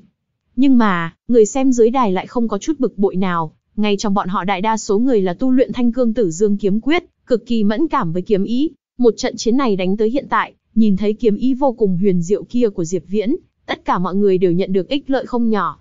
Bên trong kiếm ý của Diệp Viễn vốn là ẩn chứa thanh cương tử dương kiếm ý, những đệ tử này mặc dù cảm thấy cực kỳ thâm ảo, nhưng vẫn có thể tìm hiểu đến một vài thứ.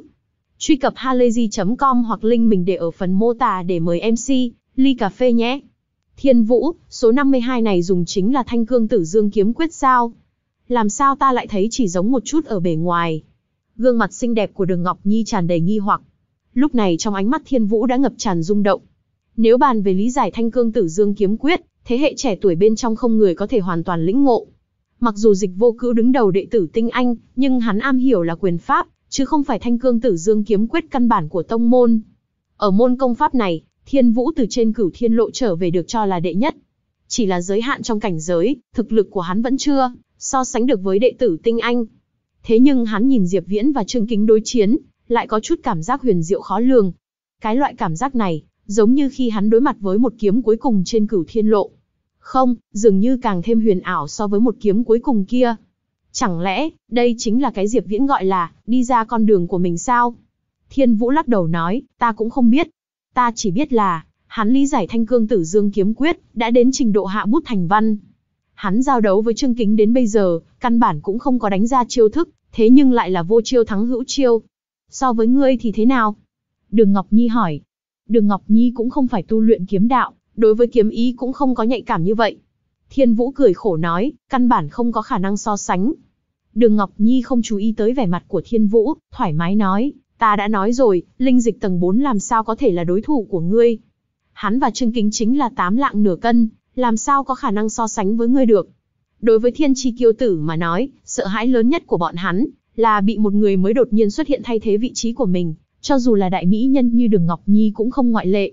Giống thiên vũ, dạng thiên tài như Đường Ngọc Nhi, từ trước đến nay chỉ có vượt qua người khác, nào có khi nào bị người khác vượt lên.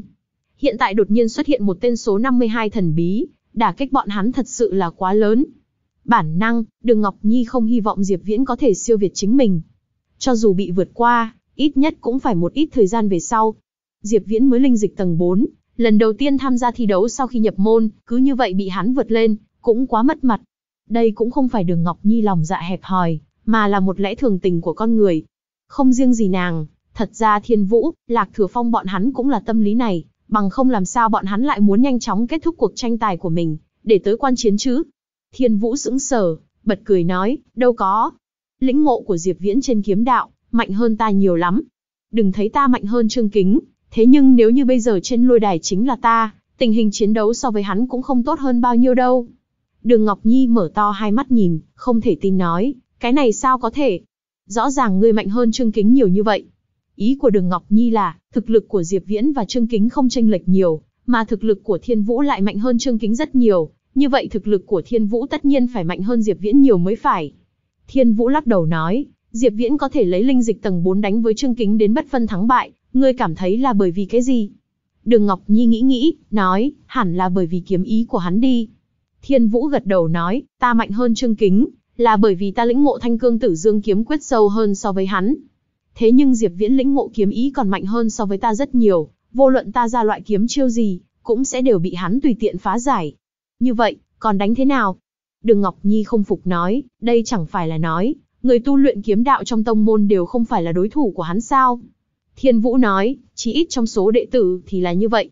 Cái này, cái này sao có thể? Hừ, ta không tin. Ta nhất định phải đánh bại hắn. Đường Ngọc Nhi không chịu thua nói. Thiên Vũ cười cười, cũng không nói thêm gì. Nói thật, Thiên Vũ cũng rất chờ mong cuộc chiến giữa Đường Ngọc Nhi và Diệp Viễn. Đường Ngọc Nhi không tu luyện kiếm đạo, kiếm ý của Diệp Viễn có mạnh hơn, cũng không ảnh hưởng tới Đường Ngọc Nhi phát huy. Dù sao thực lực của Đường Ngọc Nhi cũng là nửa bước ngưng tinh, Diệp Viễn sẽ phá giải như thế nào đây? Trên lôi đài, Diệp Viễn và Trương Kính giao đấu đã tiến hành đến giai đoạn gay cấn. Trương Kính bỗng nhiên thu kiếm mà đứng, nói với Diệp Viễn, chậm đã. Diệp Viễn cũng dừng tay hỏi, Trương Sư Huynh có gì chỉ giáo? Trương Kính thản nhiên cười nói, không ngờ tạo nghệ kiếm đạo của Diệp Sư Đệ vậy mà cao như thế, Trương Mỗ cam bái hạ phong. Tiếp theo ta sẽ xuất ra một kiếm mạnh nhất của ta, nếu Diệp Sư Đệ có thể tiếp được, Trương Mỗ trực tiếp nhận thua. Diệp Viễn cười nói, mời Trương Sư Huynh. Trương Kính nhắm mắt lại, hít sâu một hơi, giơ kiếm trong tay lên. Đột nhiên, trên thân kiếm của Trương Kính, điện mang màu tím lấp lóe, một cỗ khí thế cực mạnh khuếch tán ra. Là tử điện thanh xương. Vậy mà Trương Sư Huynh hắn đã luyện thành tử điện thanh xương. Dưới đài có người kích động nói. Đây chính là chiêu thức mạnh thứ hai trong tầng thứ hai, cực ít người trong tông môn có thể lĩnh ngộ được. Trương Sư Huynh đã lĩnh ngộ tử điện thanh xương, lần này hẳn là có thể tiến vào 10 vị trí đầu đi. Thế nhưng là, chiêu này có tác dụng với số 52 không? Tập thể im lặng. Loại kiếm pháp biến nặng thành nhẹ kia của Diệp Viễn, đã dung chuyển tâm can của mỗi người. Thời gian giao đấu dài như vậy, Diệp Viễn, mang cho mọi người một loại cảm giác, đó chính là vô luận là loại kiếm chiêu gì hắn đều có thể phá giải. Hắn là không thể chiến thắng. Tử điện thanh xương. Trương Kính quát nhẹ một tiếng, điện mang màu tím xen lẫn kiếm mang màu xanh lập tức đánh về phía Diệp Viễn. Nhưng cái gọi là một chiêu mạnh nhất, đối Diệp Viễn tới nói thật không có quá lớn uy hiếp. Sử dụng chiêu thức của Thanh Cương Tử Dương kiếm quyết, đều là vô hiệu đối với Diệp Viễn. Trừ phi giống Mạc Vân Thiên dẫn trước Diệp Viễn một cái đại cảnh giới, mới có thể dùng thực lực tuyệt đối đến nghiền ép hắn. Chỉ thấy Diệp Viễn đâm thẳng một kiếm, trực tiếp đón nhận một kích này. Trong ánh mắt kinh ngạc của mọi người, điện mang màu tím và kiếm khí màu xanh cuồng bạo còn chưa chạm đến mũi kiếm của Diệp Viễn, lập tức biến mất không thấy gì nữa. Một chiêu mạnh nhất, lại ngay cả một chút bọt nước cũng không có lật ra đến. Trương Kính không thất lạc như trong tưởng tượng, ngược lại cười nhạt một cái nói, ta thua. Diệp Viễn cười nói, Trương Sư Huynh, đa tạ. Đâu có. Ta cũng không có nhường một chút nào, đã sử xuất tất cả vốn liếng, lại không làm gì được ngươi. Nếu như chúng ta cùng một cảnh giới, đoán chừng kết quả của ta cũng là bại trong tích tắc. Ta thật sự không ngờ, Diệp sư đệ lại cường đại như vậy. Trương Kính hơi có chút cảm khái nói. Diệp Viễn cười cười, lại không có tiếp lời. Diệp Viễn sẽ không cuồng vọng tự đại, nhưng cũng không tự coi nhẹ mình. Nếu như cảnh giới tương tự, hắn miểu sát Trương Kính dễ như trở bàn tay. Nhưng loại lời này, Diệp Viễn đương nhiên sẽ không nói ra miệng. Trận chiến này ta thu hoạch rất nhiều, thừa dịp cảm giác của trận chiến vừa rồi vẫn còn, ta muốn đi bế quan. Diệp sư đệ, ta chúc ngươi giao đấu phía sau, một đường hát vang. Cáo từ. Nói xong, Trương Kính phiêu nhiên mà xuống, cũng không quay đầu lại mà đi. Lôi đài số 14, số 52 thắng. Giọng nói của phong trưởng lão đột ngột vang lên, phá vỡ chàng diện đang yên lặng. Dịch vô cữu nhìn đạo thân ảnh trên lôi đài kia, cười nói với Trình Vũ, xem ra lần thi đấu này, sư đệ ngươi có thêm một đối thủ thú vị đây. Vẻ mặt Trình Vũ đau khổ nói, thú vị chỗ nào chứ? Vì cái gì mà biến thái càng ngày càng nhiều vậy? Số 52 này từ đâu xuất hiện vậy? Một tay kiếm thuật kia, quả thực là đã đạt tới đỉnh cao. Còn không phải. Trương Sư Huynh ngay cả tử điện Thanh Sương đều xuất ra rồi, thế nhưng lại không có tác dụng gì với hắn. Nghe nói hắn mới từ thế tục thăng lên tới, nơi như thế tục, làm sao có thể sinh ra biến thái tới mức này. Nghe nói hắn còn chưa tới 16 tuổi, coi như hắn ngộ đạo từ trong bụng mẹ, cũng không có khả năng đạt tới loại tình trạng này đi. Diệp Viễn chiến thắng Trương Kính, đưa tới sóng to gió lớn trong đám đệ tử tông môn. Danh tính của Diệp Viễn rất nhanh bị các đệ tử biết được. Tăng Thành cũng xem Diệp Viễn và Trương Kính giao đấu, hắn cảm thấy vô cùng may mắn lúc trước không có gây sự với Diệp Viễn, nếu không mặt mũi liền ném đến tận nhà bà ngoại rồi. Bây giờ hắn mới biết, Diệp Viễn giáo huấn đệ đệ của hắn căn bản ngay cả món ăn khai vị cũng không bằng. Thực lực của Diệp Viễn, đây chính là có thể tiến vào top 3. Tằng Thành cũng tu kiếm, biết rõ cảnh giới kiếm đạo của Diệp Viễn cao thế nào. Cho dù là Thiên Vũ ở đây, cũng chưa chắc có thể chiếm được chỗ tốt. Nếu như không phải Tằng Thành đã thắng vòng thứ ba, hắn cũng muốn đi bế quan giống như Trương Kính. Tằng Thành tin tưởng, có ý nghĩ giống như hắn không phải số ít. Ở trong đó, thậm chí bao gồm cả Thiên Vũ. Diệp Viễn không bởi vì trở thành người có tiếng tăm mà trong lòng có gợn sóng, bởi vì chuyện này với hắn mà nói không đáng giá nhắc tới. Lấy độ cao của hắn, nếu như ở một cái môn phái nhỏ dưới hạ giới, cũng không gây được sự chú ý của người khác, vậy cũng quá thất bại rồi. Đối thủ của Diệp Viễn vòng thứ tư vẫn là một đệ tử tu kiếm, thực lực của đệ tử kia còn kém hơn Trương Kính không ít, kết quả không cần nói cũng biết. Từ vòng thứ tư bắt đầu, mãi cho đến khi tìm ra tứ cường, mỗi một vòng đều sẽ có một vị đệ tử luân không. Bốn vòng chiến, thời gian một ngày cứ như vậy thoáng một cái đã qua. Ngày thứ hai giao đấu mới là quan trọng nhất. Đệ tử thực lực yếu trên cơ bản đều bị đào thải trong ngày đầu tiên, còn lại đều là người nổi bật trong đám đệ tử. Ngày thứ hai giao đấu, trên cơ bản đều là quyết đấu giữa những kẻ mạnh. Tranh tài như vậy, tự nhiên cực kỳ đáng xem. Đối thủ vòng thứ năm của Diệp Viễn là một cường giả trong 10 vị trí đầu, cũng là một vị đệ tử tu kiếm. Kỳ thật, thực lực của vị đệ tử này không chênh lệch nhiều so với Trương Kính, Thanh Cương Tử Dương kiếm quyết của hắn cũng đã tu luyện đến Tử Điện Thanh Xương. Vốn dĩ lần này Trương Kính muốn dựa vào Tử Điện Thanh Xương xung kích 10 vị trí đầu, kết quả không ngờ vòng thứ ba lại bị Diệp Viễn đánh bại. Kết quả tất nhiên cũng không ra ngoài ý liệu của mọi người, trải qua một phen khổ đấu, Diệp Viễn lần nữa thắng được. Chẳng ai ngờ rằng, lần thi đấu này lại có một tên linh dịch tầng 4 tiến vào top 7. Thế nhưng đối với kết quả này, ngược lại thật là không có người nào không phục. Đây là Diệp Viễn từng vòng thắng được, không có chút mưu lợi nào. Trong đó, Diệp Viễn chiến thắng không ít đệ tử có thực lực mạnh, đủ để đứng vào 10 vị trí đầu. Diệp Viễn vào được top 7 là hoàn toàn xứng đáng. Lại thắng thêm một đối thủ, là huynh có thể tiến vào tứ cường. Lúc đầu ta cho là, tới lần thi đấu sau huynh sẽ một đường bộc phát lên làm kinh người, không ngờ bây giờ huynh đã làm được. Long đường nhìn Diệp Viễn cảm khái nói. Diệp Viễn cười, huynh cũng không tệ mà, lấy cảnh giới linh dịch tầng 5 vượt qua 3 vòng, đã là 25 người mạnh nhất. Lúc trước Long đường giao đấu rực rỡ hào quang, liên tiếp quá quan trảm tướng, một mực sông đến vòng thứ tư, mới thua ở trong tay Lạc Thừa Phong. Bỏ qua Diệp Viễn một bên không nói, Long Đường tuyệt đối là hắc mã lớn nhất lần thi đấu này. Phá vọng quyền ý của hắn mạnh đến cơ hồ quét ngang cường giả linh dịch, tầng 9 trở xuống. Đương nhiên, vận khí của Long Đường coi như không tệ. Trước khi đụng phải Lạc Thừa Phong, hắn thật đúng là không có đụng tới đối thủ quá lợi hại gì. Dù vậy, lấy cảnh giới linh dịch tầng 5 đi đến một bước này, tuyệt đối là đã đủ mạnh. Long Đường cười cười, hiển nhiên rất hài lòng với kết quả này. Mà thông qua lần thi đấu này, rốt cục hắn cũng ý thức được mình lĩnh ngộ phá vọng quyền ý mạnh bao nhiêu rồi. Những đệ tử cảnh giới cao hơn hắn kia, mặc dù thực lực không so được với Trương Kính, nhưng tuyệt đối không phải hạng soàng sĩnh. Có thể ở trong đám đệ tử hạch tâm cường giả như mây tiến vào vòng thứ tư, tuyệt đối là có bản lĩnh thật sự. Diệp sư huynh, đối thủ vòng tiếp theo của huynh là đến Lạc Thừa Phong. Ta biết kiếm ý của huynh rất mạnh, nhưng đụng phải hắn vẫn là phải cẩn thận mới được. Ừm, ta biết. Trong 10 vị trí đầu có 4 vị nửa bước ngưng tinh, thế nhưng Lạc Thừa Phong có thể ép được hai người, thực lực có thể thấy được chút ít. Diệp Viễn gật đầu nói. Diệp Viễn cũng không phải hạng người hung hăng kiêu ngạo mắt cao hơn đầu, mà đầu óc của hắn rất thanh tỉnh. Lúc trước, Tô Vũ Bách nửa bước ngưng tinh dùng một chưởng đánh cho Hồ Diên Dũng trọng thương thổ huyết, có thể thấy được chênh lệch giữa linh dịch tầng 9 đỉnh phong và nửa bước ngưng tinh. Bản thân Hồ Diên Dũng có tiềm lực hơn Tô Vũ Bách, thực lực cũng mạnh hơn linh dịch tầng 9 bình thường. Dù vậy, hắn vẫn là một chiêu bại trận. Mặc dù lúc ấy bởi vì muốn cứu Diệp Viễn, Hồ Diên Dũng không thể không đối chiến chính diện với Tô Vũ Bách, nhưng cái này cũng đủ nói rõ nửa bước ngưng tinh cường đại đến thế nào. Mà Lạc Thừa Phong có thể lấy cảnh giới linh dịch tầng 9 đỉnh phong, lực áp hai vị nửa bước ngưng tinh, có thể thấy được hắn lĩnh ngộ một loại ý cảnh nào đó đạt đến dạng cảnh giới gì. Thế nào? Huynh đã giao đấu với hắn. Tiết lộ một chút đi. Diệp Viễn cười nói. Long đường hơi có chút ngoài ý muốn. Ha ha, nghĩ không ra vậy mà Huynh cũng quan tâm đến đối thủ của mình. Ta còn tưởng rằng Huynh không để ý cái này đấy. Diệp Viễn cười cười, biết người biết ta, trăm trận trăm thắng mà. Ta cũng không phải cường giả thần cảnh, không có khả năng quét ngang hết thảy đối thủ.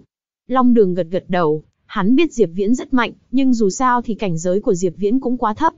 Những đối thủ bình thường kia vẫn còn tốt, nhưng cảnh giới cao hơn nhiều so với hắn, đối thủ lĩnh ngộ ý cảnh lại mạnh, đương nhiên hắn sẽ để ý, nhớ lại trận chiến với Lạc Thừa Phong, trong hai con ngươi của Long Đường lộ ra nồng đậm kiêng dè. Rất hiển nhiên, trận chiến kia cũng không phải là hồi ức tốt đẹp gì. Mạnh, rất mạnh. Ngay cả năm chiêu ta cũng không có chịu đựng được. Hơn nữa, đấy là hắn còn chưa xuất ra vũ khí. Long đường kiêng kỵ nói. Trong mắt Diệp Viễn lộ ra vẻ ngưng trọng, thực lực của Long đường hắn biết đến rõ ràng, có thể dùng năm chiêu đánh bại Long đường, hơn nữa ngay cả vũ khí đều không dùng, có thể thấy được thực lực của Lạc Thừa Phong mạnh bao nhiêu. Hả? Vậy huynh có biết đến cùng là hắn dùng vũ khí gì hay không? Diệp Viễn hỏi. Long đường gật đầu nói, Ta có chút không cam lòng, về sau tìm đồng môn nghe ngóng một chút, mới biết được Lạc Thừa Phong dùng chính là phán quan bút. Mà có thể buộc hắn sử xuất phán quan bút, chỉ có thiên vũ. Diệp Viễn ngạc nhiên nói, ừm, đây là vì cái gì? Ngay cả đường Ngọc Nhi cũng không ép được ra vũ khí của hắn sao? Thế nhưng xếp hạng của đường Ngọc Nhi là cao hơn hắn mà. Long đường nói, lúc mới nghe nói ta cũng có chút kinh ngạc, thế nhưng nghe người ta nói, Lạc Thừa Phong đã từng nói, hắn chính là một thư sinh, nếu không phải sinh tử chiến, hắn sẽ không lấy phán quan bút của mình đi đối phó với một nữ nhân. Ồ, là một người thú vị thế sao? Nói cách khác, con đường mà Lạc Thừa Phong này đi chính là thư pháp chi đạo. Không sai. Nghe nói mỗi ngày có một nửa thời gian hắn dùng ở luyện chữ, mà không phải là tu luyện. Diệp Viễn nghe xong lại cười khoát tay một cái nói, luyện chữ cũng là một loại tu luyện. Thư pháp chi đạo và kiếm đạo, quyền đạo, đều là đại đạo. Tu luyện tới, cực hạn, uy lực cực mạnh. Thư pháp chi đạo bị võ giả coi là tục đạo, Tiểu đạo, chính là sở học của thư sinh trong thế tục. Chuyện được đọc bởi kênh Halazy Audio. Không ít võ giả tu luyện thư pháp chi đạo, lại khó có thành tựu. Thường thường tu luyện mấy năm đầu đều đạt được cực nhỏ. Dần già, võ giả tu luyện thư pháp chi đạo càng ngày càng ít. Mà trên thực tế, nếu thư pháp chi đạo có thành tựu, thì thực lực mạnh hơn rất nhiều so với võ giả bình thường. Trong số thập đại trí tôn thần vương ở thần vực, có một vị thiên thư thần vương, thực lực của hắn cũng không kém bao nhiêu so với linh trá thần vương có thể thấy được lĩnh ngộ được cực hạn thư pháp chi đạo, uy lực mạnh đến mức nào. Chỉ là thư pháp nhất đạo muốn nhập môn, thật sự quá khó khăn. Hơn nữa đạo này rất ít cường giả, lưu lại cảm ngộ công pháp tự nhiên cũng cực ít. Muốn bằng vào cảm ngộ của bản thân để lĩnh ngộ vô thượng chân ý, cần ngộ tính và cơ duyên quá mức hà khắc. Từ miêu tả của Long Đường đến xem, Lạc Thừa Phong này trên thư pháp nhất đạo có lẽ đã nhập môn, chỉ là không biết đạt đến loại trình độ nào rồi. Bây giờ, mỗi trận đấu của Diệp Viễn đều được rất nhiều người chú ý, mà hắn và Lạc Thừa Phong giao đấu, càng là tâm điểm của một vòng này. Chàng tỷ đấu này quyết định ai có thể tiến vào tứ cường, nếu như Diệp Viễn tiếp tục bạo phát, Lạc Thừa Phong sẽ bị ngăn bên ngoài cửa của đệ tử Tinh Anh. Lần trước thi đấu Lạc Thừa Phong là lực lượng mới xuất hiện, một đường đi ngang quá quan trảm tướng tiến vào top 3, thậm chí đánh bại một vị cường giả nửa bước ngưng tinh. Chỉ tiếc cuối cùng bại bởi một tên đệ tử Tinh Anh, dừng lại ở trong đệ tử hạch tâm như cũ. Bây giờ mấy tháng đi qua, thực lực của Lạc Thừa Phong lại có bước tiến dài. Nếu không phải hắc mã Diệp Viễn này xuất hiện, Lạc Thừa Phong vô cùng có khả năng tấn thăng lên đệ tử tinh anh. Thực lực của Diệp Viễn đến cùng có thể dung chuyển top 3 hay không, đây cũng là tiêu điểm mọi người cực kỳ chú ý. Nếu Diệp Viễn có thể lấy thực lực linh dịch tầng 4 dung chuyển Lạc Thừa Phong, ở top 3, vậy trình độ yêu nghiệt kia cũng quá đáng sợ. Đây là lần đầu tiên Diệp Viễn nhìn thấy Lạc Thừa Phong, khác với cái tên nghe vô cùng bá khí, người thật lại lộ ra cực kỳ nho nhã. Lạc Thừa Phong đầu đội mũ, thân mặc một bộ trường bào màu xanh, nhìn qua giống như là một nho sinh đi thi, chứ không phải một võ giả linh dịch tầng 9 đỉnh phong. Thấy đến loại khí chất này, không khỏi liên quan đến hắn ngày đêm khổ luyện thư pháp. Nhưng nếu có người vì vậy mà coi thường thực lực của hắn thì mười phần sai lầm. Lạc Thừa Phong nhìn thấy Diệp Viễn, chậm rãi lấy phán quan bút ra. Hai mắt Diệp Viễn ngưng lại, nói, ta nghe nói bình thường Lạc Sư Huynh không tùy tiện xuất ra binh khí, đây là vì sao? Lạc Thừa Phong thản nhiên trả lời, ta xem qua Diệp Sư Đệ giao đấu, người rất mạnh.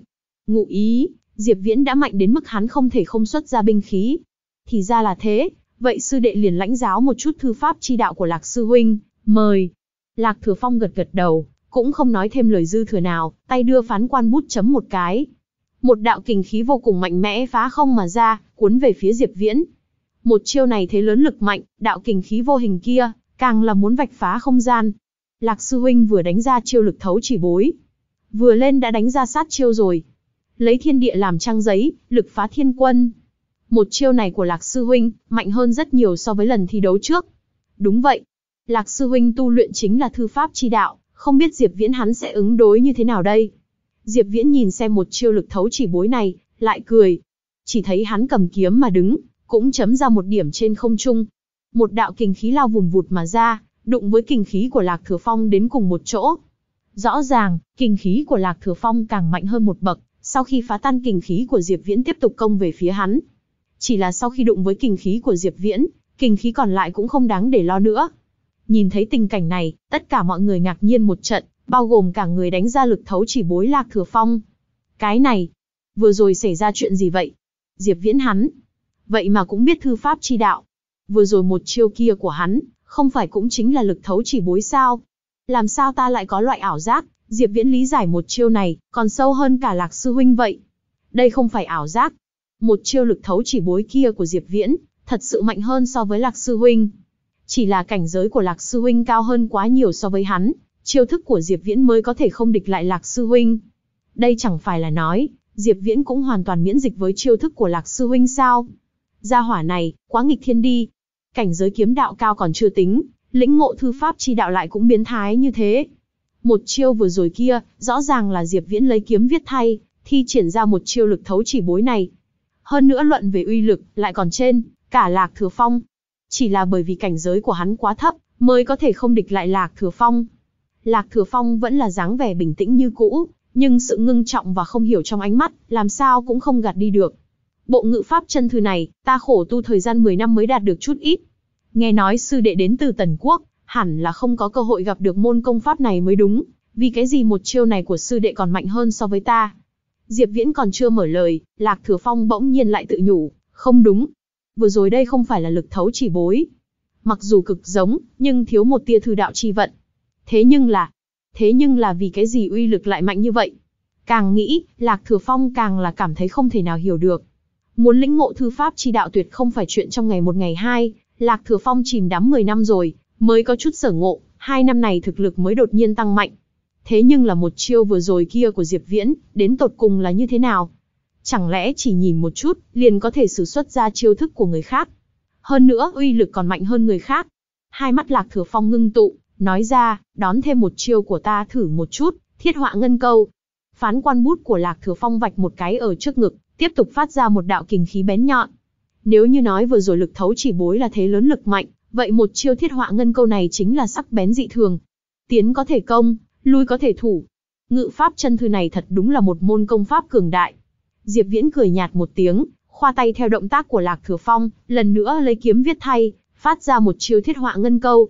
Chuyện giống vậy tiếp tục phát sinh, công kích của Lạc Thừa Phong trải qua chiêu thức của Diệp Viễn thì trở nên suy yếu, mềm nhũn bất lực, bị Diệp Viễn nhẹ nhàng hóa giải.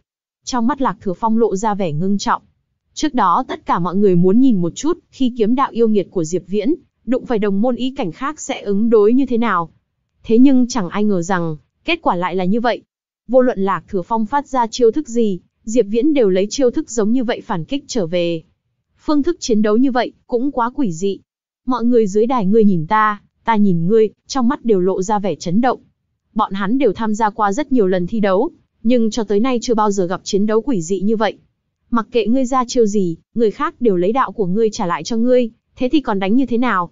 Mấu chốt là, nếu Diệp Viễn lấy đạo của người trả lại cho người chỉ có vẻ ngoài thì cũng thôi đi, hết lần này tới lần khác phản kích của hắn còn vô cùng sắc bén. Cứ như vậy Diệp Viễn lấy cảnh giới linh dịch tầng 4, triệt tiêu công kích của Lạc Thừa Phong linh dịch tầng 9 đỉnh phong. Cái này, chuyện này rốt cuộc là như thế nào? Chẳng lẽ nói, Diệp Viễn thật sự tu luyện qua ngự pháp chân thư? Ngự pháp chân thư rất khó tu luyện, Lạc Sư Huynh có thể tu luyện tới cảnh giới hiện tại, chịu khổ cũng là không người có thể so sánh. Thế nhưng Diệp Viễn lại cứ hời hợt như vậy liền thi triển ra. Chẳng lẽ nói Diệp Viễn chính là loại người sinh ra đã biết kia? Nếu không bằng vào số tuổi của hắn, làm sao có thể ở trên kiếm đạo và thư đạo đồng thời có tạo nghệ như thế? Chúng đệ tử dưới đài không hiểu thư pháp chi đạo, còn tưởng rằng Diệp Viễn có chủ tâm so đấu thư pháp chi đạo với Lạc Thừa Phong. Chỉ có Lạc Thừa Phong ở trên đài biết, Diệp Viễn thi triển ra căn bản không phải thư pháp chi đạo. Thế nhưng đã không phải thư pháp chi đạo, vì cái gì có thể có uy lực cường đại như vậy? Lạc Thừa Phong cũng là người có ngạo khí, thấy Diệp Viễn liên tiếp phục chế phá giải chiêu thức của hắn, một cỗ ý chí không chịu thua dâng lên từ đáy lòng. Bút tẩu long xà, long phi phượng vũ, nhập mộc tam phân, một chiêu tiếp một chiêu, trên lôi đài kình khí bốn phía, thanh thế cực kỳ to lớn. Nếu không phải có trận pháp thủ hộ, lúc này không biết lôi đài đã bị phá hủy bao nhiêu lần. Nhưng mà đối diện với Lạc Thừa Phong, Diệp Viễn vẫn không nhanh không chậm dùng kiếm để phát ra chiêu thức giống nhau, như đúc với chiêu thức của Lạc Thừa Phong. Bút tẩu long xà, long phi phượng vũ, nhập mục tam phân, từng đạo kình khí đụng thẳng vào nhau, sau đó chôn vùi. So với hôm qua giao đấu với Trương Kính, trận đấu này của Diệp Viễn càng thêm kinh tâm động phách. Ngày hôm qua giao đấu, Diệp Viễn là ý vào kiếm ý, hóa giải từng chiêu. Hôm nay giao đấu với Lạc Thừa Phong, Diệp Viễn rõ ràng không có loại biến nặng thành nhẹ như ngày hôm qua, nhưng chiêu thức giống nhau như đúc kia, lại càng thêm nhiếp nhân tâm phách. Diệp Viễn đứng ở nơi đó, giống như là một chiếc gương, bất luận Lạc Thừa Phong dùng lực thế nào, hắn đều có thể phản xạ trở về. Dạng giao đấu này, càng cho Diệp Viễn tăng thêm một phần cường hãn. Lạc Thừa Phong một thân nho nhã, nhưng lúc này cũng đánh ra mấy phần hỏa khí. Chiêu thức của hắn một chiêu càng cường, đại, càng khó hơn so với một chiêu. Hắn lại thật sự muốn nhìn xem, có phải Diệp Viễn có thể phục chế tất cả chiêu thức của hắn hay không? Bằng vào thực lực linh dịch tầng 9 đỉnh phong khuất nhục nửa bước ngưng tinh, có thể thấy được thực lực của Lạc Thừa Phong cường đại đến cỡ nào. Càng về sau, chiêu thức của Lạc Thừa Phong, càng mạnh đến mức để mọi người dưới đài cảm thấy hít thở không thông. Không ngờ mới qua mấy tháng, thực lực của Lạc Sư Huynh đã cường hãn đến thế. So với lần thi đấu trước, cả người hắn quả thực như thoát thai hoán cốt vậy. Đúng thế, lần trước thi đấu huynh ấy còn có vẻ hơi non nớt, hiện tại đã vô cùng lão luyện. Hơn nữa nửa năm này huynh ấy không đột phá cảnh giới, chắc hẳn tùy thời đều có thể đột phá đến nửa bước ngưng tinh đi. Cũng không hẳn. Đến cấp độ này của Lạc Sư Huynh, bọn họ đã không vội đột phá cảnh giới. Lúc ở linh dịch cảnh có thể cảm ngộ càng nhiều ý cảnh, thì đối với tương lai của bọn họ có lợi ích càng lớn. Đúng vậy, thực lực của Lạc Sư Huynh bây giờ, không biết so với Thiên Vũ Sư Huynh thì như thế nào. Xem ra vốn là huynh ấy kìm nén sức lực muốn cùng Thiên Vũ Sư Huynh làm một trận, kết quả bây giờ lại bị Diệp Viễn chen ngang rồi. Nói đến, Diệp Viễn này thật đúng là cường đại đến đáng sợ. Nếu như hắn đột phá linh dịch cảnh tầng 9, chỉ sợ ngay cả dịch vô cữu sư huynh hắn cũng có thể đánh một trận đi. Khà khà, không ngờ vậy mà tông môn ta lại có dạng yêu nghiệt này. Mặc kệ kết quả lần thi đấu này như thế nào, lần thi đấu sau chính là thiên hạ của Diệp Viễn. Những thiên tài như Lạc Thừa Phong, khoảng cách thời gian một lần thi đấu đủ cho bọn hắn tiến bộ rất nhiều. Tầng thiên tài này như bọn hắn, từ trước đến nay đều là so tiến bộ lớn đến bao nhiêu. ta tiến bộ nhiều hơn so với ngươi, vậy đã nói rõ ta càng thiên tài hơn ngươi. Tốc độ tiến bộ chậm, tự nhiên sẽ bị đào thải. Giống như Trình Vũ ở trong đám đệ tử tinh anh, tuy thực lực của hắn vô cùng cường đại, nhưng so với những người khác, tốc độ tiến bộ của hắn chậm lại rồi, tự nhiên là trở nên yếu đi. Nhưng mà bước tiến của Lạc Thừa Phong có dài như vậy, lại cũng không làm gì được một người mới linh dịch tầng 4. Hạ bút như có thần. Một phen đối công qua đi, Lạc Thừa Phong rốt cục dùng ra át chủ bài mạnh nhất của hắn. Một chiêu này, cũng là gần đây khó khăn lắm Lạc Thừa Phong mới lĩnh ngộ, vốn là hắn dùng làm tuyệt chiêu cuối cùng để đối phó với Thiên Vũ, không ngờ lại bị Diệp Viễn ép dùng ra rồi. Một chiêu này xuất ra, phong vân đột biến, trên lôi đài khắp nơi tràn ngập kình khí cường đại vô hình. Nhưng mà đối diện, chỉ thấy Diệp Viễn nhàn nhạt huy kiếm như cũ, hạ bút như có thần một chiêu này chớp mắt mà ra. Thế nhưng bao gồm cả Lạc Thừa Phong, ở trong số tất cả mọi người không ai phát giác được, một chiêu này Diệp Viễn tăng thêm chút khác thường. Nguyên lực nhiên thiêu. Chỉ thấy Diệp Viễn vừa đánh ra hạ bút như có thần, tình hình chiến đấu trên lôi đài có khác biệt cực kỳ lớn so với trước đó. Diệp Viễn đánh ra kình khí giống như phong quyển tản vân, không ngừng thôn phệ lấy công kích của Lạc Thừa Phong. Lạc Thừa Phong biến sắc, không ngờ lại xuất hiện tình huống như vậy. Trước đó vẫn luôn là hắn điên cuồng công kích, mà lần này Diệp Viễn lại phản công trở về, đánh hắn trở tay không kịp. Sau khi Diệp Viễn thực hiện công kích với nguyên lực nhiên thiêu, uy lực mạnh mẽ vô song.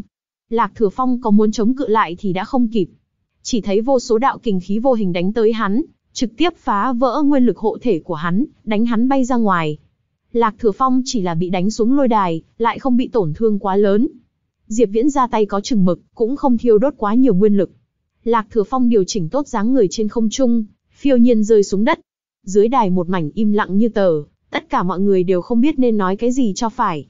Nếu như nói kết quả của một trận đấu với Trương Kính, kia mọi người có thể miễn cưỡng tiếp nhận, thì kết quả của trận đấu này lại hết sức ngoài dự liệu.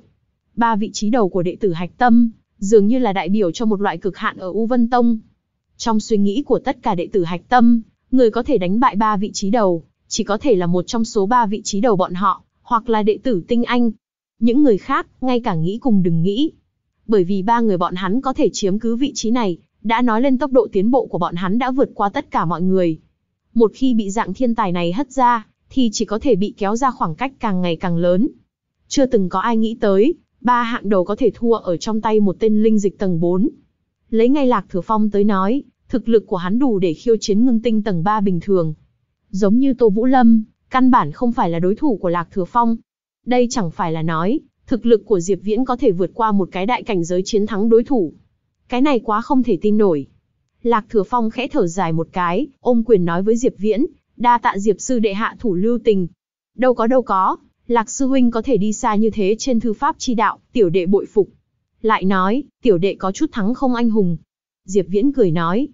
Lạc Thừa Phong hơi biến sắc mặt, nhịn không được nghi ngờ trong lòng hỏi, chiêu thức của Diệp sư đệ, đến tột cùng là như thế nào mà đến? Chẳng lẽ thật sự là Diệp sư đệ cũng tu luyện qua ngự pháp chân thư? Diệp Viễn lắc đầu cười nói, cũng không phải. Những chiêu thức kia, đều là ta nhìn chiêu thức của Lạc Sư Huynh, sau đó vẽ ra. Cái này gọi là mô phỏng ý cảnh. Mô phỏng ý cảnh. Đó là cái gì? Lạc Thừa Phong không khỏi sững sờ. Thoạt nhìn chiêu thức của ta và Huynh giống nhau như đúc, nhưng nếu muốn nói đến nội hàm, lại khác nhau quá nhiều. Những chiêu thức kia của ta, đều là dùng kiếm ý mô phỏng ra, chỉ giống ở bề ngoài mà thôi. Diệp Viễn nói, cái này, ý cảnh lại còn có thể vận dụng như vậy sao? Vốn dĩ Lạc Thừa Phong đã cảm thấy có chút không thích hợp, nhưng vẫn không hiểu rõ vì cái gì. Hiện tại nghe Diệp Viễn nói đến, thì ra đối phương dùng kiếm ý đến đối chiêu với mình. Nhưng cho dù là kiếm ý, vậy không phải cũng quá giống rồi sao? Mặc cho Lạc Thừa Phong nghĩ như thế nào, cũng nghĩ không thông làm sao mới có thể sử dụng kiếm để mô phỏng thư ý giống, như đúc vậy. Lạc Thừa Phong tin tưởng, căn bản mọi người dưới đài không nhìn ra Diệp Viễn dùng chính là kiếm ý. Chỉ có hắn có chút thành tựu trên thư đạo, mới có thể phân biệt ra một tia khác biệt nhỏ xíu kia. Không nói những cái khác, chỉ riêng tạo nghệ kiếm đạo của Diệp Viễn, đến cùng cao đến mức nào đây? Trận này, bị bại không oan. Đạo pháp ngàn vạn, trăm sông đổ về một biển. Ý cảnh và ý cảnh khác nhau rất nhiều, nhưng cũng có thật nhiều chỗ tương thông. Dù ta chưa nghiên cứu qua thư pháp chi đạo, nhưng đã thấy qua cao thủ thư đạo cực kỳ lợi hại, cho nên cũng là có chút quen thuộc với thư pháp chi đạo, vì vậy mới có thể lấy kiếm ý mô phỏng ra thư ý, Diệp Viễn nói. Diệp Viễn nói cao thủ cực kỳ lợi hại, thật ra chính là thiên thư thần vương.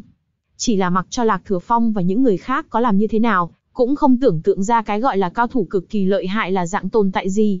Địa vị của cha con cơ thanh vân ở thần vực cực cao, đã có gặp qua phần lớn cao thủ thần vương.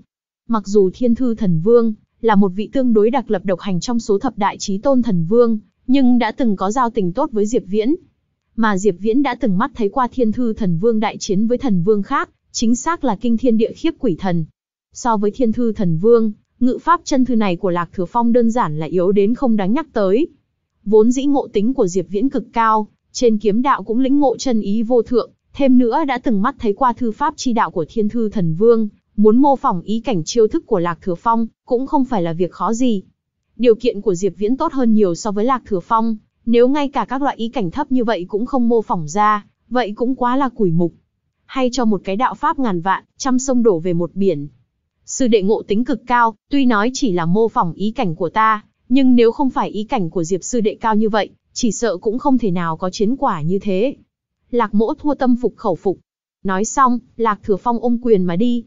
Nơi xa, Tiêu Kiếm và Mạc Vân Thiên đứng chắp tay, quan sát trận giao đấu vừa rồi của Diệp Viễn và Lạc Thừa Phong. Vân Thiên à, ngươi nói không sai. Diệp Viễn yêu nghiệt như thế, U Vân Tông ta chưa chắc có loại khí vận kia. Đối với thực lực của hắn, ngươi thấy thế nào? Tiêu Kiếm đột nhiên hỏi. Mạc Vân Thiên nói, kiếm ý của Diệp sư đệ, sợ là đã siêu việt đệ tử quá nhiều, thậm chí còn ừm, nếu đệ tử đoán không lầm, sợ là Diệp sư đệ đã hoàn toàn lĩnh ngộ được Thanh Cương Tử Dương kiếm quyết ở trên Cửu Thiên Lộ. Tiêu Kiếm quay đầu nhìn Mạc Vân Thiên một chút, cười nói, vượt qua ta thì vượt qua ta, có cái gì mà không nói được. Tiểu tử này cũng không biết là trong cái khe đá nào nhảy ra, lại có thiên phú yêu nghiệt như thế. U Vân Tông ta lập tông mấy ngàn năm, cho đến nay người có thể hoàn toàn lĩnh ngộ thanh cương tử dương kiếm ý, cũng chỉ giải rác ba người. Tiểu tử này mới 15 tuổi, vậy mà liền hiểu được kiếm ý huyền ảo bậc này, thật sự là khó lường.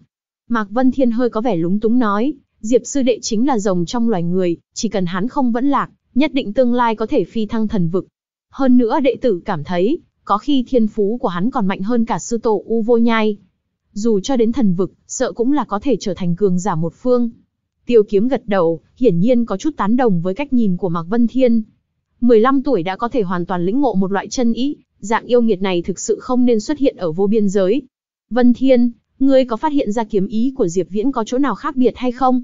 Mạc Vân Thiên hơi có chút kinh ngạc, mặc dù hắn cũng lĩnh ngộ thanh cương tử dương kiếm ý không cạn, nhưng so với tiêu kiếm, còn kém xa lắm, cho nên cũng không có nhạy cảm như vậy. Nếu bàn đến, Thiên Vũ lĩnh ngộ thanh cương tử dương kiếm ý còn mạnh hơn so với Mạc Vân Thiên. Mạc Vân Thiên lắc đầu, ánh mắt tiêu kiếm ngưng trọng nói, kiếm ý của Diệp Viễn cũng không chỉ thuần túy là thanh cương tử dương kiếm ý. Nếu ta đoán không lầm, hắn còn lĩnh ngộ một loại kiếm ý khác. Loại kiếm ý khác? Mạc Vân Thiên mở mịt, không biết điều này có ý nghĩa gì. Tiêu kiếm gật đầu nói, kiếm ý của Diệp Viễn rõ ràng có mang theo cái bóng của thanh cương tử dương kiếm ý, nhưng trong kiếm ý lại thêm một chút hương vị nhẹ nhàng phiêu giật. Theo ta thấy, sợ là trước khi Diệp Viễn xông vào cửu thiên lộ, đã lĩnh ngộ một loại kiếm ý. Đến khi xông cửu thiên lộ, hắn lại hiểu được thanh cương tử dương kiếm ý. Đáng sợ nhất là, hắn đã đem hai loại kiếm ý này dung hợp làm một thể. Mạc Vân Thiên lộ ra vẻ chấn động, hắn biết kiếm ý của Diệp Viễn cực mạnh, lại là không ngờ kiếm ý của Diệp Viễn đã mạnh tới mức này. Thân là kiếm tu Mạc Vân Thiên hiểu rõ, dung hợp ý cảnh còn khó khăn hơn so với lĩnh ngộ hai loại ý cảnh cộng lại. Diệp Viễn hiểu được thanh cương tử dương kiếm ý, tương đương với nắm giữ một loại chân ý. Nếu hắn lại dung hợp một loại ý cảnh khác, vậy đến cùng thì hiện tại hắn đạt tới cảnh giới gì? Mạc Vân Thiên cảm thấy đầu óc có chút không đủ dùng rồi. Tiêu kiếm lắc đầu nói, cái này ta cũng không biết. Có điều bên trên chân ý, tất nhiên còn có cảnh giới càng cao hơn. Đó là cảnh giới thuộc về cường giả thần vực. Không biết Diệp Viễn dung hợp một loại kiếm ý khác là dạng gì, nếu như cũng là một loại chân ý, vậy thì quá đáng sợ. Giới hạn trong tầm mắt, tiêu kiếm cũng không biết trên cả chân ý là cảnh giới gì, chính hắn ngay cả một loại chân ý cũng không có ngộ ra. Nhưng hắn lại biết, phía trên chân ý tất nhiên còn có cảnh giới càng cao hơn, nếu không những cường giả ở thần vực kia tu luyện cái gì. Dung hợp hai loại chân ý sẽ đạt tới dạng cảnh giới nào, tiêu kiếm cũng không rõ ràng. Bởi vì tại vô biên giới, có một loại chân ý cũng đã là cường giả cực mạnh. Nghe nói Bắc vực có vị đại năng đã dung hợp hai loại chân ý, nhưng đến cùng vị đại năng này là dạng cảnh giới gì, tiêu kiếm lại hoàn toàn không có khái niệm. Trên thực tế, dưới đại đa số tình huống, dung hợp hai loại chân ý cũng không có khả năng sinh ra chân ý vô thượng. Ở thần vực, rất nhiều cường giả dung hợp hai loại ý cảnh, nhưng cũng có rất ít người trong bọn hắn có thể tu luyện tới cảnh giới thần vương, nguyên nhân chính là bọn hắn không cách nào lĩnh ngộ chân ý vô thượng. Mạc Vân Thiên hít một hơi thật sâu nói, chuyện này khả năng không lớn lắm. Mặc dù thiên phú của Diệp Viễn kinh người, nhưng là ở cái tuổi này dung hợp hai loại chân ý. Mạc Vân Thiên cảm thấy cái này đã vượt qua phạm vi nhận biết của hắn, bản năng liền cho rằng không có khả năng. Tiêu kiếm lắc đầu bật cười nói, ha ha, thật ra ta cũng cảm thấy khả năng không lớn. Chân ý không phải rau cải trắng, tùy tiện là có thể lĩnh ngộ. Diệp Viễn có thể lĩnh ngộ thanh cương tử dương kiếm ý, chủ yếu vẫn là dưới cơ duyên xảo hợp hắn xông vào cửu thiên lộ. Có lẽ chỉ là hắn thêm một chút ý cảnh phiêu giật nhẹ nhàng đã lĩnh ngộ trước đó, vào bên trong thanh cương tử dương kiếm ý mà thôi. Thiên Vũ, Đường Ngọc Nhi, Diệp Viễn đều tiến vào tứ cường, mà Lạc Thừa Phong thì là thảm trạng bị đào thải, bị ngăn ở bên ngoài tứ cường. Thiên Vũ, Đường Ngọc Nhi tiến vào tứ cường là hợp tình hợp lý là không có gì ngoài ý muốn. Truy cập halayzi.com hoặc link mình để ở phần mô tả để mời MC, ly cà phê nhé. Nhưng ra ngoài ý liệu của mọi người thì là trước lần so tài này, cho dù ai cũng không ngờ số 52 có thể tiến vào tứ cường. Một người khác nữa tên là Tùy Lượng, chính là một trong hai gã nửa bước ngưng tinh kia. Vòng bán kết, Diệp Viễn giao đấu với Đường Ngọc Nhi, Thiên Vũ đấu với Tùy Lượng. Thiên Vũ đấu với Tùy Lượng trên cơ bản kết quả đã quá rõ ràng, hiển nhiên trận đấu của Đường Ngọc Nhi và Diệp Viễn trở thành tiêu điểm chú ý của đám người.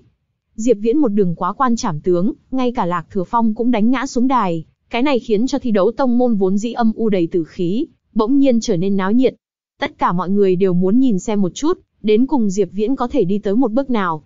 Mặc dù trước đó Diệp Viễn chiến thắng Lạc Thừa Phong, làm cho tất cả mọi người đều mở rộng tầm mắt, nhưng là mọi người cũng đều cảm giác được, Diệp Viễn giao đấu với Lạc Thừa Phong không hề có được nhẹ nhàng thoải mái, như lúc giao đấu với Trương Kính. Mà Đường Ngọc Nhi cường đại, cũng không phải là bởi vì Lạc Thừa Phong không xuất ra vũ khí. Mọi người đều biết, cho dù Lạc Thừa Phong xuất ra vũ khí, kết quả cũng giống như vậy. Cho nên, Diệp Viễn giao đấu với Đường Ngọc Nhi, thậm chí còn căng thẳng hơn so với giao đấu cùng Thiên Vũ. Thiên Vũ dùng kiếm, chiến đấu với Diệp Viễn có thể chiếm được tiện nghi hay không, là chuyện khó mà nói.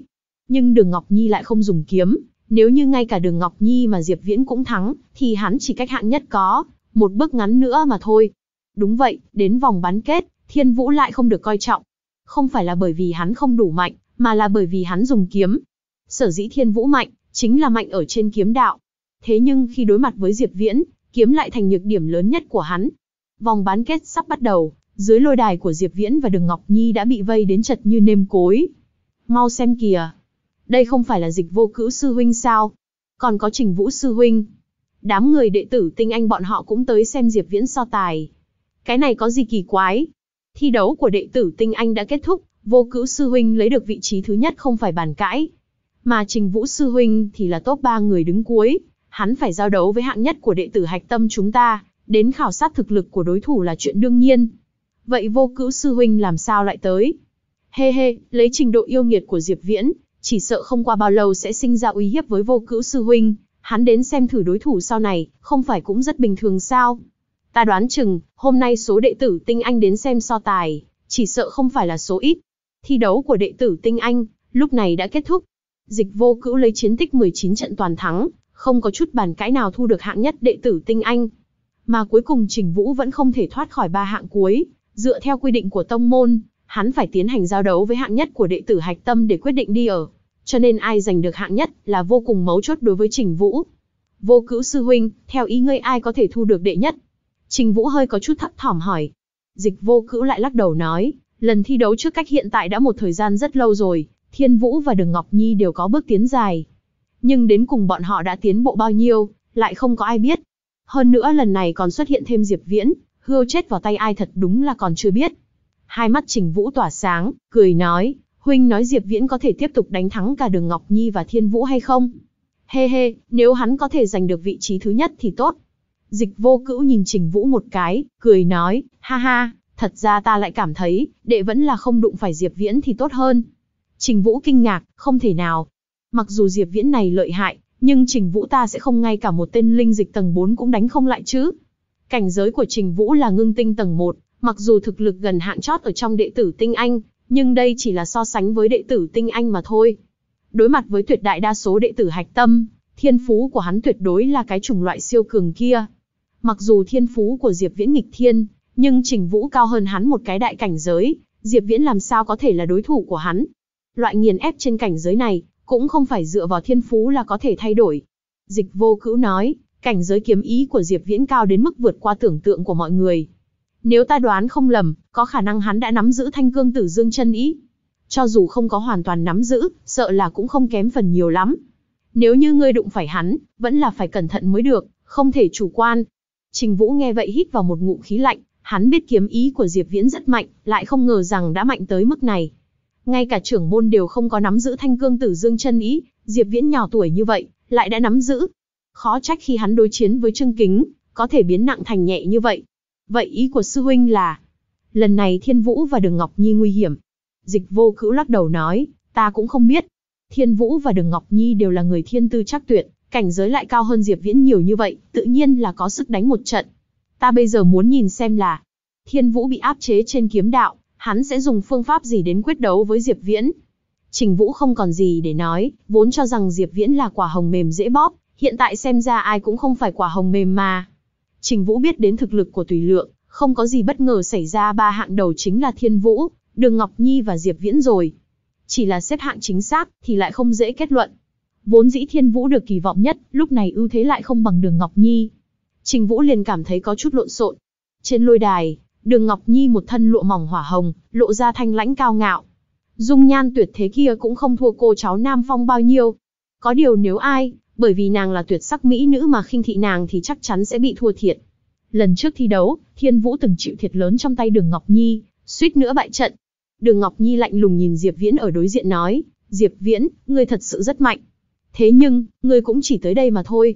Diệp Viễn nghe vậy sững sờ, không ngờ Đường Ngọc Nhi vừa lên đã hùng hổ dọa người như vậy. Ha ha, sư tỷ chẳng những vóc người xinh đẹp, cũng lại rất có khí thế nữa, Diệp Viễn cười nói. Sắc mặt Đường Ngọc Nhi lạnh xuống, ấn tượng về Diệp Viễn trở nên càng kém hơn, hừ. Đồ dê sồm. Đợi chút nữa ta nhất định sẽ cho ngươi đẹp mặt. Đường Ngọc Nhi tâm cao hơn trời, căn bản không để những đệ tử trẻ tuổi vào mắt. Cho nên trong tông môn người thầm mến nàng rất nhiều, nhưng dám thổ lộ lại không có mấy người. Đã từng có người sau khi thổ lộ với nàng bị đánh đến mức nằm trên giường hai tháng, từ đó về sau mọi người chỉ có thể chôn giấu phần ái mộ này trong lòng. Diệp Viễn vừa lên đã nói nàng xinh đẹp, cho nên bị nàng xếp vào hàng ngũ dê sồm.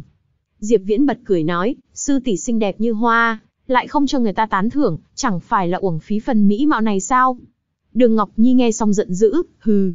Quả nhiên là hạng cậy tài khinh người, hy vọng lát nữa ngươi còn có thể cười được. Dám đùa giỡn Ngọc Nhi sư tỷ như thế, lá gan Diệp Viễn quả nhiên đủ lớn. Khà khà, người ta có thực lực, nói không chừng muốn nhân cơ hội này mà theo đuổi Ngọc Nhi sư tỷ đây. Lại nói, tuổi tác thực lực của hai người bọn họ cũng tương đương với nhau, thật sự chính là trai tài gái sắc. Hơn nữa lấy tiềm lực của Diệp Viễn, tương lai chắc chắn sẽ vượt qua Ngọc Nhi sư tỷ, nếu thành một đôi, đó cũng là một cọc chuyện tốt mà. Ta nhổ vào. Liền Diệp Viễn tiểu thí hài kia, có thể xứng với Ngọc Nhi sư tỷ ư?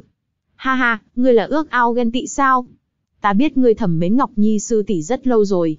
Kỳ thật Diệp Viễn chỉ đơn thuần ca ngợi mà thôi, không hề muốn trêu chọc cho Đường Ngọc Nhi nổi nóng. Mà trong mắt các đồng môn khác xem ra, Diệp Viễn như vậy, đã là ngang nhiên đùa bỡn. Chỉ là thực lực Diệp Viễn siêu quần, tất nhiên là có tư cách theo đuổi Đường Ngọc Nhi. Có điều đối với một số đệ tử thẩm mến Đường Ngọc Nhi, từ lâu thì thấy chuyện này có chút khó chịu. Giao đấu vừa mới bắt đầu, hồng lăng của Đường Ngọc Nhi như quỷ mị mà quấn về phía Diệp Viễn.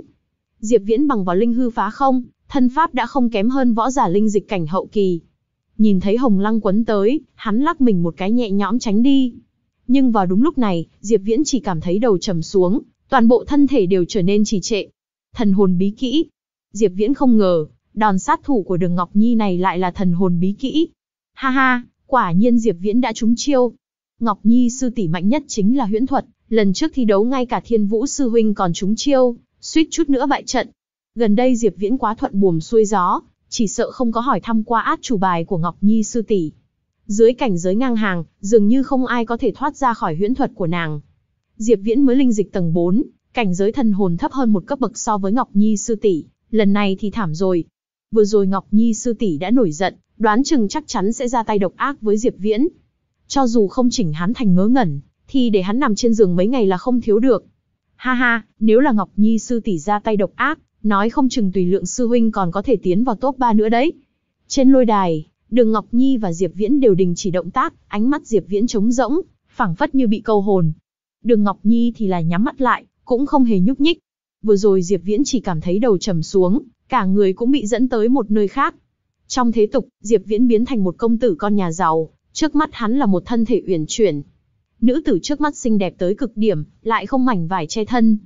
Thân thể mê hoặc mị người kia, có thể để bất kỳ người đàn ông nào phát điên.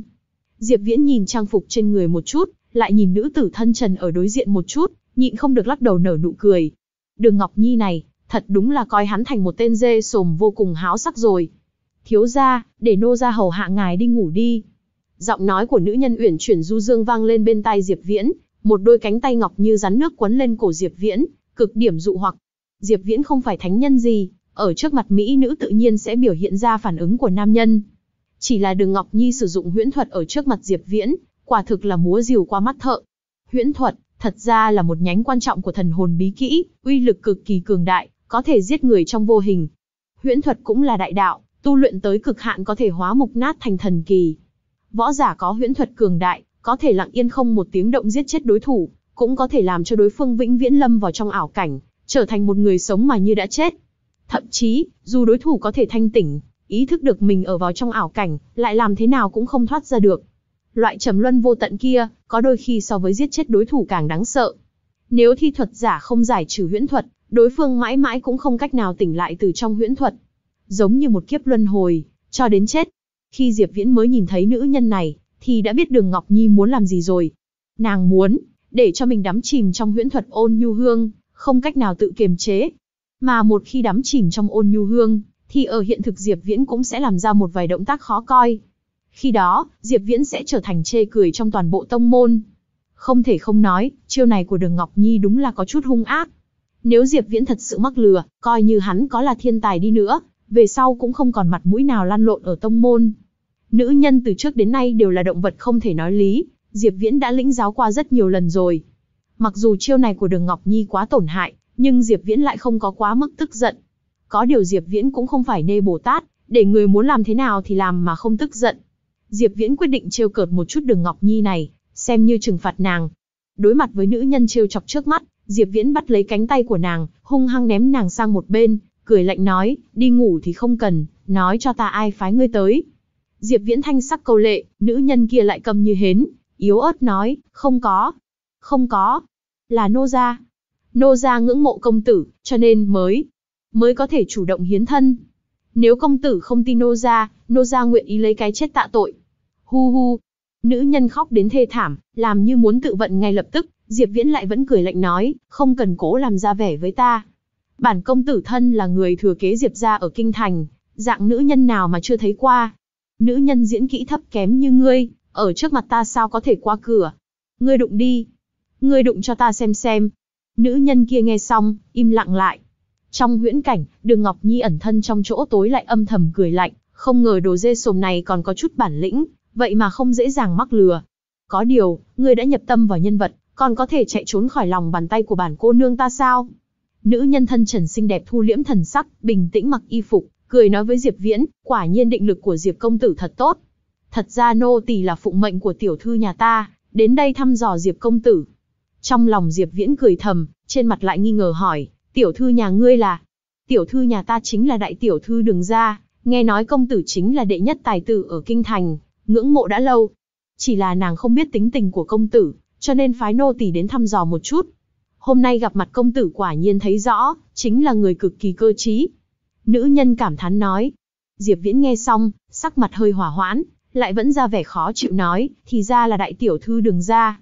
Diệp mỗ cũng nghe qua đại tiểu thư đường gia quốc sắc thiên hương, càng là người thông minh cơ trí. Chỉ là tiểu thư nhà ngươi dùng loại thủ đoạn này đến dò xét ta, thật sự là khinh người quá đáng. Yểu điệu thục nữ quân tử hảo cầu, nhưng Diệp mỗ tuyệt không phải loại người hoang dâm vô đạo kia. Mời ngươi trở về đi, nói cho đường tiểu thư, ngưỡng mộ của nàng Diệp mỗ ta không nhận nổi. Đường Ngọc Nhi nghe vậy biến sắc, nếu Diệp Viễn thật sự không mắc vào, huyễn thuật của nàng sớm muộn gì cũng sẽ lộ ra sơ hở, Diệp Viễn liền có thể thoát khốn mà ra. Kết quả như vậy, Đường Ngọc Nhi không chấp nhận được. Hừ, xem ra cái đồ dê sồm này nhất định là thèm nhỏ dãi dung mạo của ta, cho nên mới sẽ chẳng thèm ngó tới những nữ nhân khác. Đã như vậy, bản tiểu thư sẽ tương kế tự kế, trêu đùa một chút cái đồ dê sồm nhà ngươi. Đối với dung mạo và huyễn thuật của mình, Đường Ngọc Nhi có lòng tin tuyệt đối, đối phó với một thiếu niên huyết khí phương cương như Diệp Viễn, còn không phải dễ như trở bàn tay. Chuyện được đọc bởi kênh Halazy Audio. Chỉ là nghĩ đến bị Diệp Viễn chiếm tiện nghi trong huyễn cảnh, Đường Ngọc Nhi đã cảm thấy vô cùng buồn nôn, Mặc dù mình ở bên trong huyễn cảnh, cũng không phải thật sự là chính mình. Diệp công tử bớt giận, tiểu thư nhà ta nói, chỉ cần trong lòng ngài không loạn, nàng liền hủy bỏ tia cảnh giác cuối cùng đối với ngài. Để tỏ lòng áy náy, đường tiểu thư thiết yến ở quý tân lâu, mời Diệp công tử đến. Nữ nhân kia chậm rãi nói. Diệp viễn nghe xong trong mắt lóe lên một tia đắc ý, mà ánh mắt này, tất nhiên bị đường Ngọc Nhi đang bí mật quan sát bắt được. Hừ, quả nhiên là trò xích lạt mềm buộc chặt. Xem bản cô nương đùa bỡn ngươi trong lòng bàn tay như thế nào. Đường Ngọc Nhi cười lạnh. Nghe qua đường tiểu thư chính là đệ nhất mỹ nữ ở kinh thành, lại không ngờ trung tình với Diệp mỗ. Nếu như thế, Diệp mỗ tự nhiên cung kính không bằng tuân lệnh.